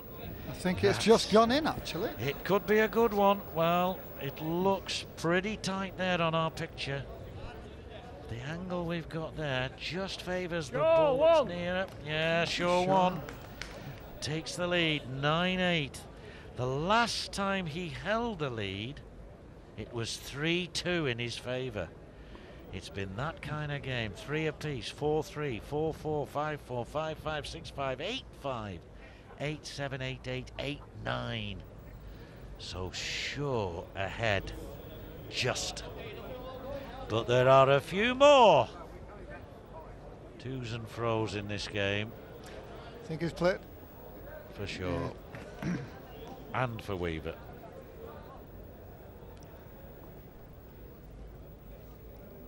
Tense game, John.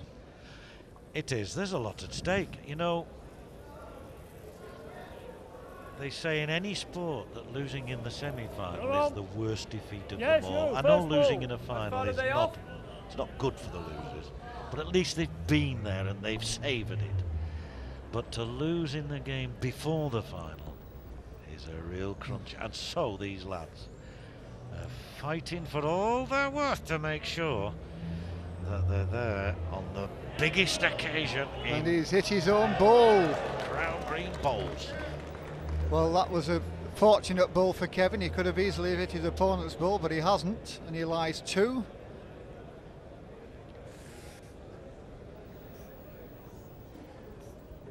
Yes, it'll be interesting to see that one again, Jeff. I think we might, when this one's been delivered, as it Well, he's reached. He's reached into the end. There's trouble here. He's saved one. Shaw, two. He hasn't. No, I thought. Shaw is still two.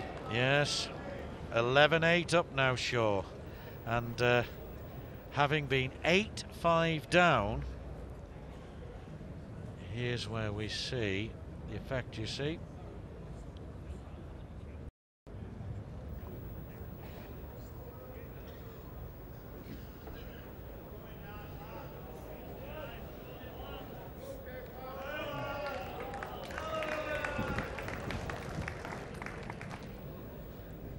Elton, you're there with Brian Duncan. Let's have his view. Brian, it's been absolutely nip and tuck, but Kevin has just got a bit of daylight now. Well, I think he's just uh, changed the peg into this corner and uh, started leading well, but uh, Charlie there just licked a very good ball, really. So I think Kevin will play a reacher here and just take a chance on might just pick this jack up. Looks like he might have gone for it, Brian. It's not going to reach, is it? It could reach, yeah. but he's It's going to reach. he's just swinging It is going to reach. Oh, it's Well, the perfect ball and just didn't get the right result. it's gone through.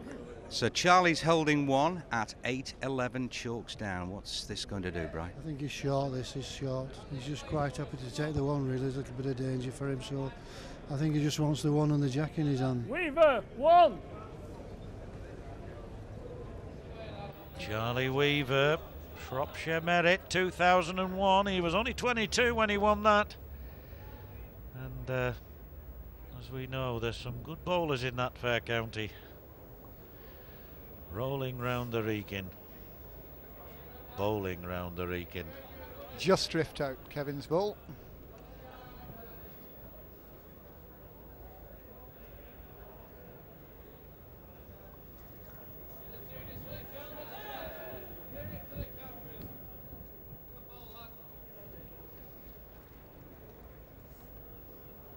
Interesting end this one. 11 all. Who's going to go into the lead here? Well, John, this is half a chance, lad. No. He's just run into the back of the ball. He should have won and missed. Oh boy, the game's swinging the other way now.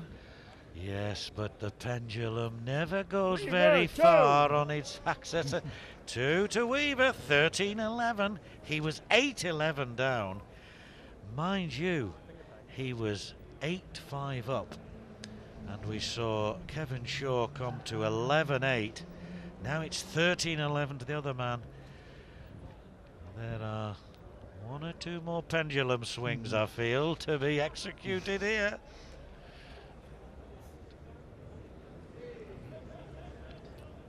He's just slightly overplayed, not by much, but it might be enough for Kevin to get in. This may be a very important end for Kevin Shaw. Yes. Just, just underneath the block line.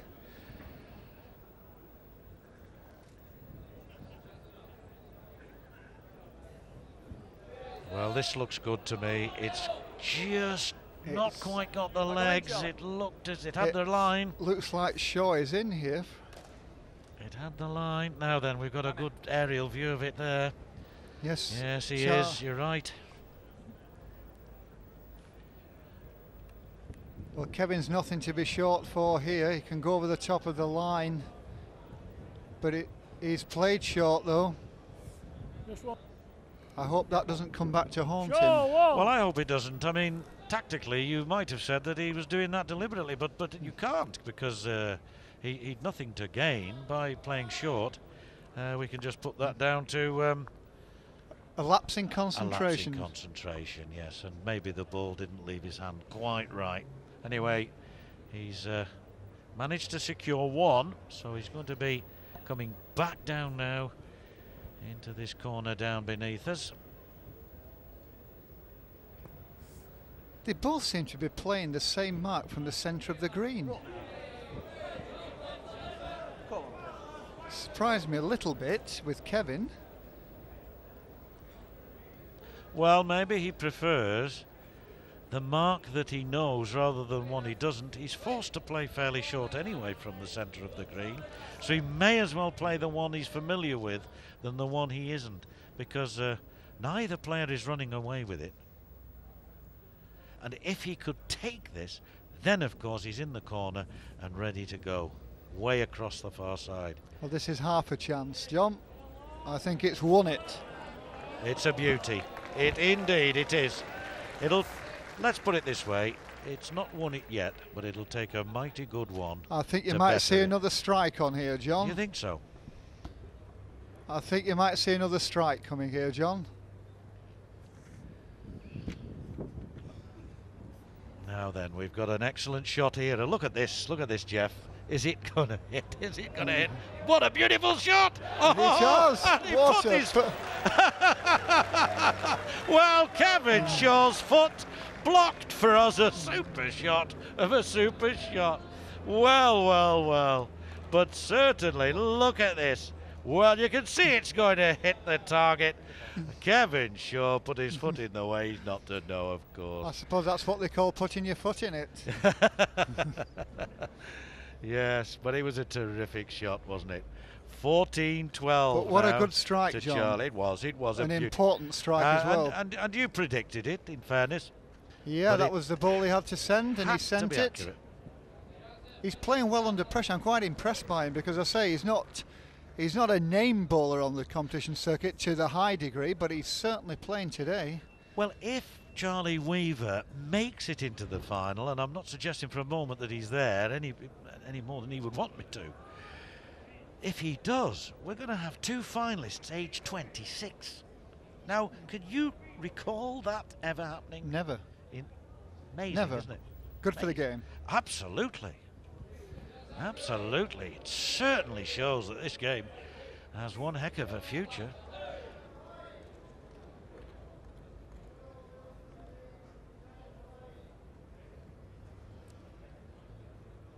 Well, Kevin, you've given this half a shot.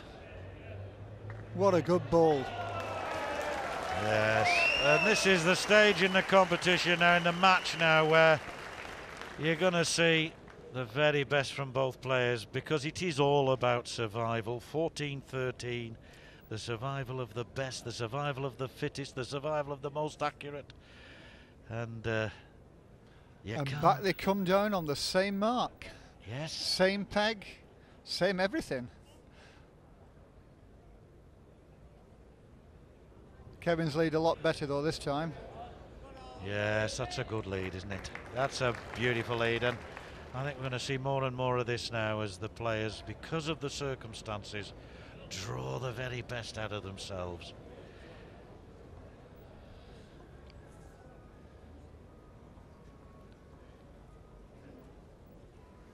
Concentration there on Weaver's face as Shaw sends this one. Assuredly, not quite got what the first ball had. Good to see Kevin running after them there. The referees have been quite good today about it. Yes, Well, once upon a time you couldn't run within three yards of your ball. Rules been slightly changed, but you can't stamp. Officially, of course. Well, this one's got real pace in it. He's over the It's gonna top, John. well over the top. In fact, he's hit his own and left Shaw two. Well, that's quite dramatic, really. He uh, certainly, certainly played right into the hands of the lad from Westhoughton. Kevin Shaw now, watch him now. He'll go way across, surely. This will not be to the middle of the green. It won't be all that far away, though. Two thirds of the way across, Jeff. It is, yes. They're not going full corners. I mean, there's at least another 10 yards, 15 yards left of the green there. Kevin's choice. If he can play a lead, he won't mind. He's after it in his usual fashion. Go on, Kevin, run it in, lad. There we go. Well, he ran perfectly, didn't he? And uh, chased it. Made sure that it went more or less where he wanted it to. And what's this well? Charlie's bull's not too far away here, John. I'll tell you now. There's trouble here, mate. What a good end. I think it's still Shaw, I think. The ref will tell us. Or will he? He's Well- pointing it. They've upped the ante, these two lads, in the last. Well, the three or referee's four pointing ends. down the green, and the players don't know who he's pointing to. Am I in? Red. Did he say red in? I think he did. Oh, there you are. it's, it's blue in. It's nice to see a referee using his initiative. Yes, and having a sense of humour on the occasion. I think the reason why Kevin Shaw is going across here, it's not because he disbelieves the referee, believe you me, he's going to look at the angle. We can see it perfectly on our screens, but he's going, gone across to look at the angle, uh, the angle at which he's got to take this second ball of his way across 50, 55 yards, and has it got what well, he's on absolutely perfect land. What a good ball. Well, he's really now. And we're actually, running we're actually, John, at a very crucial part of the game here. And that's why I think that it, it's been lifted. It's been lifted in the last three or four ends by the state, the, the nature of the game, the, the situation we find ourselves in. 15-14 to blue. Well, here we go. the There's, there's another trouble. Has he got the gap? He's got the gap. Well, I tell you what, this crowd enjoyed every delivery in that end, every delivery, and in the end, it's two to Shaw. I think that's tough on Weaver, but Shaw won't. 17 14 ahead. The favourite going into these semi finals after knocking out Andy hmm. Cairns now leads 17 14. Has this match got another twist in the tail? We'll wait and see as Shaw's lead bull comes up. Again, he's right behind it. Spectators like it down here with the bookies. Ah, yes. And Kevin Shaw likes it as well.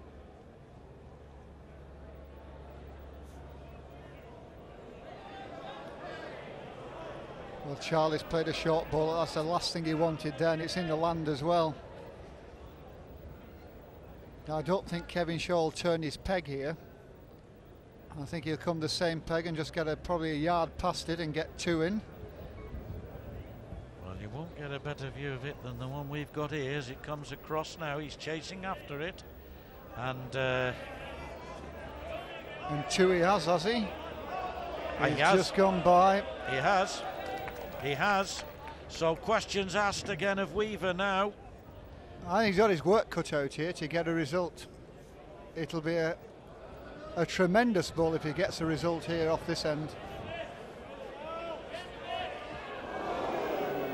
Well, it's gone out and left two, John, but it was a good effort. Well, questions asked of him, and he almost answered, but that's now 1914, and from being 13 11 down, 14 12 down, 7 on the trot to Kevin Shaw, he has put the pressure on the man in red, who now has to bowl with his most inspired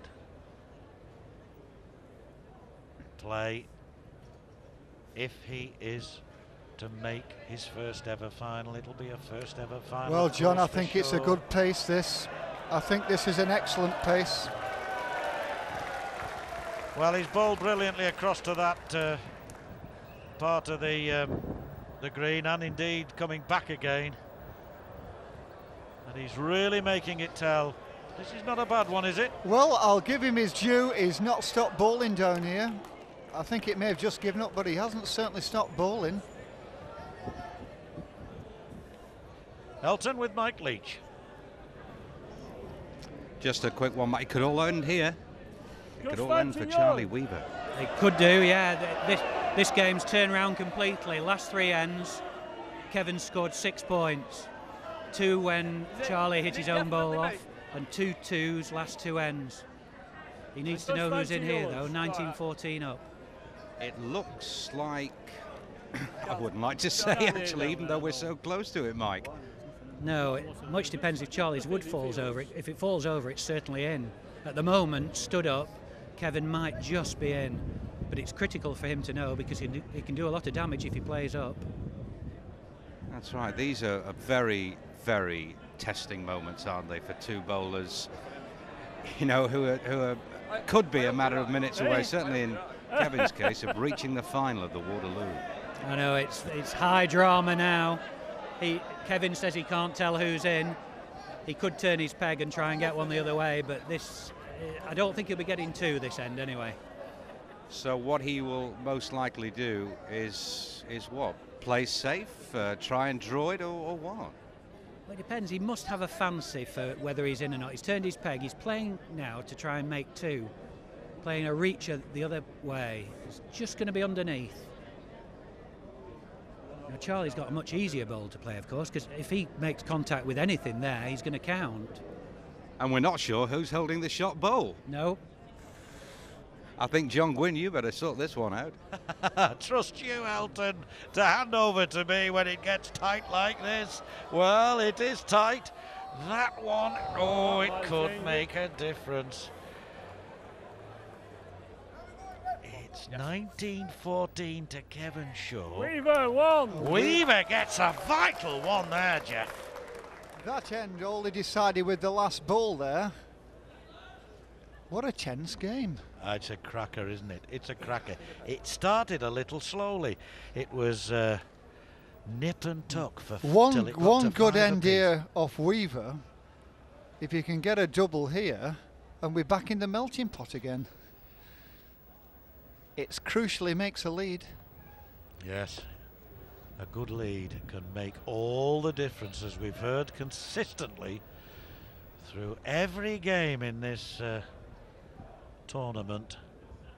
I was going to say the lead is beatable, but in this stage of the game, with a bit of nerves, it may not be.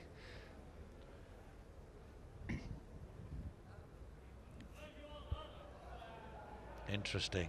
Interesting. One easy. Interesting. It's a cracking ball, this one. It is a belter. Now then, and he's already, Weaver has already delivered his bowl.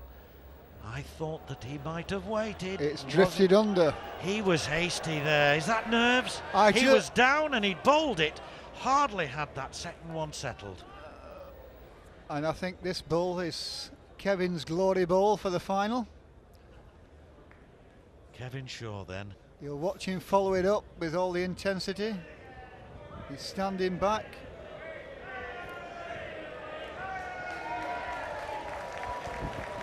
No, what's that done? I don't think that is a certainty. We have on our screen. I think it's actually game, John, I'll be honest, but we'll wait and see. He has Well, to concede it. You're entitled to your opinion, Jeff, but when you look at our screen, you cannot. Uh, this is the one that. I take it Bowler- all back. One. Yes, absolutely. it's 15 20. So,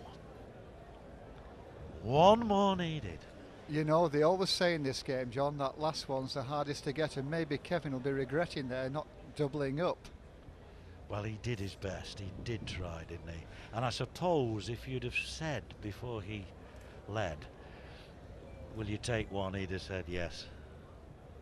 I certainly would have done.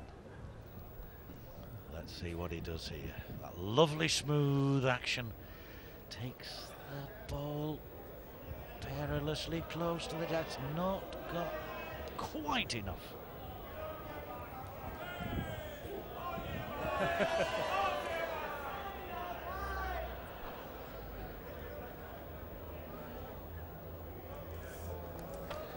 That's better. That's better.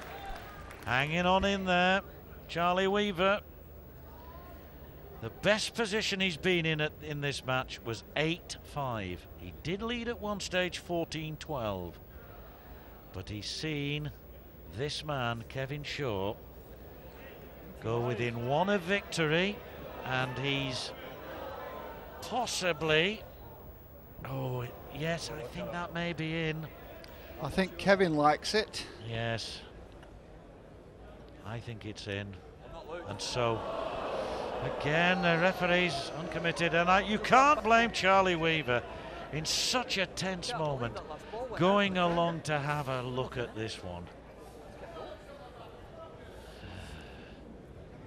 It, after all, this is now for his Waterloo life. Any dreams he have, he has of reaching the Waterloo final could go in the next few seconds, or alternatively, it is crunch time, as they say. Father Hilton. Well, one thing is for sure, he has to reach into the end. He can't be short with Not it. a lot of them, Kevin. Does he have? He has the back ball, doesn't he? Well, he's certainly reached John, and I think it's drifted out. Takes it home. I think it's drifted out on on, the Pegs, top side, and I think Shaw's won here. Pegs, please. I think Kevin Pegs, will like his. Pegs. Kevin Shaw, it'll be interesting to see how his. I think he thinks he's won, but he's not sure. He's not. Well, he is sure. He's Kevin Shaw, but you know what I mean. Now then, the other fella's scratching his head. He's hoping, he's hoping, just hoping that it goes his way, but I think feeling that it won't. I'm not going to put a wager on John, but I think Kevin Shaw will throw his cap in the air any minute now. Second measure. There we go. Oh, one. 21 points to 15. Kevin Shaw, the 36 year old from Bolton, is in the Waterloo final. He wins 21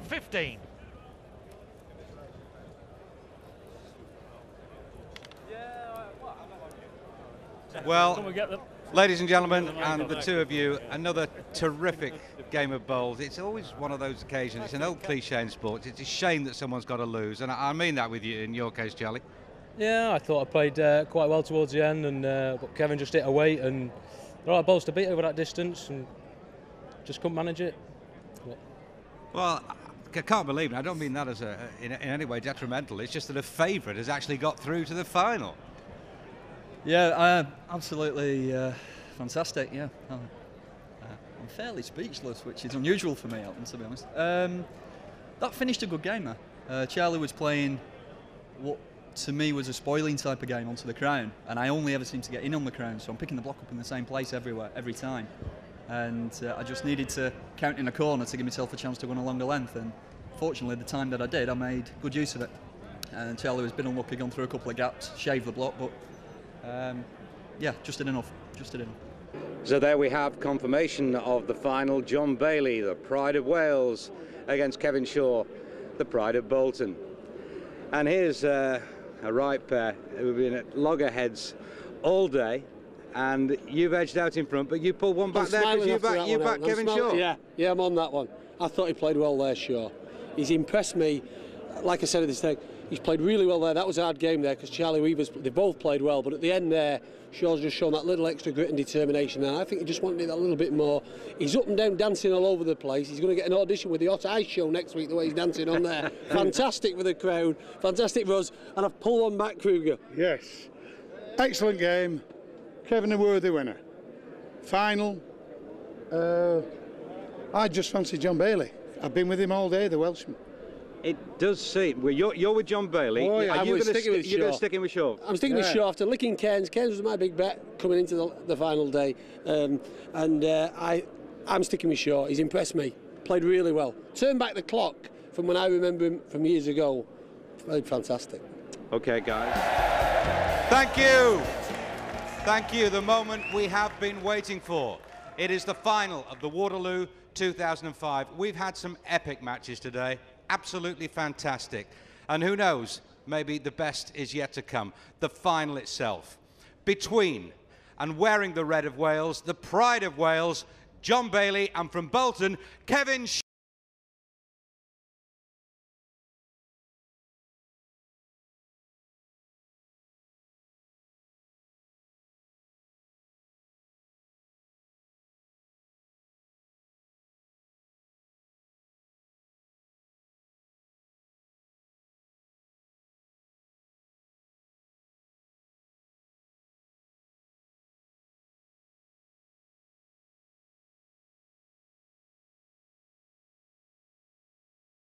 Uh, Kevin, it's a good job you play bowls because every time you come on the green, you've dribbled your bowls along football style, and I must admit, it's not been impressive. No, I'm not a footballer at all. I sport Bolton as well, so that's uh, that doesn't really help things. But I'm saying nothing about that whatsoever.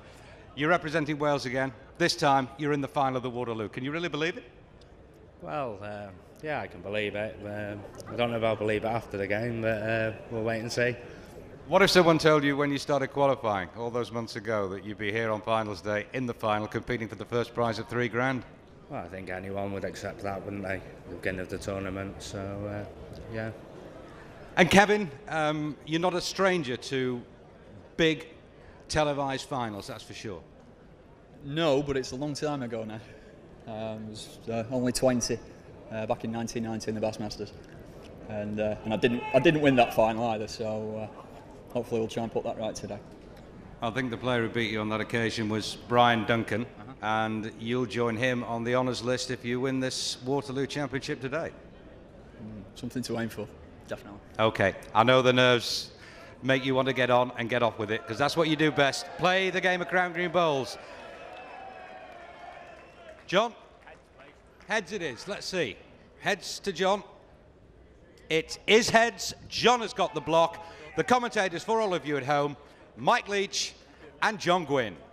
So the moment has arrived for two men, their first ever final. It has been a remarkable competition.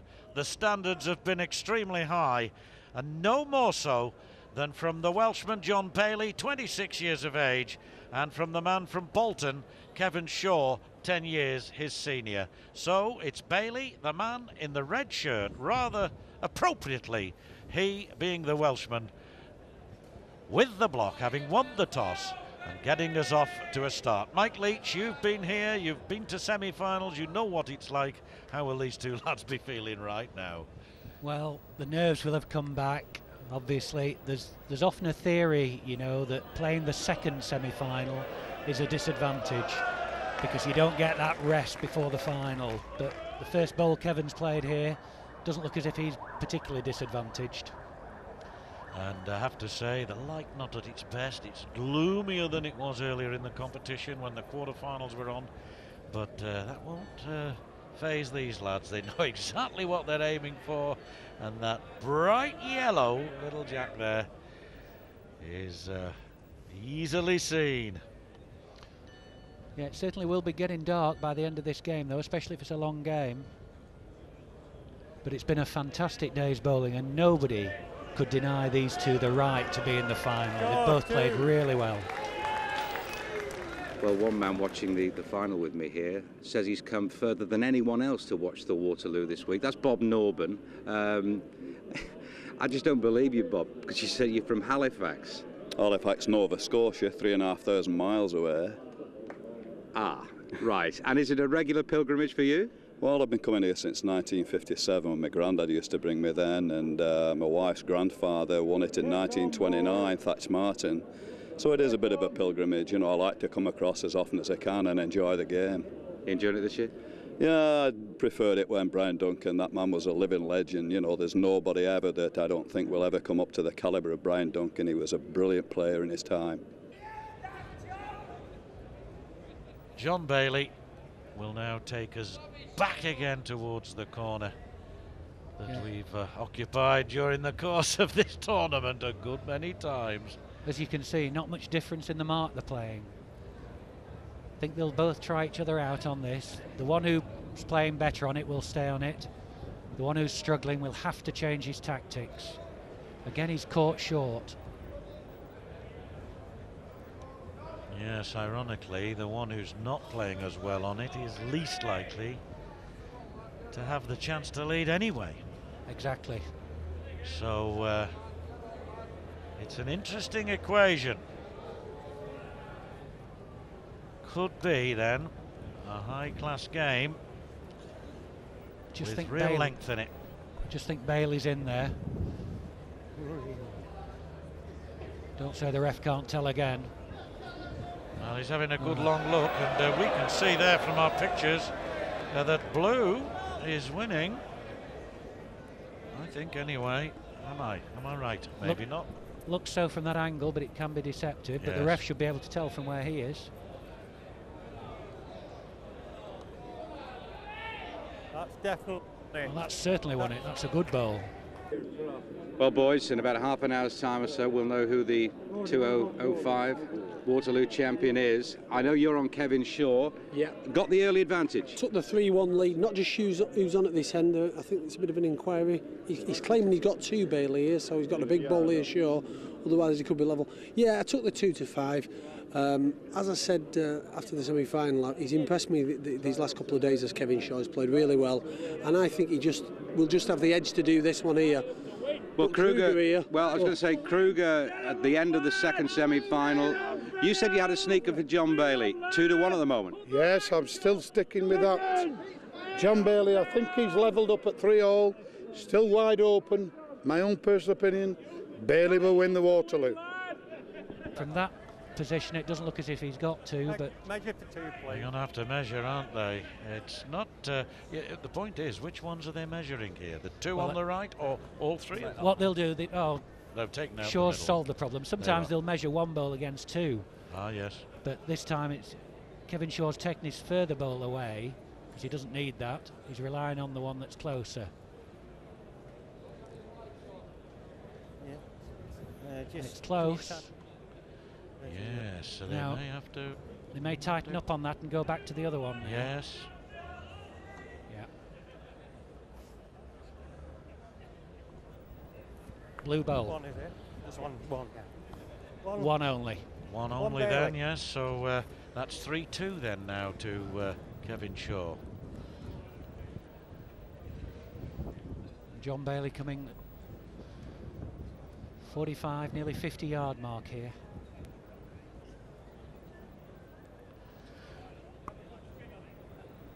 Difficult mark. Well, see, delivered it cleanly. He certainly following it up. He likes it. This looks like being a good bowl. Well, look at this. Yes, your Jack just comes into picture, and from that sort of distance, that is pretty useful accuracy. Good weight. Now following it up, Kevin Shaw. Has this got what it takes? It might just have. Oh, unlucky. Great effort. Similar sort of ball.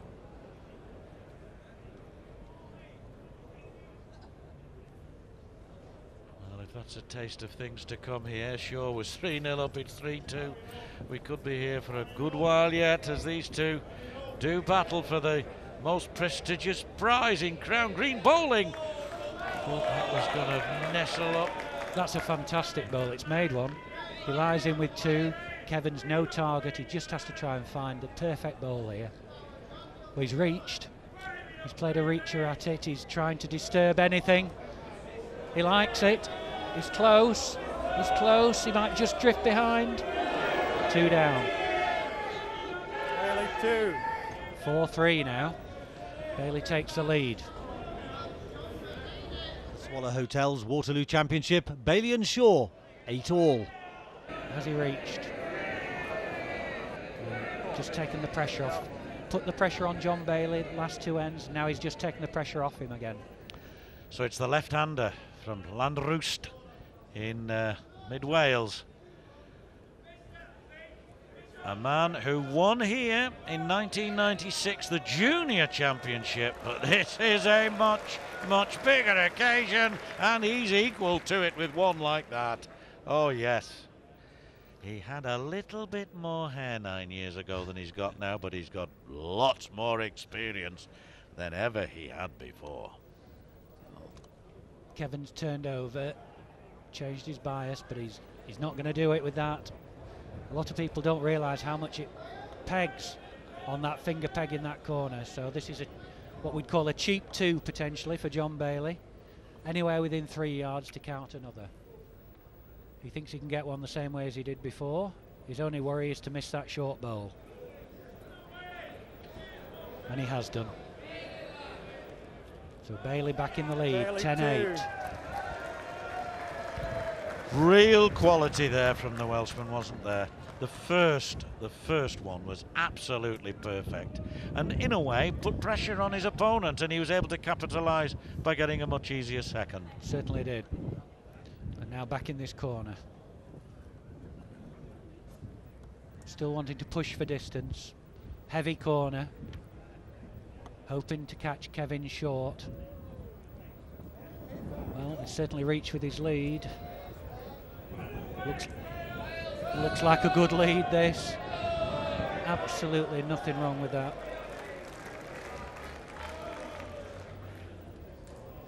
Now, not the hardest mark on the green to get on the land. It's quite straightforward, but it's a it's a pace mark, and it's exactly what John Bailey intended. Yard short. Well, yes, it's a pace mark. I see what you mean. Even though there's a lot of pace in that, it didn't have quite what was necessary to get it up length with the. Uh, Short himself now, not ball. coupled up. Now that could be a serious mistake because. Kevin now can afford to reach. He'll play through, hoping for either the jack or the bowl. Bowl would be number one result, make two. Jack, he'd settle for, because if he ran the jack, he'd score one. But he will certainly reach at this. so He might be striking. I wouldn't strike. No, he's playing a lot over, but it, he's underneath. You can see he's well underneath. Well, as he bent down to pick up the mat, he Bailey knew one. that he just hadn't picked up the right line. And that was so necessary. It's all right having the weight, but of course you've got to have the line. And, uh, well,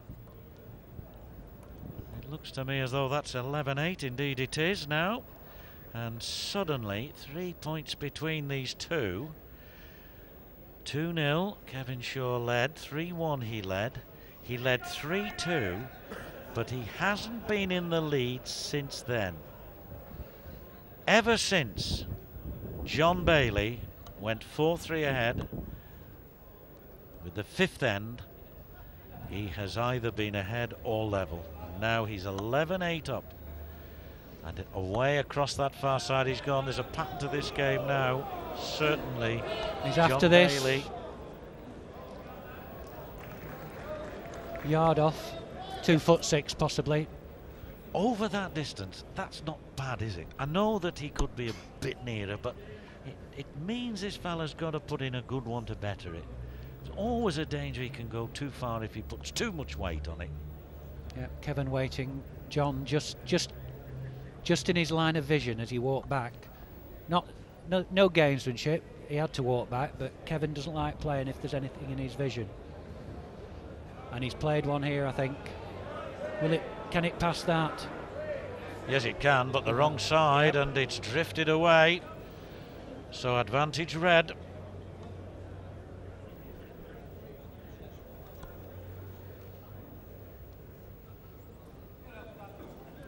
Won the Welsh Championship in 2002.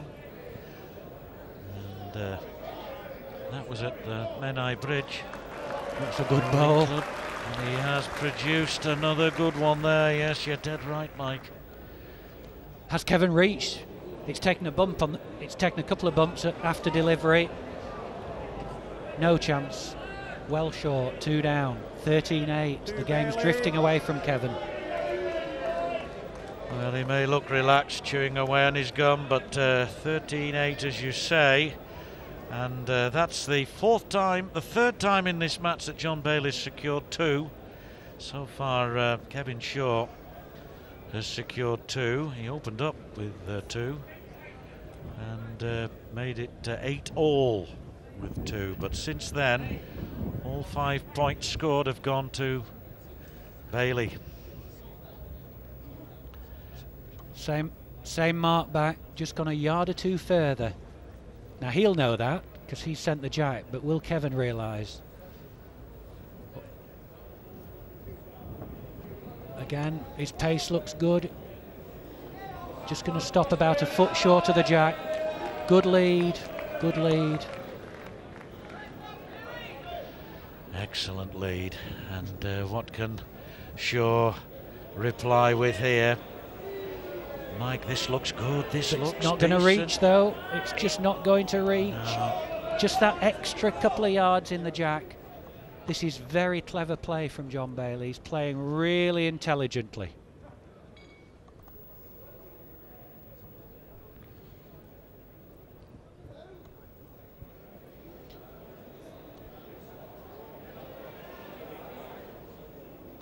Changed his peg to miss the short ball, miss the land. John Bailey lying in with one. Kevin must reach here. Any contact on his own ball, he could win. Well, he's close, as you can see. Oh. Eh, well, the line was not bad, but you can see for yourselves. Too much length there. And at the moment, John Bailey has this game in within his uh, capability.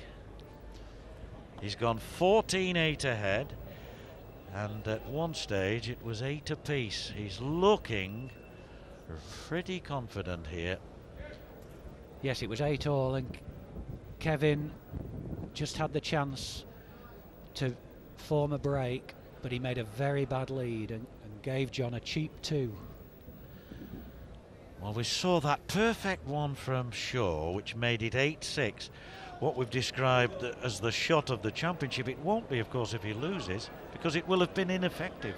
He followed that up by getting the next two points on the next end to make it 8 all, and you'd have thought he'd have gone on from there to put himself in a favourable position. But instead, John Bailey has replied with some excellent, excellent bowls, although Full credit there to the man in blue. We certainly needed that now. John Bailey's after this. He's close.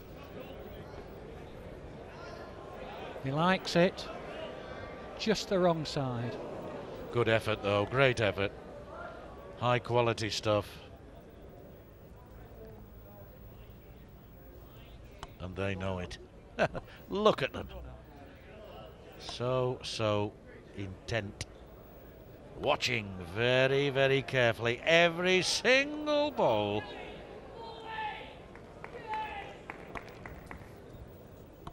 Yeah, I think that's given up.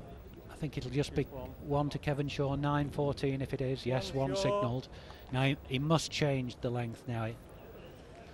He must, I think, alter, maybe play to the crown. That'll be interesting if he does. And uh, certainly a lot shorter. You're right, he's played, if not to the crown, certainly played short. Not quite to the middle of the green here. But change of tack, and understandable as you say, Mike. He's got to do something about this situation. That's brilliant. That is brilliant. Well, it doesn't matter where you play if you play them all like that. Dead right. Immediately, John Bailey's changed hands. He's gone the other peg at it, but he's over the top. Now that that's not a great ball now because it's given Kevin all the room in the world to get another. Bit of a rush of blood to John's head there, I think. Now Kevin doesn't want to put this too close. Two or three foot behind would be better. If, if he plays another toucher, uh, well, it's a great bowl. I think it'll. There's only one result here, and that'll be a strike. Yes, he's having a walk round here, John Bailey, to uh, just have a look at uh, the scene from a different perspective. And uh, I'm inclined to agree with you, Mike. Not that I'd disagree with you too often anyway, but uh, we could well see a strike coming here. We are. We've got uh, fair target. Here we come. It's coming hard. It's got him. no. It's not.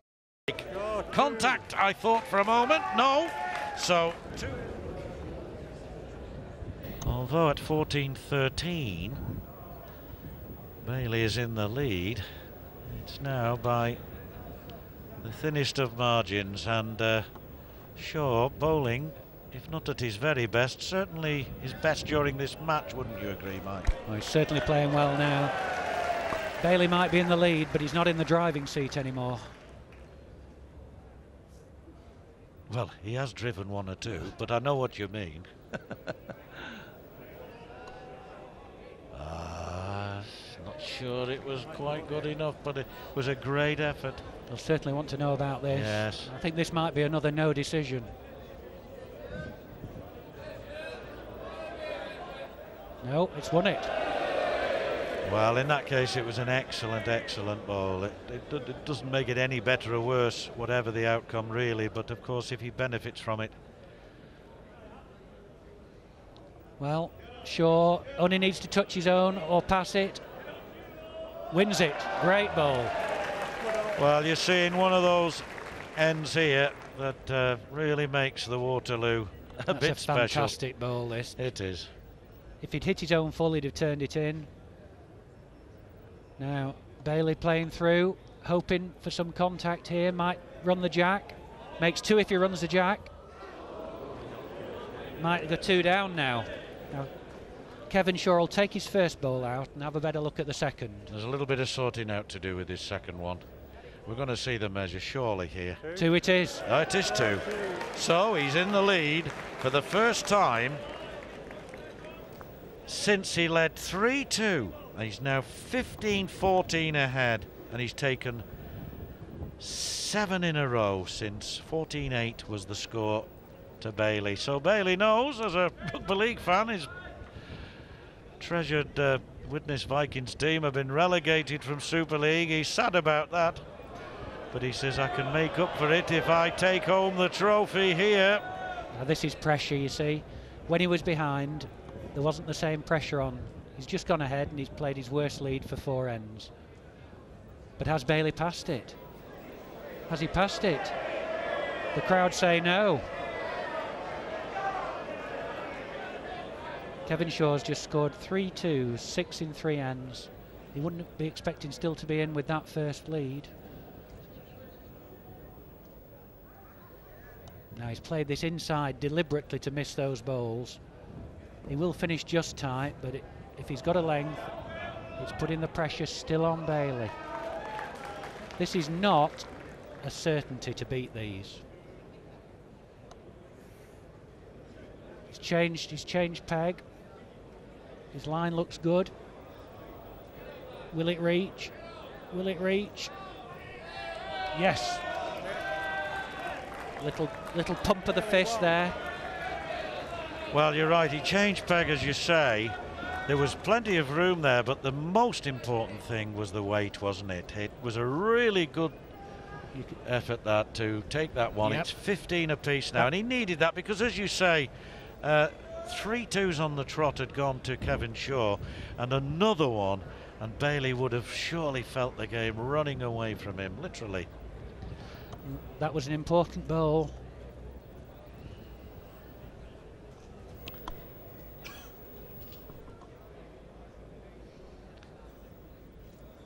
Well, it's one of those games where you can't predict who's going to win this. 15 all. Another good lead. Good lead on this mark. It keeps counting down here. Now, big change of distance. Will Will Shaw realise? Well, he certainly realised, but will he be able to adjust, or is he short again? Caught him again up here short. Did last time he came down here, Bailey. The last time he came down here, four or five ends back, he certainly found out uh, Shaw on that occasion, and it looks as though he might do here. Who's after this? It's going to be another good bowl. Two good bowls, two alike. Isn't Press- it, isn't it, sorry to interrupt, isn't it amazing how this game has gone? Uh, at the outset to this fella Kevin Shaw, then back again to Bailey, then to Shaw, and now Bailey's back in What the about ascendant. this, though? What about this? Can't win.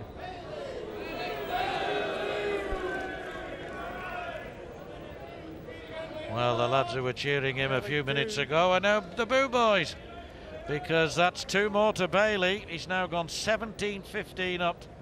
Incredible. really is. It's only the fourth time that he's had a two. Indeed. On five occasions, Kevin Shaw's had a two, and three on the trot, which took him from 14 9 down to 15 14 up. But he's trailing now 17 15. Another long lead here from Bailey, the lad who loves his sport, you know. He, he absolutely adores all sports. He's mad keen on fishing, pool, dart, snooker, and he's not a bad bowls player either. But he's he's not reached there though. The prize is so close to being within his grasp now, and if that preys on his mind, it'll affect his bowling. Just needs to focus on the game. Does that not go for both both of these men? Uh, uh, uh, 17 15, you've got to favour the man with 17, but the man with 15 here, he's he's six away as well. It really is now, and I've used it before, but I'll use it again. Crunch time But that's gone out. You see, again, the man who, who takes the lead suddenly feels the pressure on him. Shaw's in, plenty of room for two. Wants, he wants to know how far he's, he has to knock the short bowl to knock it in. That's what he wants to know. That's why he's looking. Yes, he hasn't got access to our pictures, so he's got to take a walk and have a look. We can just sit in the armchair or in the pub or in the club and see for ourselves. Yeah. There you have it. He'd have to knock it the best part of two foot six to knock it in, so he, he can risk it, but he may still change, and he has done. He's gone finger peg now rather than risk hitting it. But this might mean that he doesn't get one.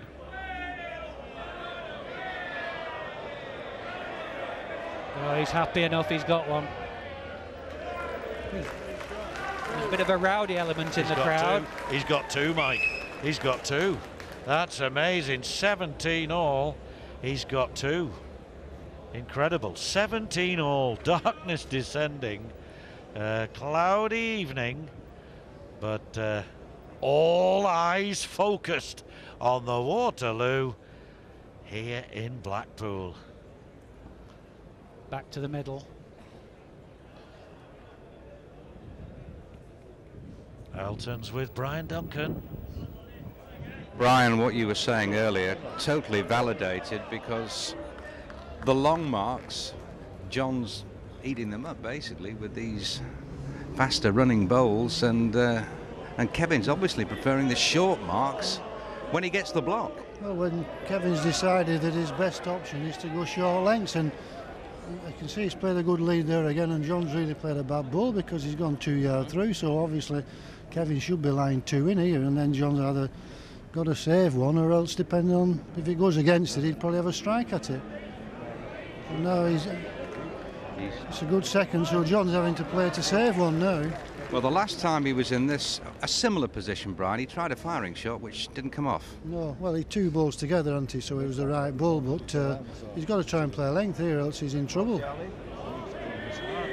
he made it? Has he made it? No, he's just Not short. quite. Lucky ball, really. It was a, probably one and miss, but it might just a save one. I think Kevin might only have one. Well, it's certainly one. John's conceded that Kevin has won the end, but is it by one or two? Well, we need a measure on this, Brian. Um, from our vantage point, who do you think's in? From where I'm looking, I would fancy the short one, really. But obviously, you know, you can't. Uh, we're not stood up over the balls, but uh, I think the short one from here. Well, this is crucial because if Kevin's 2, 19, 17, then you can get up next end. Absolutely, it is an absolutely fascinating contest. This so often corner play does win the Waterloo. Here we might have a situation that it does, or short mark players do. Well, Kevin's played well short lengths, and John hasn't uh, hasn't competed. He's not. He's struggled really on the short lengths, and uh, John has led well in the corners.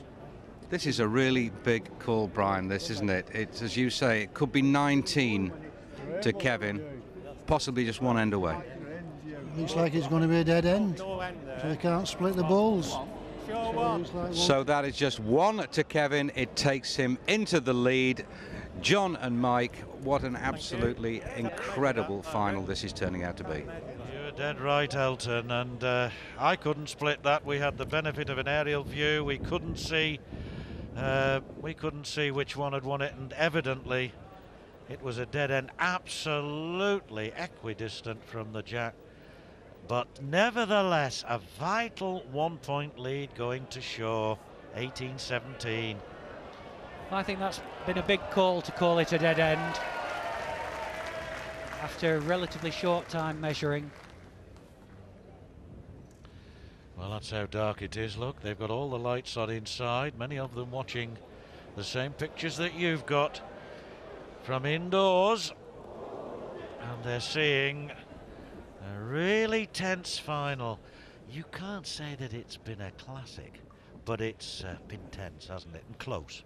Well, it, it's been a fascinating final because of the difference in tactics and the way both players have used their heads to try and exploit their, what they see as their opponent's weaknesses. I think it's been a very, very top class final, and there might be a bit more to come yet. This might not get one. Now, the only one. John Bailey has a ball to play here. He's played a reacher, going for two.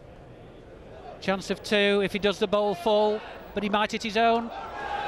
Well, it's in the lap of the gods now because uh, that has left us in a situation where there's one, in fact, to Bailey, so it's 18 apiece. 18 all it remains. I think Kevin won't be too impressed with those two dead ends that have been called. One when he was measuring for two, and one when he's measuring to get in. Now, John Bailey's decided that he keeps losing when he goes the full corner, so he's changed it. Can he make a lead here? Pace is right. Well, he's almost length, but as you say, the pace is about right. And now He likes Kevin this, he's after this, but it's not going to reach, is it? Or is it going to just scrape in? No, died.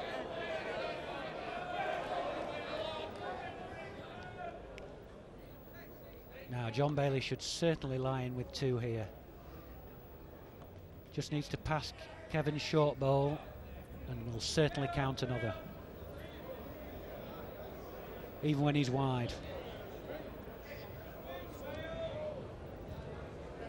Well, probably counting, but Kevin wants to know whether it's one or two. John will tell him. Or has he asked the ref to tell him? Well, I think quite rightly the referee's got to get involved here. Uh, it's such a crucial stage in this game now that, uh, quite rightly, Kevin Shaw wants Looking to know like exactly two. how he stands. You can see like there from our overhead camera, first of all, how gloomy it is. The other camera really showing us matters in a different light, if I can put it that way. Well, the, the ref uh, said he thinks it's two. Kevin's certainly further. This could be the winning ball. This could be the winning ball. What a ball this is. Well, what a magnificent response, and it was worth the waiting for.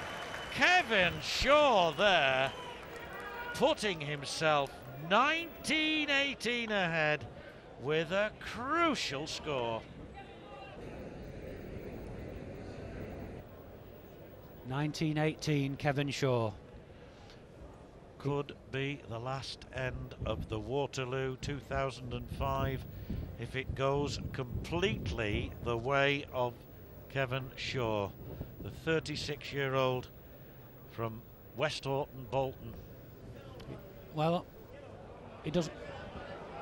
He doesn't know whether to run it up or not. It is short. Well, the, the way the way they've been playing, that won't count. But he, but he has caught John Bailey playing too far on the short lengths, and he's too far again. He's too far, but not by far, if you see what I mean. Probably just stayed in. Kevin just waiting till John gets behind him. Needs needs to play one now. Certainly further. Where's this going to finish? Close enough. Now John Bailey has to find out now to be sure that it's only one down.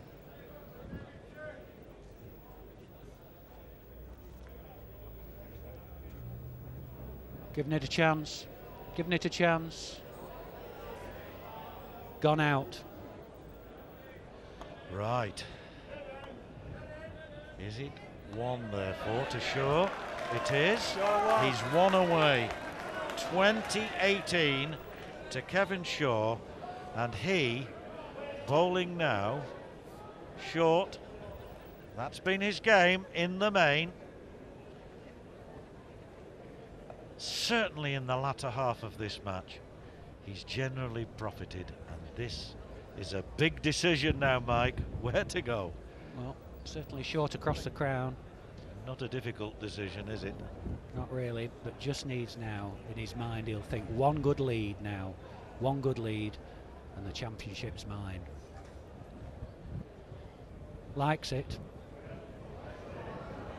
After it, likes it. It's a good ball. Beatable, but it's still a good bowl. But not as good, I suspect, as he thought and we thought it That's was right, John. initially. Might be a bit better now. looks interesting. And all the more so because of that nudge on the on. jack. Gotta look at this one carefully. I mean, our picture there is deceptive. It looks as though blue has got it. Yeah. You would expect blue to have it there. I don't think there's any doubt. Can't say with 100% certainty.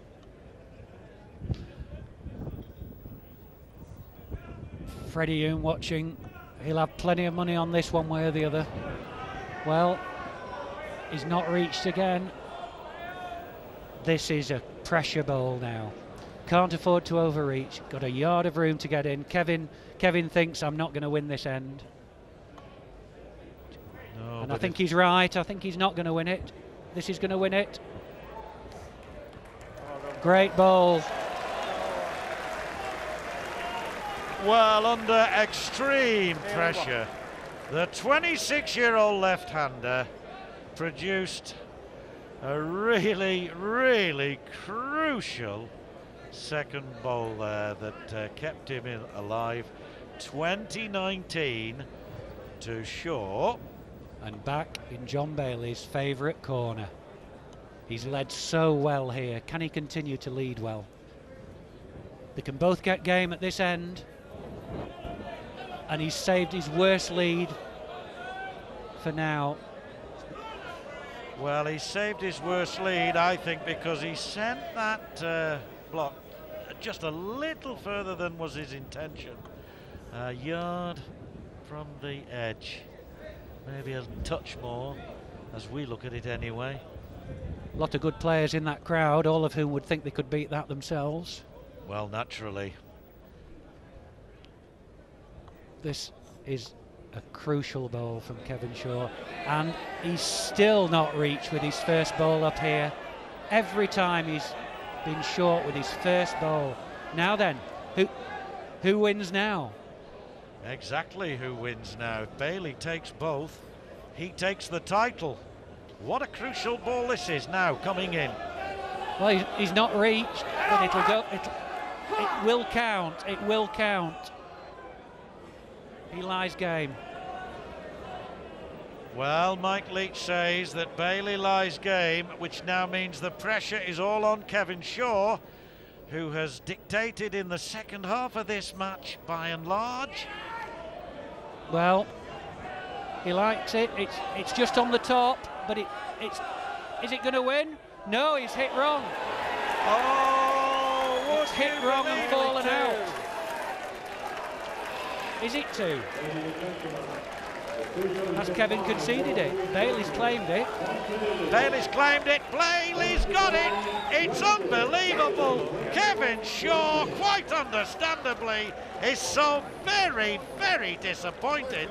He's lost on the 29th end of this remarkable final by 21 points to 20. And the man who won the junior title 1996 has now become the Waterloo individual champion and only the second man ever from Wales.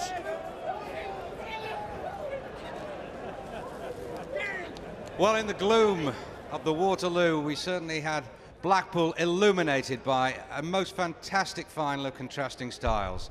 The long mark game and the short mark game. And eventually, the long mark game, as it so often does here, came out to be the winner. Let's have a quick word with, with Kevin Shaw, um, our runner-up. I think you'll be the first to agree, Kevin, that you, you the penultimate end really should have been yours. I'd have liked that second bowl to go another, another couple of feet, and I thought he'd it when I sent it, and uh, it's died a couple of feet. But John's he's got game against, you know, and uh, you line up in the uh, in the Waterloo final and you never get up. Um, Come on, champion, come over here. Ladies and gentlemen, the Waterloo champion of 2005, John Bailey from Wales. John, very, very well done. Can I just tell you something that the great man said very early in the match, as the ground was getting heavier, that your bowls had an advantage over Kevin's? Um, yeah, um, you know, I played with quite a big bowl. Um, it was difficult. I, I got off to a flyer. I think I was 14-8, and um, it's difficult with the light, with the you know, with it going dark and for pace. And I think it's the man with the block really. Kevin Boldwell on the on the short mark, went ahead, and uh, just plucked it back. And the last stand was well, you know, I, didn't expect to win it with those two balls, but But it was it was a case of, of um, the long mark game finally, finally earning you this championship. Um, yeah, yeah. I've, all week I've, I've played the, the three quarter mark, and um, thankfully it's uh, paid off today. Thank you. You looked, I must say, in agony right at the end uh, when you realised that you just hadn't managed to lick him. Um, yeah, you could say that. Yeah. Um, I liked the ball. I liked it. It was far enough. It just found a bit of peg and hit it on the wrong side. Hits it full. I'm only one down. Hit it on the wrong side. I go two down. Hit it on the inside. I win. You know, it's uh, it's as fine as that. But uh, credit credit to John. He's played well. He's led in the corners. I've not challenged him in the corners, uh, and he saved game. So Every match this this week and today especially has been played in the most amazing spirit. John, one final word from you. The Waterloo Championship goes to Wales again. Yeah, um, I don't really know what to say. I'm, I'm absolutely speechless to tell you the truth. Uh, yeah, just flying the flag for Wales and to do the double junior and senior, it's it's you know it's a dream come true for me really. So. And on that note, we'll get the presentation over and done with. It's very gloomy here in Blackpool, but as I say, you two have really illuminated a marvellous day. Thank you. And thank you to the crowd as well. Ladies and gentlemen, you've been great. Right, let's make the presentation now. I'd like to introduce Chris Hannon, the operations manager of Swallow Hotel and Inns. And uh, thank you for your sponsorship and your support. It's been absolutely terrific, Chris. It really has. Would you like to hand over to Kevin the runner up check? That's for £1,200.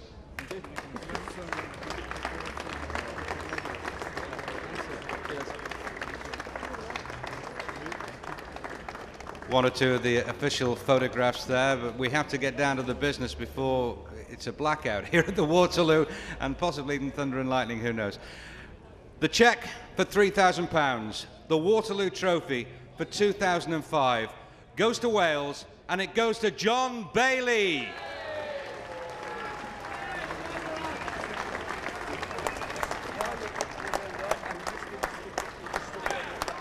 Well, there you have it. It really is deep into the night here at Blackpool. That's because the games have been long ones and they've been exciting ones, and none more so than the final. So the Waterloo champion for 2005 is John Bailey.